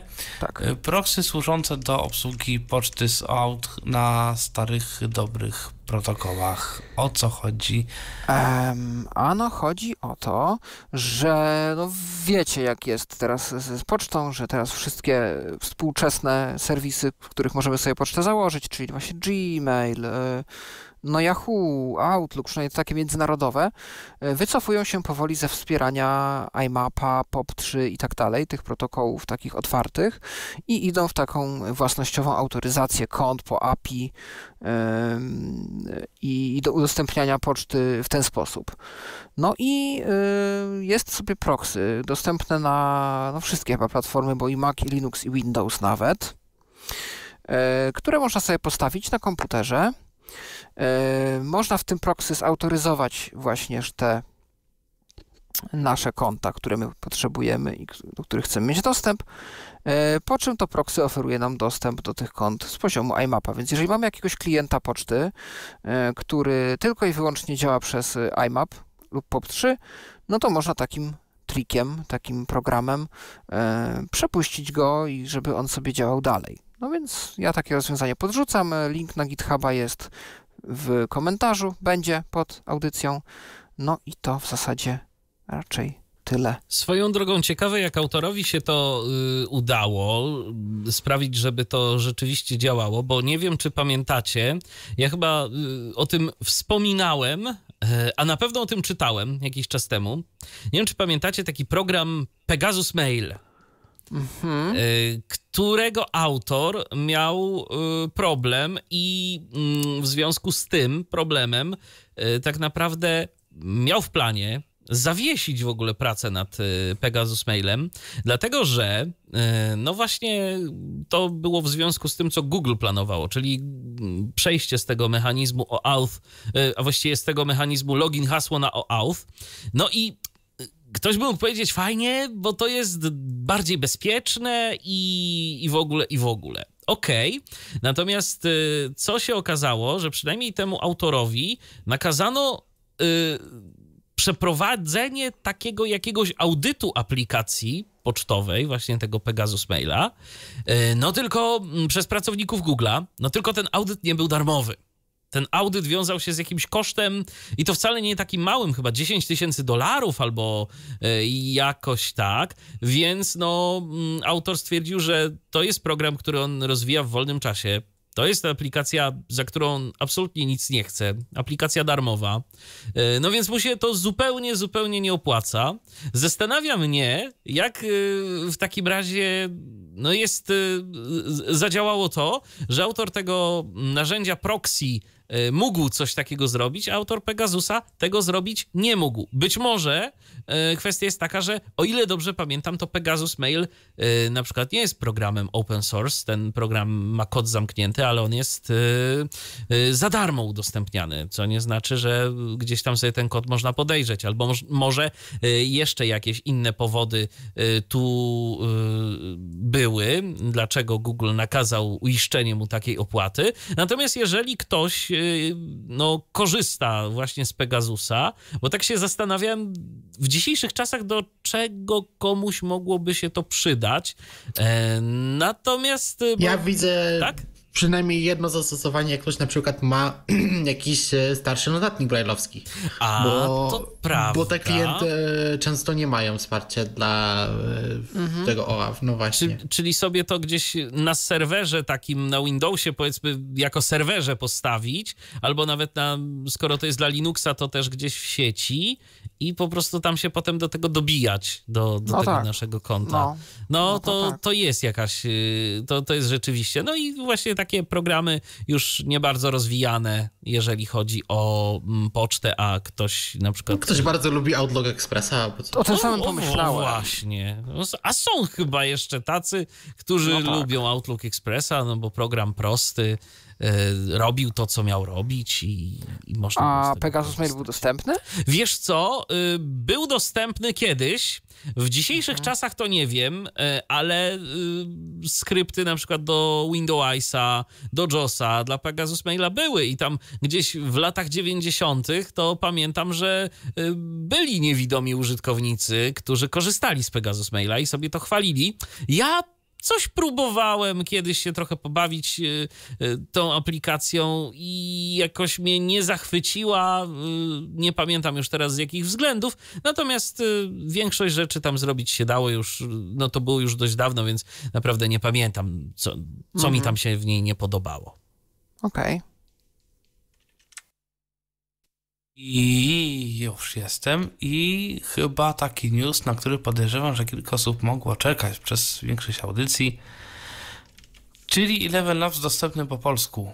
W końcu można powiedzieć, bo ta premiera to się tak trochę przekładała, przekładała. To znaczy oficjalnie informacja była taka, że to będzie prawdopodobnie w pierwszym kwartale tego roku. No i w zasadzie się udało. Natomiast y, no takich wiążących tutaj obietnic nie było w zasadzie w ogóle nigdzie, więc jakby tutaj trudno mówić o jakichś terminach, których się udało lub nie utrzymać.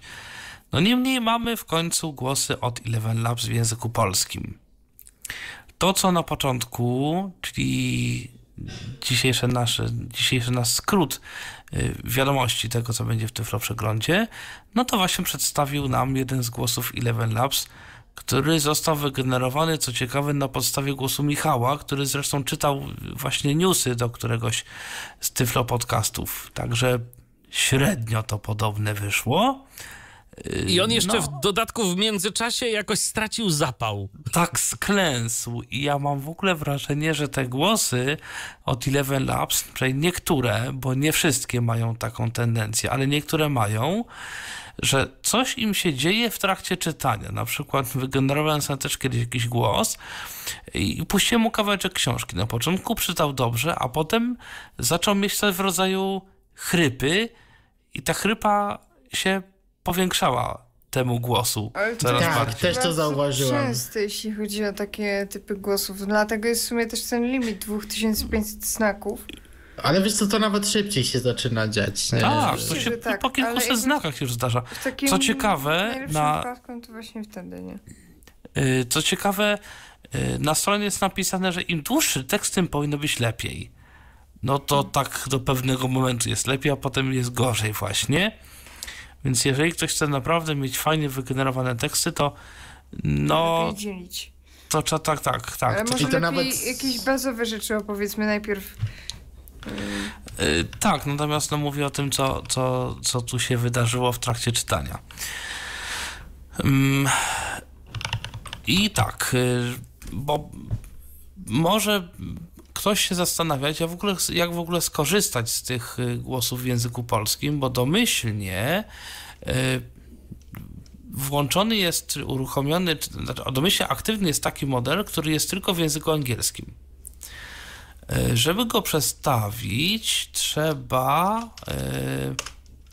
Ja sobie może wejdę na, na stronę po prostu Eleven Labs i spróbuję to pokazać, choć jest z tym kilka problemów, ale spróbuję mimo wszystko to zrobić.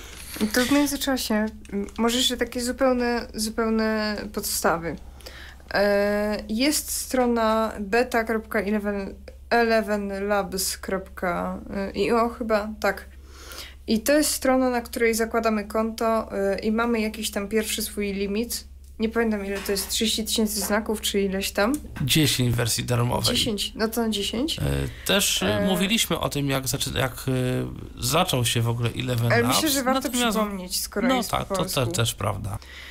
E, I możemy sobie wykupić różne pakiety z różnymi limitami. No to już jest oferta cenowa, to już jest druga rzecz. I teraz możemy tak, albo korzystać z głosów, które już są przez nich zrobione. Tych głosów jest około dziewięciu. E, I te głosy właśnie mogą czytać po angielsku, mogą czytać w jakimkolwiek obsługiwanym przez e, mm, Eleven Labs języku. Zarówno jak i wszystkie głosy, ale Możemy sobie też wygenerować głos, zadając mu parametry takie jak płeć, akcent, e, wiek i tak.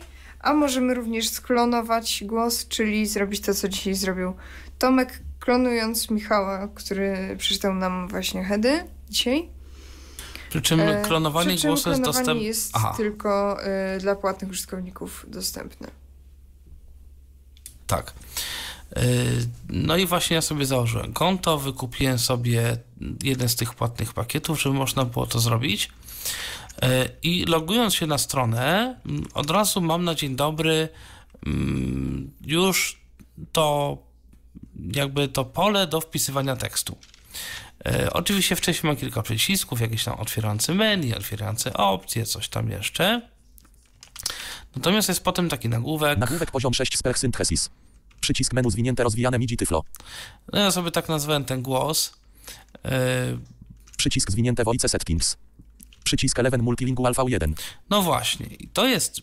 Mm, to jest taki przycisk, który teoretycznie ma otworzyć l- model, czy w zasadzie wybór modelu. Jose a model to user działa. Eleven monolingual V1 use our standard and list language model to generate spech in a variety of voices, styles and modes tasks. I to jest domyślnie wybrany model, czyli nie będzie czegoś tak jak u mnie, że przycisk Eleven Multi V1, tylko będzie monolingual V1 i tu jest opis tego modelu, że to jest model dla języka angielskiego, który wspiera różne style wypowiedzi i, i, i w ogóle i w ogóle. Yy, I jest potem napisane Languages. języki English. angielski i potem Eleven multilingual V1 experimental generate lifelike spech in multiple languages and relate content. Hat sonates with broader audience tasks. I tu jest napisane, że ten wielojęzyczny model jest na razie w formie eksperymentu. No i teraz taki model właśnie wielo, wielojęzyczny, gdzie, gdzie, gdzie tych języków jest kilka właśnie. E, I tu jest napisane, że Tekst to spech voice conversion Comingson. te, ta konwersja głosu to jeszcze ma być. Languages. No jest napisane języki. English, German, Polish, Spanish, Italian, French, Portuguese, Hindi. Limitation. Some numbers and symbols might currently be pronounced incorrectly. For best results. No właśnie, tu są wypisane te języki, jest napisane to, co rzeczywiście się sprawdza. No, cyfry mogą być i w przypadku języka polskiego są odczytywane nieprawidłowo. Lease spelled hemold. I że prosimy wypisać te cyfry, znaczy liczby i cyfry, tak jak się je pisze, czyli 14, prawda, napisać. Y, W związku z powyższym, żeby w ogóle działał język, trzeba zmienić ten, wybrać ten przycisk, który u, u, u Was będzie na, nazywał się y, 11 Monolingual V1 na, mon, na 11 Multilingual V1. No chyba, że Może się też nazywać słuchacie... Słucham? Y, Choose a Model też się może nazywać, Aha, bo mi się okej. tak nazywał na początku. No, Aha, to u mnie się. Możliwe, że dlatego, że wcześniej założyłem konto i mi wybrał domyślnie ten mono. Nie mam pojęcia. E, Też jest napisane teraz V1, bo być może za jakiś czas wejdą kolejne wersje V2, V3, V tam ileś. E, No i być może wtedy będzie to wyglądało inaczej. No i następnie mamy. Przycisk lewy type or paste text here. The model works best on longer fragments. Pole edycji wielowierszowe wszystko to, a pewnie jeszcze więcej już za chwilę. Tu sobie wpisałem już ten tekst, który ma być wygenerowany. Zapomniałem wygenerować te, tego ostatniego, co zawsze Michał mówi przed, e, znaczy na końcu tych, tych zapowiedzi, więc musiałem zrobić sobie kolejną wypowiedź e, z tym właśnie. Czyli tu jest napisane, że w, no, wpisz lub wklej tekst tutaj i za polem edycji Koniec pole edycji 52 5000 total quota remaining 87 206. Mm, mam napisane, że zostało mi, że mam wpisanych 50 kilka znaków, zostało mi z, z w sumie 2500, które mogę wykorzystać. Zostało mi jeszcze w tym miesiącu 80 ileś tam tysięcy znaków do wykorzystania. Kupiłem sobie taki no, większy trochę pakiet. Y, A nawet masz 5000, y, jak masz wykupiony pakiet. E, tak, rzeczywiście 5000, tak. E, I następnie mam Przycisk generate. przycisk, no, do, który po prostu generuje Generuj. e, wypowiedź. No i potem już są jakieś tam linki Link typu. Odwiedzony o link blog. Link blog Link i tak dalej, i tak dalej. Więc to jest jakby taka najważniejsza część. Mm, Jest jeszcze coś takiego, czym się polecam troszkę pobawić, jak Przycisk zwinięte voice settings. Voice Settings. Rozwinięte. Rozwijam go Enterem i tutaj póki co lepiej jest wyłączyć tryb przeglądania. Suwak 1. To jest pierwszy suwak, który ma określić. Suwak 03. Yy, To default. o, tu są jakoś inaczej te suwaki to ja już pozrobione. wiem, czemuś ten głos tak sklęsł. Y, tu można jeden? Tak, ale powinien, ale wydaje mi się, że go wcześniej miałem na inną wartość. On cię resetuje. Yy, ja nie wiem, A, czy te On się suwaki nie zostały zamienione. Stability. Przycisk rozwinięte. Stability. Pusta. More variable. More stable. Similarity similarity and pusta. Nie wiem, w każdym razie jeden z tych suwaków Suwak mm. Suwak 1. i możliwe właśnie, że ten, nie wiem dlaczego mam go ustawionego źle, możliwe, że rzeczywiście Suto się default przycisk. Y, pozamieniały. Su- Suwak 075. Suwak 075. No nic. Suwak. W każdym razie, możliwe, że ten pierwszy suwak odpowiada za taką kreatywność w intonacji. Im suwak jest wyżej, tym y, ten, ten cały algorytm bardziej się pilnuje, żeby to było wszystko poprawnie, y, tak zgodnie ze sztuką i, i, i żadnych otyłów. To może skutkować tym, że to będzie czytane w taki sposób trochę mechaniczny, bezemocjonalny, że tak powiem, no, bardzo taki, taki zachowawczy. Im niżej, tym ten głos będzie miał z jednej strony więcej emocji, ale możliwe, że ten głos nagle zacznie się zachowywać w sposób nieco bardziej nieprzewidywalny. Może na przykład. Y, O, tu tylko zegar zaczyna bić 12. A jeszcze kilka newsów przed nami. Witamy w sobotę. Tak jest. ten głos może się zacząć jąkać, może zacząć wydawać z siebie dziwne dźwięki. Ale raczej nie takie dzwony. No nie, raczej nie.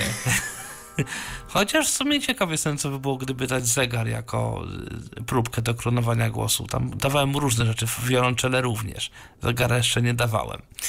No w każdym razie mm, i z wiolonczeli wyszedł normalny głos, także ze wszystkiego jest w stanie ten, ten, to, co jest zrobić normalny głos. W każdym razie mm, no, naprawdę to coś potrafi dziwnie ten głos y, czasami, czasami zrobić.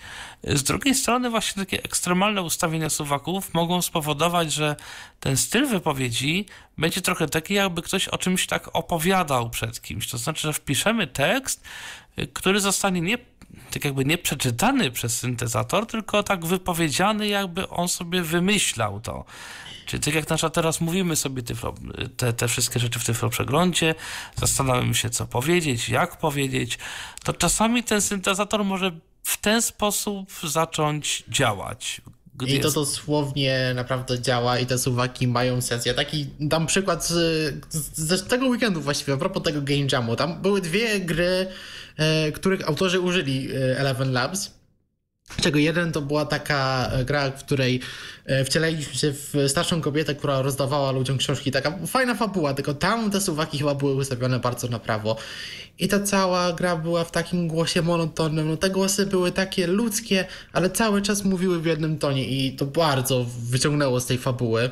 Mm, już, już bym wolał, żeby mi to nawet screen czytał. A była inna gra, w której też e, Właśnie głosy były z Elevena, tam byliśmy w jakiejś ciemnej, e, w ciemnym jakiejś jaskini, e, no i musieliśmy się z niej wydostać i mieliśmy kontakt tam z, z naszymi kolegami przez radio i tam te suwaki już były ustawione niżej i tam naprawdę było Ile, ile wam zajmie, zanim do, do mnie dojdziecie? Cztery godziny. Cztery godziny? Serio? I to, to tak naprawdę Wiedzieliśmy, że to był Eleven Labs, bo po prostu no, tą głosy poznaliśmy, domyślę, ale ta intonacja była naprawdę świetna. Y, także no bardzo różnie, y, bardzo różnie to działa.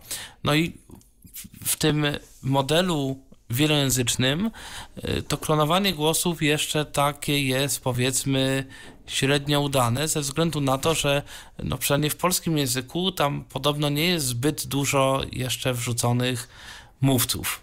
Bo im więcej, im więcej jest tych mówców, tych głosów w bazie, tym jest większa szansa, że głos będzie no, bardziej podobny do oryginału.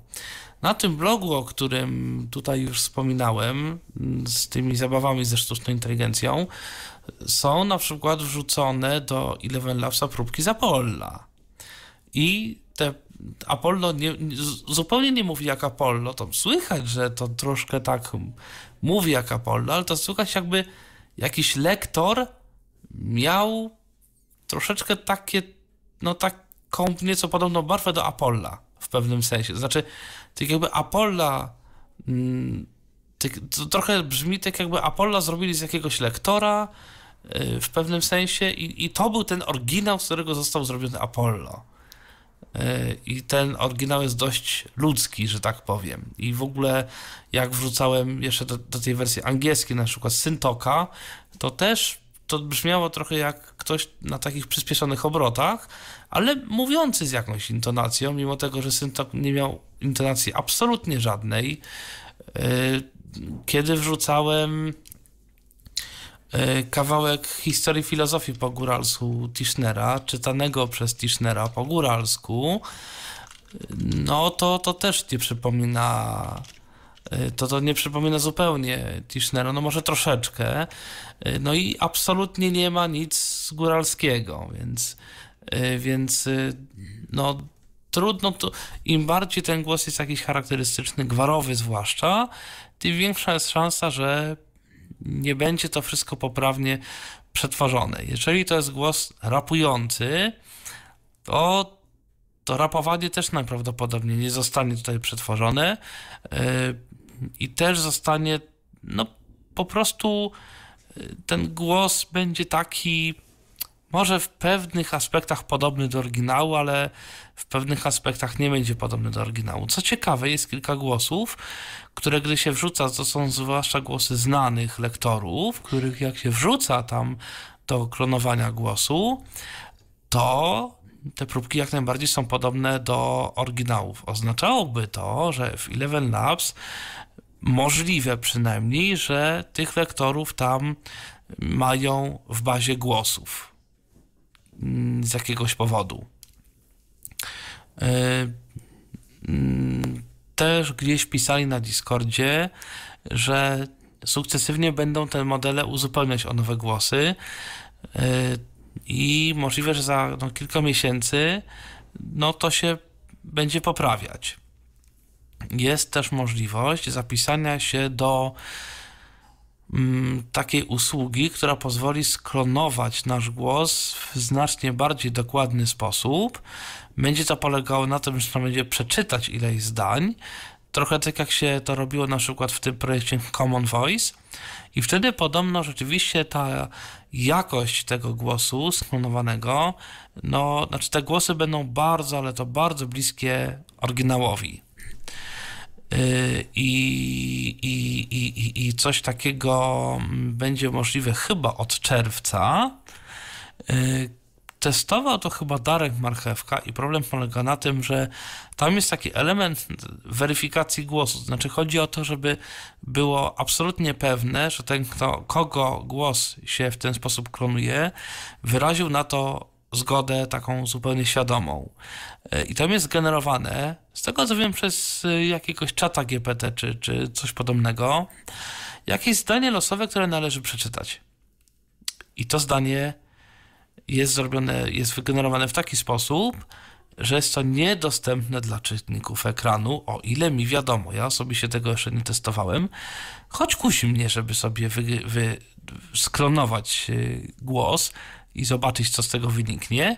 Może mi się kiedyś to przyda, nie wiem. W każdym razie, no, ciekaw jestem. No i, no, no właśnie, ciekaw jestem, jak to, jak to będzie wyglądało. Także no, zachęcam e, do zabawy, zachęcam do spojrzenia sobie na, na, na tego bloga. Zachęcam do wpisania frazy Eleven Labs w YouTube'a. Tam też można sobie posłuchać różnych głosów. Co prawda, częściej tam widzę głosy z jakichś gier, z jakichś anime, ewentualnie właśnie głosy sławnych ludzi, którzy zostały przez to wszystko sklonowane, natomiast na tym blogu, o którym mówiłem, to jakby abstrahując już od treści, które tam są wygenerowane, to głosy, które tam są użyte, to są nie raz i nie dwa znane wielu ludziom no, z tak zwanego środowiska, bo to są właśnie nieraz jakieś syntezatory mowy, yy, tudzież osoby, które, które, które słychać, może ktoś na przykład głos kogoś z nas skronuje, zobaczymy na blogu. Yy, w każdym razie, no to chyba tyle, jeżeli chodzi o Eleven Labs. Być może Eleven Labs pojawi się jeszcze kiedyś w Tyflo Podcaście, bo no jest to naprawdę już taki syntezator, który jest w stanie przeczytać y, takie rzeczy jak newsy w taki sposób bardzo ładny. I warto I... wspomnieć o tym, że nawet jeżeli ktoś miałby ochotę używać tego w jakiś komercyjny sposób, to nawet i za te 5 euro czy tam dolarów na miesiąc, to można pod warunkiem, że gdzieś tam e, da się wzmiankę, że materiały zostały stworzone właśnie z użyciem e, Eleven Labs, bo tak właśnie teraz mhm. E, zajrzałem do cennika, a to wcale nie jest taką oczywistą rzeczą w przypadku innych syntez to nie jest tak, że każdą syntezę można sobie wykorzystać jakbyśmy tylko chcieli i gdzie byśmy tylko chcieli. To no, w różnych takich y, sytuacjach, jeżeli na przykład tworzymy jakieś materiały, to no to czasem to, to, to, to, to, to różnie z tym może być, zwłaszcza jeżeli mają być to na przykład jakieś produkcje komercyjne. Tak, y, natomiast z tego co mi wiadomo, jeżeli się kupi już ten wyższy pakiet za 22 dolary, to tam chyba tego, tego znaczy ograniczenia, no powiedzmy, nie ma. To znaczy nie trzeba tam wspominać, że to zostało wygenerowane przez Eleven Labs. Eleven Labs. Mhm. To jest jedno i tam chyba dostajemy trochę wyższy bitrate, to znaczy pliki są generowane w MP3 96 kilobitów, a nie w 64. w tym wyższym pakiecie, tak mi się wydaje. E, także no, jest kilka różnych opcji. Jeżeli komuś jest to potrzebny, jest pakiet za chyba 300 dolarów, gdzie jest 2 miliony znaków miesięcznie, więc tam już można wygenerować, mm, jeśli dobrze liczę, ze cztery konkretne książki, więc można by powoli robić, nie wiem, wydawnictwo. jeżeli komuś by się chciało. A za 300 y, dolarów, czyli powiedzmy 1300-1400 zł, nagrać cztery książki, to dużo. To, na, to znaczy, to jest naprawdę, to są naprawdę bardzo małe pieniądze, jak na cztery książki, bo no akurat pracuję w takim miejscu, czyli w Storyboxie, gdzie się takie książki wydaje i no lektor, sam lektor, no to byłoby to podejrzewam, no to byłoby to prawdopodobnie sam lektor byłby, to były większe pieniądze, plus realizacja tego, plus jakaś obróbka tych plików, natomiast tutaj dostajemy pliki, które są dobrze zrobione, no tylko trzeba uważać, żeby nie przesadzić z tymi emocjami, trzeba sobie no, wyznaczyć jakiś, jakąś fajną wartość tego suwaka. No i też, zwłaszcza takie e, momenty, kiedy coś się dzieje w książce, są jakieś dialogi, e, trzeba dość dokładnie zaakcentować, tu coś się dzieje, tu akcja troszeczkę y, jest no, taka mniejsza, tu jest jakieś napięcie, tu coś, no to ten, ten algorytm ma z tym jeszcze nieraz problemy. Nie zawsze dobrze jakby akcentuje, co gdzie się dzieje, że ktoś coś krzyczy, że ktoś coś mówi szeptem. No to bardzo różnie to, to bywa. Natomiast jeżeli, mm, jeżeli, jeżeli ktoś ma książkę jakąś taką powiedzmy, nie wiem, popularno-naukową, czy jakąś książkę, czy jakiś tekst, który opisuje jakieś tam różne rzeczy, to jak najbardziej taki syntezator wygenerowany z Eleven Labs może się do tego nadać. Też jeśli hmm. mogę trzy swoje mhm. jeszcze grosze dorzucić, e, to tak. Pierwsza rzecz, e, przetestowałam i wiem, że Eleven Labs jest w stanie odczytywać znaki unikodowe z innych alfabetów. Znaczy z innych, no, no tak, z innych systemów pisania. I co prawda, jakby nie są one odczytywane nawet transliteratem, bo jakby transliterat no, w zależności jest od języka, ale jakkolwiek jest na to reakcja, yy, ja teraz nie chcę udostępniać, bo bym musiała się bawić w, w, całe, w całe udostępnianie i pokazywanie syntezy i tak dalej, ale, mm, ale jakby mm, widziałam, że e, znaki, które są na przykład w, w cyrylicy w pewien sposób przełożył na ten nasz alfabet i przeczytał to tak bardzo fonetycznie, ale jakkolwiek przeczytał, więc według mnie to jest duży plus. E, druga rzecz to jest to, że e, właśnie mm, matko, co ja miałam? A, że jeśli chodzi o te emocje, to yy, mam wrażenie, że bardzo dużo jest tutaj postawione na audiobookach, jeśli chodzi nawet o, yy, w sensie yy, o treść tego. Bo wpisałam sobie tak dla Hecy jakby dialog pomiędzy rodzicami a dzieckiem i właśnie to, co mm, powiedziało dziecko, na e, tym pierwszym suwaku Stability, oczywiście na zero, e, było właśnie powiedziane takim głosem piskliwym, więc faktycznie udało się zachować ten realizm e, takiego zwykłego audiobooka. I coś jeszcze miałam, ale, ale już nie pamiętam. A z, z, ciekawości, na jakich alfabetach to testowałaś, Paulino, jeżeli chodzi o e, te hmm. różne nietypowe, nie z alfabetu łacińskiego znaki, na przykład z, z jakimś japońskim, chińskim, mm, tego Testowałam na koreańskim, Aha. E, kolega testował też na japońskim, no właśnie na cyrylicy testowaliśmy i wszystko jest ok. W sumie nie próbowaliśmy emotek, mm, w sensie emoji. A to też ciekawe. Co by Ciekawi mnie, czy by to cokolwiek dało. Szczególnie mm, właśnie myśmy sobie tak wymarzyli, e, że fajnie by było, gdyby te emoji faktycznie były w stanie sterować nastrojem tego modelu. Znaczy, z tego co wiem, no Eleven Labs gdzieś tam myśli o tym, żeby można było sterować emocjami w jakiś sposób y, tego syntezatora mowy. Mhm. A, i właśnie mi się przypomniało, co miałam mówić jako trzeci, jako trzeci ten grosz przysłowiowy.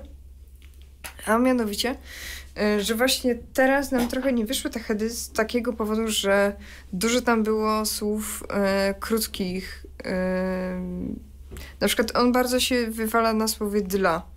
Bardzo często właśnie DLA czytaj. Literuje, tak. E, też, nie wiem, NVDA bardzo często, nie wiem, jakieś N, NVDA. NVDA i Trochę po niemiecku to tak czyta. tak dalej, więc dla mnie workaround, czyli obejście tego jest mniej więcej takie jak z liczbami albo n, f, a, ły, d, e, a, albo n, w, i, d, i, i, ej, nie wiem. Gorzej z tym dla, bo Gorzej jest dla, tak, to trzeba byłoby Ja w się ogóle w ogóle- zastępować całe słowo. Czasami też ci jest czytane jako ci. E, i dlatego ja się troszeczkę bałem trochę tego modelu, bo No ale cóż, no to jest beta. często tego typu modele, które mają wykrywać język, no to, Właśnie tak. Ja tak. Na przykład to właśnie, mają tego typu mm, problemy. fajnie tym, by żeby- było mieć możliwość zadeklarowania. Czytaj Mhm. to zgodnie z regułami takiego a takiego języka. Dokładnie. Bo w książkach różne się rzeczy zdarzają. Są e, postaci, które mają dość nietypowe jakieś tam imiona, nazwiska, które trzeba przeczytać w konkretny sposób i fajnie by było właśnie mieć możliwość e, kontroli, no bo to z tego co wiem, to ma być syntezator do wykorzystywania jak najbardziej komercyjnego. Mhm. I takiego wykorzystania właśnie przez ludzi, którzy chcą mieć, którzy mają naprawdę duże wymagania co do tego, jak to ma być wszystko czytane. No i tutaj nie powinno być takiej sytuacji, że oj, zwykłe słowo jest czytane dziwnie i w sumie nie wiadomo, co z tym zrobić, bo, bo. No błędy takie jak Marciuka powinny nam już coś mówić. Albo Trojan zamiast Trojan. Al, Także- Albo co najbardziej mnie śmieszy w ogóle ze wszystkich tego typu Urząd Morski uwiła się do tej pory obecny w Paulinie Microsoftowej i Adamie. No, także, no to, to są niestety problemy, jak ktoś chce zrobić prod, produkt, który ma wykrywać tam różne rzeczy, no bo mm, nie powiedzieliśmy jeszcze w sumie tego, że e, gdy już wybiorę ten, e, ten model multilanguage, to tu po prostu wystarczy, że wpiszę tekst po polsku i on będzie czytany po polsku. Nie muszę wybierać języka, w którym muszę to wpisywać. E, Po prostu wpisuję tekst. Jeżeli potem napiszę tekst po hiszpańsku, on się przełączy na hiszpański. Co ciekawe, czasami jest tak, że jeżeli właśnie piszę coś po polsku, potem mam, nie wiem, cztery zdania po angielsku i znowu po polsku, to te pierwsze zdanie po przełączeniu syntezator e, czasami ma jakieś ślady tego poprzedniego języka, co też nie jest zbyt dobre. No i mówię, fajnie by było mieć możliwość takiego sterowania. Tu ma być polski, tu ma być angielski, tu ma być szwedzki, a tu ma być napisane tą całą IPą, czyli tym alfabetem fonetycznym, jak to ma być czytane. Ja nie wiem w ogóle, czy on nie, obs- nie obsługuje tego właśnie IPA. Nie jestem pewien. Gdyby tak było, to możliwe, że też by było fajnie. Słuchajcie, tymczasem y, godzina późna, a do nas jeszcze dzwonicie. Tym razem Piotr jest z nami. Witamy cię, Piotrze. Cześć, witajcie. Słychać mnie? Słychać.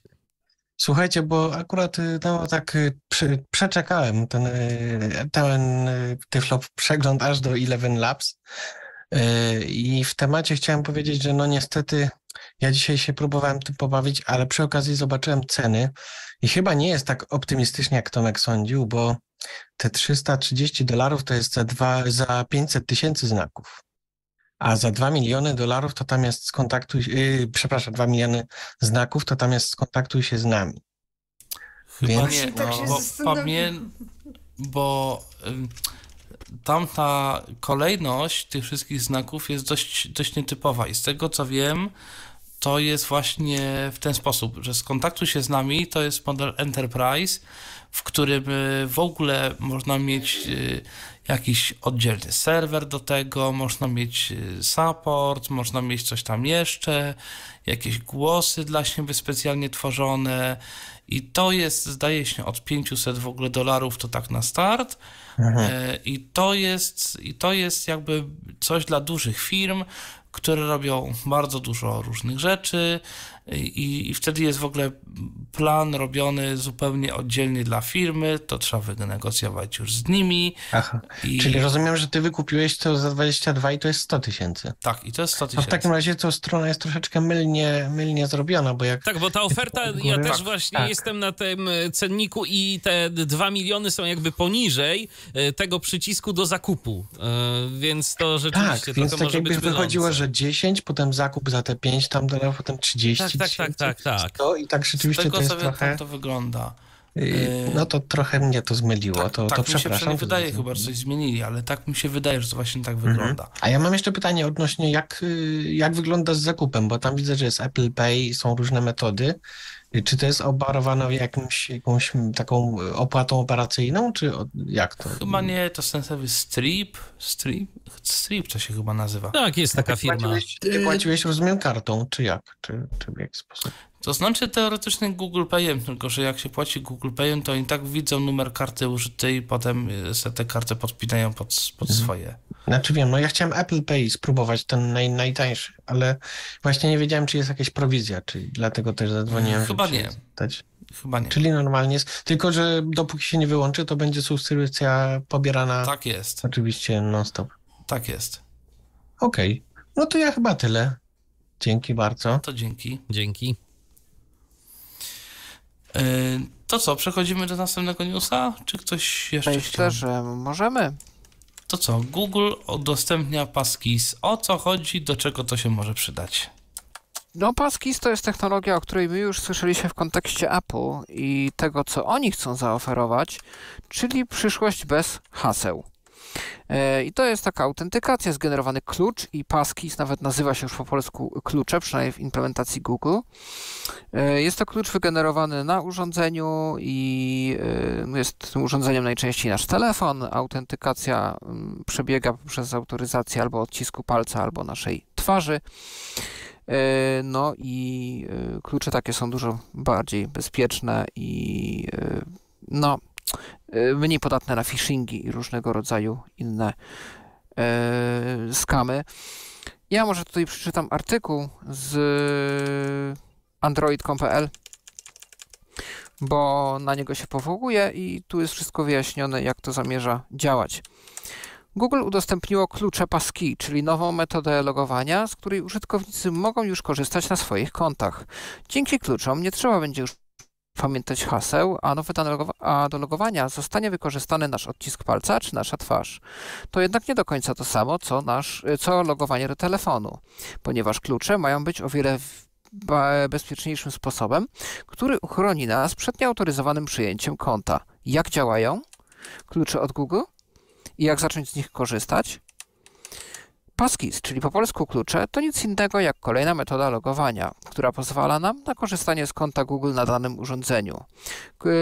Klucze Google mają zastąpić nam zwykłe logowanie z wykorzystaniem hasła, czy nawet weryfikację dwuetapową, na którą zresztą Google e, naciskało bardzo swego czasu. Dodajmy zresztą, że słusznie. Klucze w odróżnieniu od zwykłych haseł nie są bowiem tworzone przez użytkownika i nie można ich nigdzie zapisać tak, by ktoś niepowołany mógł uzyskać do nich dostęp. Klucze też od są też odporne na ataki phishingowe, ponieważ nie ma tu jednorazowych haseł potwierdzających dostęp do konta, które można przechwycić. Klucze od Google umożliwiają logowanie do konta z wykorzystaniem odcisku palca, skanu twarzy lub kodu PIN do blokadu ekranu w smartfonie. Tworząc klucze przywiązane do konkretnego urządzenia, tworzymy tak naprawdę dla klucze, klucze kryptograficzne, jeden prywatny i przypisany do sprzętu oraz drugi publiczny, drugi publiczny. Takie klucze będzie można też tworzyć dla urządzeń, z których korzystamy tymczasowo, by zalogować się na przykład tylko raz. Google będzie nas informować o próbach zalogowania się na nasze konto, więc tu też mówimy o zwiększonym bezpieczeństwie. Jeżeli będziemy chcieli zalogować się na naszym komputerze, będzie można przypisać klucz także do niego, a przy pierwszym logowaniu na ekranie wyświetli się kod QR, który będziemy musieli zeskanować telefonem. Żeby skorzystać z kluczy od Google do logowania, musimy mieć smartfona z przynajmniej systemem Android 9 lub iOS 16. W przypadku y, komputerów jest to Windows 10, macOS Ventura oraz Chrome OS 109. Jeżeli chcecie zacząć korzystać z kluczy od Google, to musicie je włączyć, logując się na swoje konto i przechodząc na stronę Google. Tu jest podany link. No więc smartfon jest jakby naszym kluczem autoryzacyjnym i na nim są generowane właśnie te klucze do e, logowania nas do różnych kont. No a ewentualnie potem możemy powiązać z tym po koncie Google nasz komputer. No więc w ten sposób to działa. Ja już patrzyłem, e, kiedyś podawałem tutaj stronę paskis.io, e, gdzie podana jest lista mm, serwisów, które już wykorzystują Paskis. Ja jeszcze nie patrzyłem, czy ta lista się poszerzyła od czasu, kiedy pierwszy raz tą stronę odkryłem. No, możecie to zrobić, ja też to może zrobię w wolnym czasie i zobaczymy, no ile ta funkcja na ten moment jest przydatna na takich stronach, z których no, na co dzień korzystamy. Pytanie, co w sytuacji, kiedy ten sprzęt, y, który wykorzystujemy jako klucz dostępu, nam padnie? Nie wiem. Właśnie... Pewnie można mieć kilka, też tutaj mnie zastanawia ta kwestia tych kodów QR. No przypuszczam, że na przykład na, na Maca, gdzie mamy Touch ID, e, to się pewnie jakoś da obejść. No na Windowsie też mamy Windows Hello i można kupić na przykład sobie klawiaturę albo kamerkę, która e, ma czytnik albo e, skaner twarzy. I ciekawe, czy też wtedy dałoby się po prostu taki klucz na komputerze utworzyć. Nie wiem, jak to. No jest ja to na pewno ciekawe. Telefon jest tym głównym narzędziem. Tak, na to by wyglądało, że właśnie telefon jest głównym narzędziem i ewentualnie potem podpinamy sobie jeszcze dodatkowe mm, źródła. No, coraz więcej tych metod y, bezpieczeństwa, uwierzytelniania się właśnie takiego dwuskładnikowego, a tu nawet i być może kiedyś Google zrezygnuje z hasła mm, na rzecz y, tylko właśnie W tą takich stronę to kluczy. idzie. Tak, tak, w tę stronę to idzie i dobrze, e, no bo z tymi hasłami to są jednak problemy.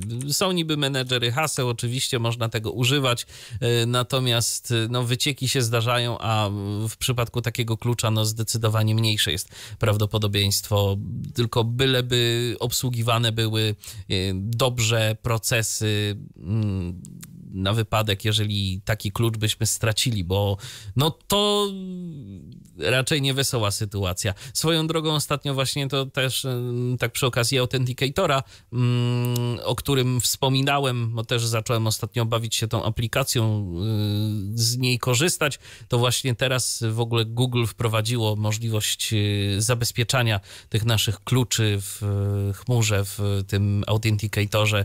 E, To tak y, nawiasem mówiąc, ta aktualizacja pojawiła się, o, chyba parę czy paręnaście dni temu. No, to jest rzeczywiście bardzo fajna, fajna sprawa. E, Już i Microsoft też ma tego, ten swój Microsoft Authenticator, chyba to się tak ta aplikacja nazywa.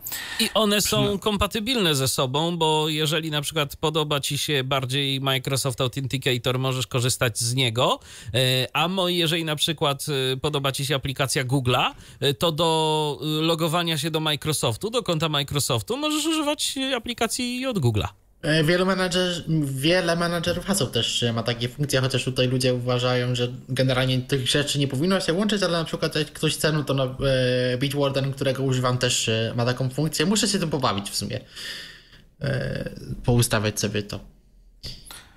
E, No i mam nadzieję, że rzeczywiście za, za jakiś czas te hasła, no to będą już takim, takim czymś, co, o czym już się zapomina. Natomiast No, ja mimo zobaczymy. wszystko powtórzę to, o czym mówiłem bodajże w poprzednim Tyflo Przeglądzie. W naszym przypadku, y, mimo że jest to jednak pewne ograniczenie sobie y, tego bezpieczeństwa, to jednak jeżeli decydujemy się na uwierzytelnienie dwuskładnikowe, y, to mimo wszystko warto sobie ustawić jako taką alternatywną, zapasową metodę coś bardziej konwencjonalnego w rodzaju telefonu y, bądź też y, innego tego typu środka. No tak po prostu na wszelki wypadek. Jeżeli twórca y, danej aplikacji, chociażby z której korzystamy, coś by popsuł w tych kwestiach dostępności i na przykład z jakiegoś powodu nie dałoby się odczytywać tych kluczy. No jednak mimo wszystko warto się tak zabezpieczyć. Tak, to rzeczywiście może być taki problem, no ale zobaczymy, co, y, co, co będzie dalej. Y, przechodzimy do Audona, czyli no taki Clubhouse, ale w Fediversum, czyli tam, gdzie Mastodon i inne usługi tego typu, czy nie wiem, czy to można nazwać nawet typem może no to jest Fediversum, tak jak napisałem, że to jest właśnie taka trochę e, Fediversowa mm, alternatywa do Clubhouse'a. E, bo o co chodzi? To jest usługa, do której e, logujemy się przez nasze konto na Fediversum. Na pewno działa Mastodon, pewnie inne pochodne też. No i to jest na stronie audon.space. E, no i tam logujemy się naszym Mastodonem, ewentualnie Hometown też działa, bo ja z Dragon's Cave'a nie miałem problemu, żeby się zalogować i, i tak jak, to, jak to było na Clubhouse, możemy sobie utworzyć pokój. E, przy tworzeniu pokoju możemy podać sobie tytuł, opis tego pokoju, więc o czym chcemy rozmawiać. E, możemy sobie wybrać prywatność tego pokoju, więc możemy sobie ustawić tak, że E, do niego mogą wejść wszyscy e, lub tylko osoby, które e, nas obserwują lub my obserwujemy, albo ograniczyć do, do konkretnej listy tylko współprowadzących, no bo obok też możemy właśnie wpisać sobie też tutaj niki Fediversowe współprowadzące, które chcemy sobie wyznaczyć, no i taki pokój tworzymy. Jest też, też opcja, która nam pozwala ustalić, czy E, usługa ma publikować nasz pokój w botem, bo on ma takiego swojego bota, którego możemy sobie e, z dowolnego konta, czy tam Mastodona, czy jakiejś innej strony zaobserwować i e, jeśli zaznaczymy odpowiednie pole, no to jak utworzymy pokój, no to ten bot wyśle wiadomość, że taki pokój jest dostępny.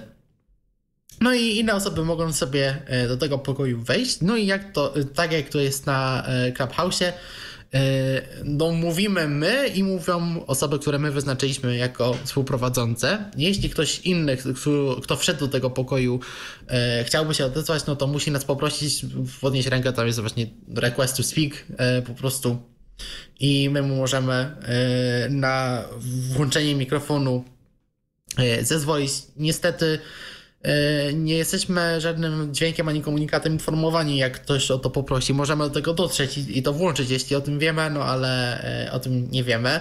E, jest też opcja i do tego chyba nie trzeba mm, wysłać prośby, żeby reagować różnymi emotkami i na to jest dźwięk, słychać jak ktoś taką reakcję wyśle, no ale tutaj znów na razie to dostępne nie jest, aczkolwiek myślę, że może to zostać poprawione, bo jak ta usługa wystartowała, to taki e, konto na Macedonie Fediverse News o tym napisała, no to niewidomi się na to rzucili, bo wszystko z, no, z dźwiękiem no to nas interesuje. No i okazało się niestety, że e, dostępność tego była słaba, bo było bardzo dużo niepodpisanych przycisków. No właśnie ja chyba na to trafiłem, bo kiedy y, widziałem jakiegoś newsa o tym, właśnie o Audonie, to stwierdziłem, a spróbuję się pobawić. Jak szybko założyłem pokój, to tak szybko stamtąd tak naprawdę znikałem, bo y, widziałem tylko kilka nieopisanych przycisków i jakoś nie zachęciła mnie ta usługa do tego, żeby się tym bawić dalej, ale mówisz, Piotrze, coś działa, y, działają twórcy, tak?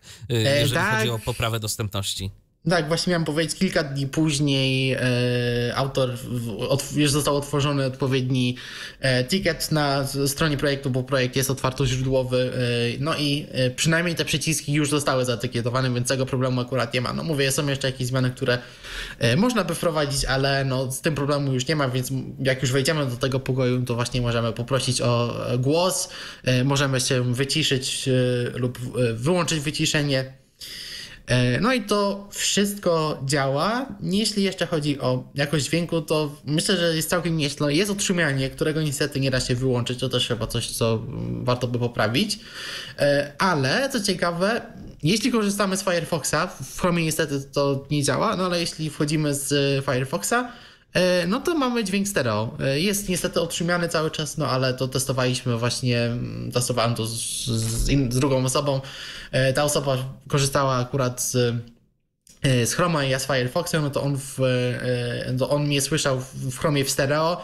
Ja jego słyszałem na początku w mono, mimo to, że miał akurat mikrofon stereo, potem się ta osoba przesiadła też na Firefoxa i wtedy też go słyszałem w stereo. Nie wiem jak to jest w Safari.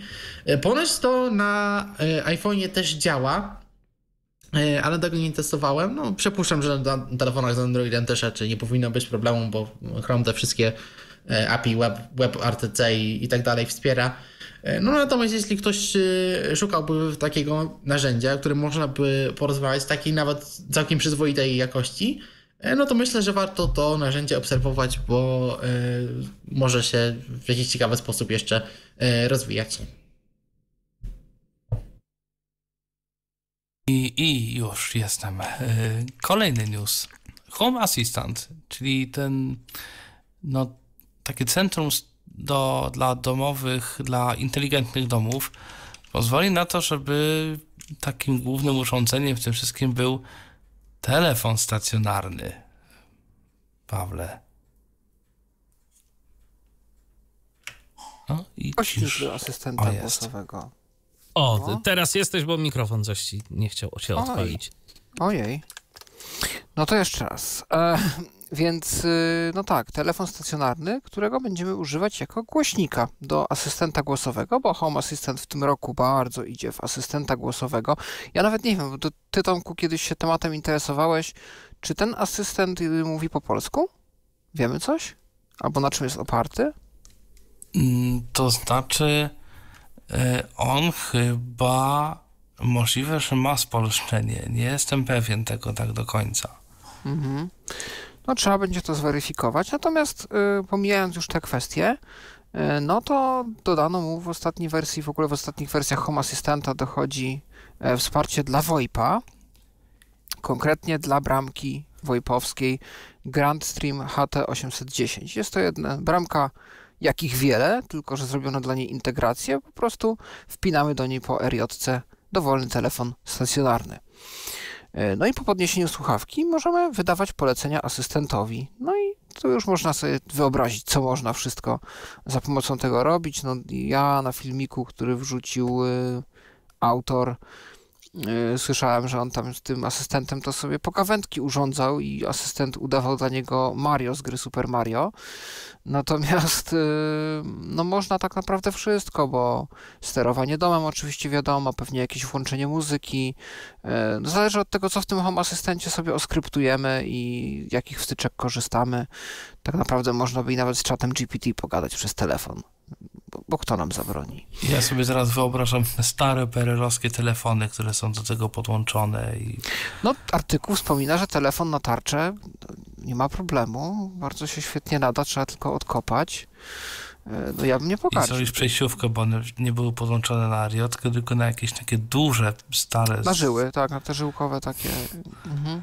Także, no, ale... no... Nie, to jest taki news, taki bardziej ciekawostka, ale mi się buzia uśmiechnęła, jak zobaczyłem. Bo jakby takie projekty to nie jest nic nowego, bo robienie telefonu stacjonarnego, przerabianie go pod jakieś różne rzeczy, to, to, to już były takie projekty, już kiedyś mi Mikołaj właśnie Hałysz podsyłał, jak ktoś zrobił e, z głośnika jakiegoś tam w smart w domu, który był zamontowany, nie wiem, czy w okapie, czy w jakiejś szafce w kuchni e, i właśnie ze stacjonarki zrobił sobie system do sterowania Spotify'em. I tam z telefonu wywoływał playlisty, które potem grały na głośniku i coś tam i ten, albo jakieś montowanie telefonów na tarcze, żeby działały jako komórki, tylko to już potem ludzie tu muszą się specjalizować w tych mikrokomputerach, czy Arduino, czy jakieś Raspberry Pi. A tutaj to jest dość prosta konstrukcja, bo trzeba kupić tylko bramkę. Bramka kosztuje ponad 200 zł, co prawda. No ale i to wszystko jakoś spiąć, no, ewentualnie jakieś mądre skrypty albo wtyczki do tego znaleźć i, i będzie dobrze. No więc fajnie, fajnie, że ktoś na taki pomysł wpadł. Chciałbym zobaczyć kiedyś implementację na żywo u kogoś.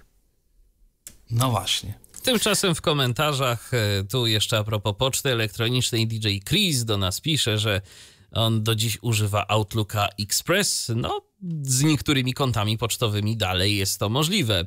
Z Googlem czy z Microsoftem, no to niestety nie bardzo. Natomiast z takimi, które nie mają tego mechanizmu o a wiadomo, nie wszystkie mają, to jak najbardziej Outlooka Express można e, używać. I jeszcze tu takie pytanie od Eweliny. Piotrze, do ciebie konkretnie, bo Ewelina pyta, czy grałeś w Blind Questa? E, grałem nawet swojego czasu, e, przechodziłem przynajmniej pierwsze dwie części ze znajomym na streamie, no to, to były e, streamy po angielsku, ale to są takie gry, które ja e, słyszałem twoją prośbę o podcast, to jest o tyle trudne, że to są gry, które e, przejście jednej części zajmuje nam przynajmniej te 3-4 godziny. E, to są gry, w której no, jest trochę fabuły, więc tak zrobić podcast na wszystkie trzy części, no to no, pewnie 10 godzin, pewnie więcej, bo to jeszcze by trzeba było tłumaczyć. Ja e, nie wiem, czy to nie byłoby bardziej temat dla kogoś, kto mm, robi na przykład let's playe na YouTube. A wiem, że takie osoby w naszej polskiej społeczności są, jakby ktoś chciał się tego podjąć. No bo to no, są dosyć e, dosyć długie gry. No i e, takie specyficzne, bym tak powiedział. To przechodzimy do następnego newsa, tym razem mojego. Google Chrome pozwoli ominąć część kodów kawcza.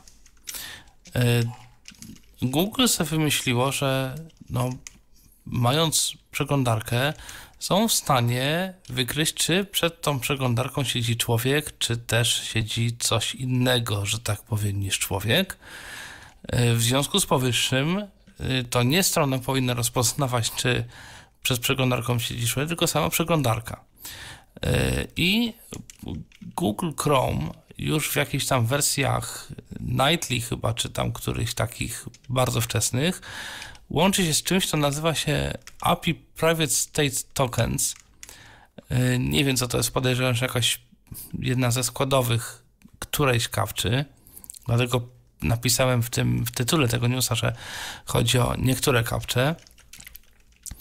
Y, I potrafi no w cudzysłowie powiedzieć stronie, tudzież temu, temu mechanizmowi kawczy, żeby się w ogóle nie wyświetlał, bo przeglądarka wie, że obsługiwana jest przez człowieka, a nie przez maszynę.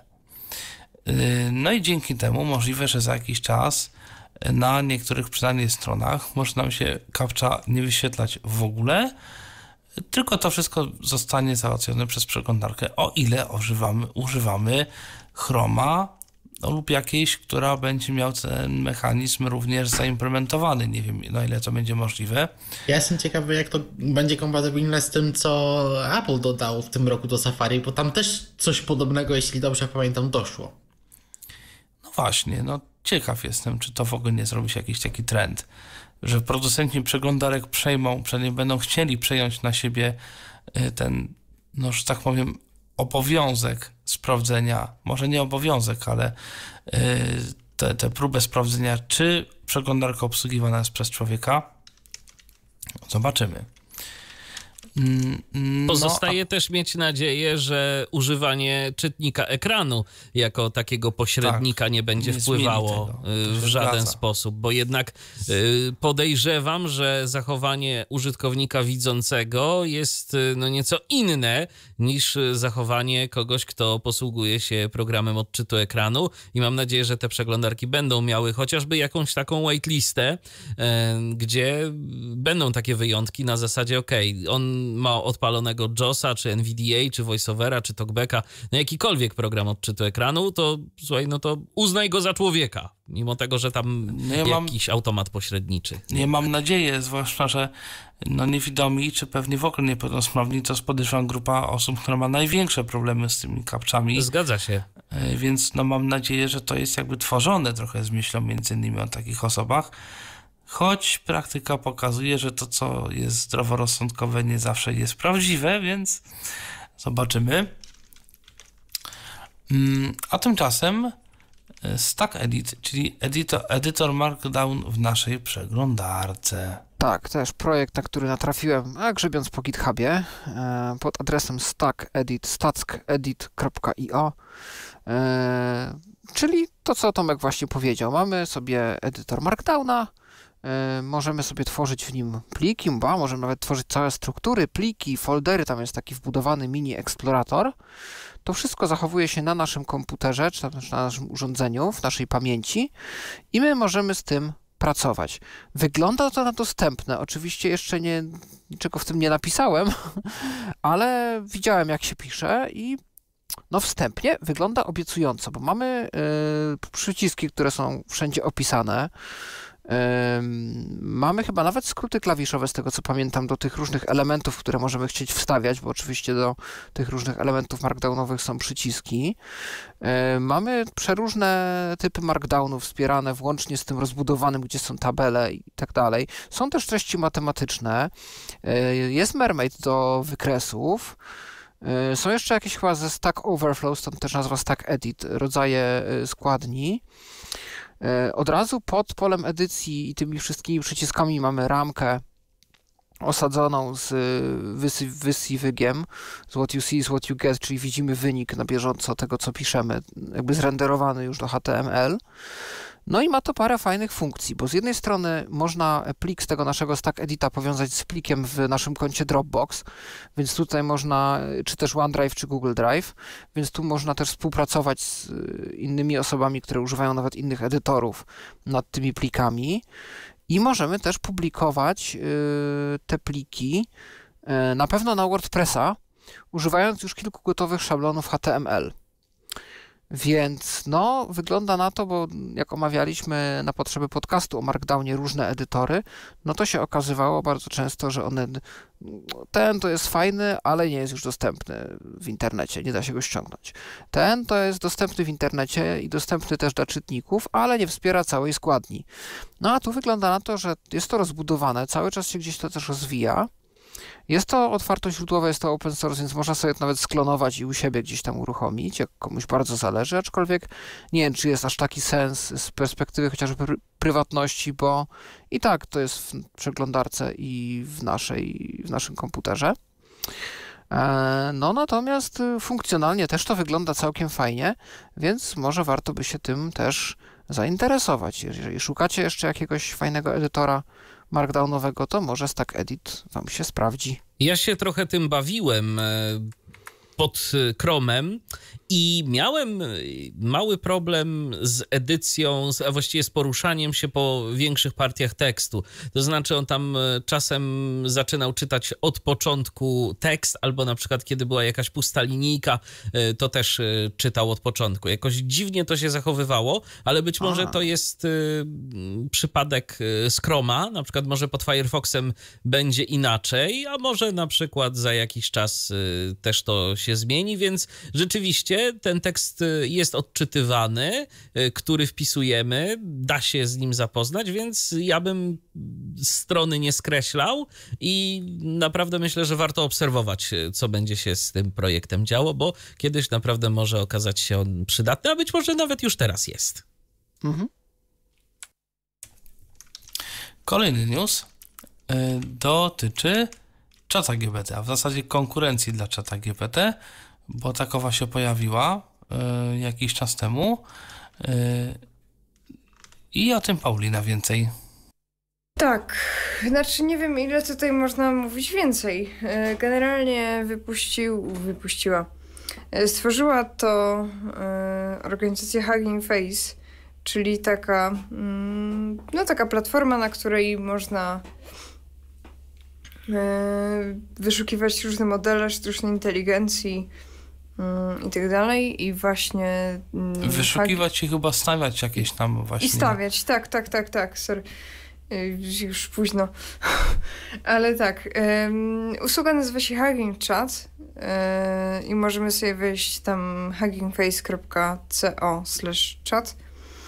E, I to jest sobie, no właśnie, coś jak chat GPT, tylko że open, source'owy z dobrych informacji, czyli otwartość źródłowy, a ze złych informacji bardzo, bardzo biedniutki. E, ja jak, ja, go, ja jak go testowałam na potrzeby tego przeglądu, e, to najpierw zapis, zapytałam po angielsku, czy mógłby mi napisać kawał po polsku, w sensie no, po uprzednim przywitaniu. I napisał mi po polsku, ale nie kawał, tylko wiersz i nie rymowy, tylko biały. E, to jest jedno, a drugie napisałam później typowo już po polsku. Napisałam po prostu dzień dobry. I on, e, okej, okay, jakby użył złych odmian e, i w ogóle mówił jakby bardzo nie, niezrozumiale, ale powiem to w taki, mm, powiedzmy, stand-uperski sposób. On przywitał się ze mną, mówiąc, że w sumie mm, to ma bardzo złe warunki w pracy i chciałby z kimś o tym pogadać. No to ja mówię, dobra, no to, no to zaufaj mi, możesz ze mną o tym pogadać. Ale nie, no w sumie nie chcę mówić o tym, co działa na mnie. To działa na mnie, to jest cytat. I ja mówię, ale nie, no spokojnie, ja nikomu nie powiem. Spoko. On mówi, nie, no naprawdę nie mogę, nie mogę. Ja mówię, dobrze, no to skoro nie, no to trudno. Jakby nie chcę cię zmuszać też, nie, żeby nie było. On mówi, wiesz co, w sumie na takich użytkowników jak ty, to dziennie tracę, no niby parę sekund na użytkownika, ale tak generalnie to to jest dużo, także dzięki za wyrozumiałość, ale no jakby... Także w ten sposób zakończyła się moja mm, długoletnia przyjaźń z, z, z hacking chatem. E, naprawdę rozumienie polskiego ma bardzo, bardzo biedniutkie. Rozumienie i wypowiadanie się po polsku. Bo... Jakiś super. Jeszcze raz? Wypowiadanie się po polsku też. Jak właśnie tak, przed chwilą się... spytałem się go, czy umie po polsku. Powiedział, tak, mogę rozmawiać zarówno w języku polskim, jak i angielskim. Czy mogę, jak to było, czy mogę się z tobą spierać? Nie, nie pamiętam. Właśnie nie, znaczy to nie było tak składne właśnie, czy mogę ci coś dziwnego powiedział, takiego, co nie mhm. wiedziałem no to w ogóle, tak, co no to Właśnie chodzi. tutaj u mnie też na przykład było dziękuję za y, porozumienie, czy tam wyrozumienie, jakoś tak.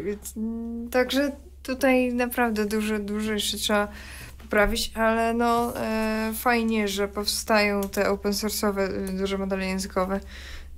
To też w pewnym sensie no jest dobre, bo otwiera trochę świadomość, e, jak to wszystko działa, że to nie jest inteligentne samo w sobie, to nie jest coś, e, co faktycznie odczuwa i, i jest świadome, a z drugiej strony też e, właśnie naraża nas na jeszcze więcej różnych, różnego typu oszustw, bo później możemy na przykład sobie wytrenować tak stworzony model na jakichś naszych danych, e, czy to, czy to ten model, czy to lamę, czy alpakę.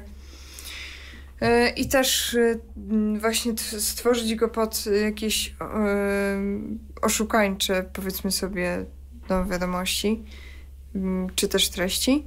No ale cóż, no tego nie unikniemy. Przy okazji też takie dwa zupełnie drobne, ale jak już jesteśmy w temacie newsy, firma Tencent z Chin e, za jakąś tam opłatę 60 dolarów, czy ile tam było, e, oferuje stworzenie cyfrowej tożsamości człowieka danego. No, cyfrowa tożsamość, czyli pewnie no, stworzenie wideo, na którym na przykład ktoś by mówił coś i wyglądał tak, jak wygląda w rzeczywistości.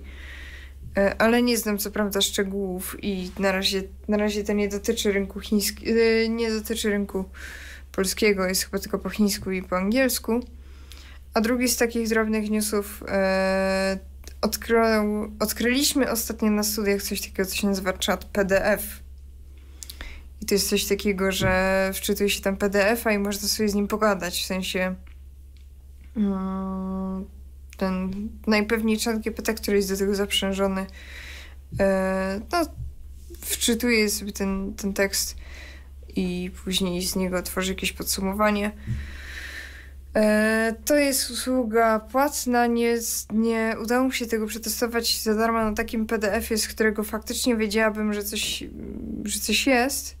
Czyli mm, nie, nie przetestowałam tego na takim PDF-ie, którego nie opłacałoby mi się czytać, a co opłacałoby mi się kupić, więc dlatego nie jestem w stanie nic o tym powiedzieć. Eee, bo jakby samo wrzucenie tekstu w czat GPT no też niekoniecznie odniesie sukces, bo no w tej naszej zwykłej wersji z, z, przez stronę jest dość ostry limit znaków, które są zapamiętywane w ramach sesji, czy tam nawet nie znaków, tylko chyba jakichś tokenów, słów, nie, nie wiem, jak, nie wiem na czym to jest liczone, ten limit, ale... Na tokenach, to znaczy... Na tokenach. Czym innym znaczy, jest wiem, czat przez jest... stronę no właśnie. i tam jest rzeczywiście limit znaków, chyba, a czym innym jest czat przez API. No to, ale ja właśnie o tym mówię, że, że czat przez stronę i nie wiem na czym to jest liczone, ten, ten limit. No ale mniejsza o to.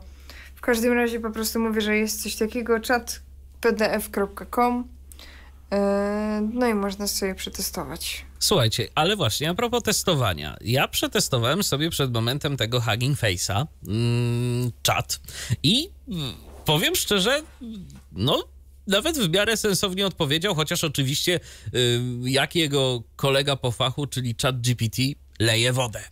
Y, zapytałem go, jakie zna audycje radiowe dla niewidomych i odpowiedział mi tak. Nie jestem w stanie podać konkretne audycje radiowe przeznaczone specjalnie dla niewidomych lub z wadą wzroku, ale muszę zaznaczyć, że wiele audycji radiowych dostępnych w internecie ma możliwość odtworzenia treści za pomocą technologii opisowej dźwiękowej, na przykład Daisy, która może być korzystana przez osoby niepełnosprawne i starsze. Treści te zawierają informacje na tematy różnorodne, zarówno na tematy bieżące, jak i z dziedziny nauki czy historii. Każdy mógłby znaleźć coś pasującego do swoich potrzeb i y, upodobań. Z tego powodu polecam sprawdzenie listy dostępności serwisu internetowego radia w Twoim kraju albo kontaktowanie się z Urzędem do Spraw Osób Niepełnosprawnych celem uzyskania dodatkowych informacji. No. Ale to i tak super. Ja z nim gadałam z tydzień czy dwa tygodnie temu i to naprawdę wyglądało w stylu y, Dzień dobry, mieć na imię Ola. E, uczyłam się w, nie wiem, liceumie y, imienia Karol Szymanowskiej nie wiem, to totalnie było bez sensu. Nie, a tu są błędy, y, pewne błędy składniowe, natomiast y, to już y, zaczyna mieć sens ta odpowiedź, przynajmniej pod względem takim jakimś stylistycznym, bo oczywiście wiadomo, że merytorycznie, no ale to z merytoryką to i GPT ma problem, to, to nie jest nowość. Natomiast zauważcie, że to wychodzi na to, że to nie jest tak dobra, wrzućmy internet w algorytm i urodzi nam się z tego czat, bo to przecież są duże firmy i ten Hugging Face, no to z tego co wiem, to jest jednak, to, to nie jest robione przez kogoś gdzieś tam e, w domciu, tylko to jest jednak duża firma. No i Google jeszcze nie wypuściło Barda. Chat GPT, no to jest coś, co chyba rzeczywiście działa. Natomiast kilka było takich właśnie alternatyw do czata GPT i, i póki co to nic nie jest czymś takim, co by rzeczywiście można tam było wrzucić książkę, zapytać się o coś na temat tej książki, albo i chociażby podcasta, e, tak jak, tak jak mu próbowałem robić te podsumowania, to wszystko z czatem GPT włącznie, to póki co się myli i to momentami dość grubo się myli. No Więc... właśnie, niby jest. E, ja się dziwię też w ogóle, bo są na przykład w jakimś Teamsie robione podsumowania, są różne AI do, do podsumowań, e, nie wiem, rozmów na Teamsie, na Zoomie, na czymś.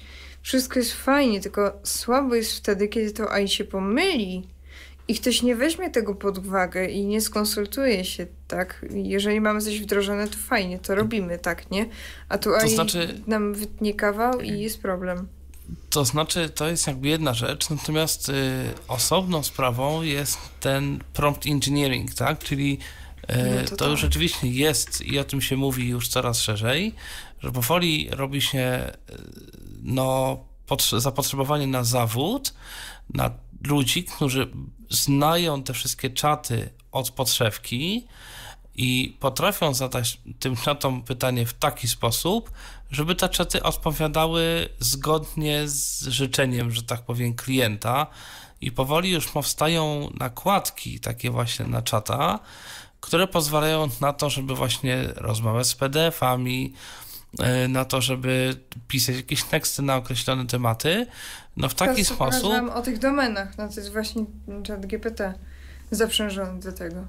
Mm, no właśnie, powoli właśnie robi się, robi się duże zapotrzebowanie na, na takich ludzi e, i no, spore firmy potrafią wydawać dużo pieniędzy na to, żeby e, za, zatrudnić kogoś, kto, albo przynajmniej zlecić komuś stworzenie na przykład jakiegoś asystenta produktowego, podobny z naszych polskich sklepów, dość popularny, ma już asystenta swojego, takiego asystenta sprzedaży, który jest oparty na czacie GPT i ten asystent właśnie yy, no jest stworzony przynajmniej w jakiejś części przez kogoś, kto no, teoretycznie zna się na tym, jak zadać czatowi pytanie w taki sposób, żeby odpowiedział zgodnie z tym, co sobie tak naprawdę chcemy, żeby on odpowiedział.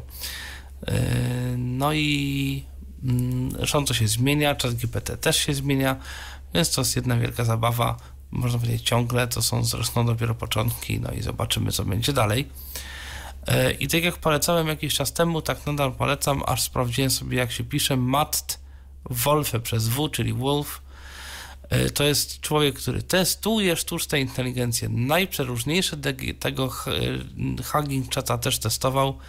Stwierdził, że to się też nie umywa do czata GPT, e, bo on tam ma jeden z, jeden z jego takich e, testów na sztuczną inteligencję, to jest to, żeby, na, żeby stworzył stronę internetową, która zawiera ileś tam dowcipów i ta strona ma mieć jeszcze CSS-a jakoś tam w miarę zrobionego. I czat GPT to zrobił w miarę, Natomiast te inne czaty albo tego nie zrobiły w ogóle, albo zrobiły stronę, która wygląda tragicznie.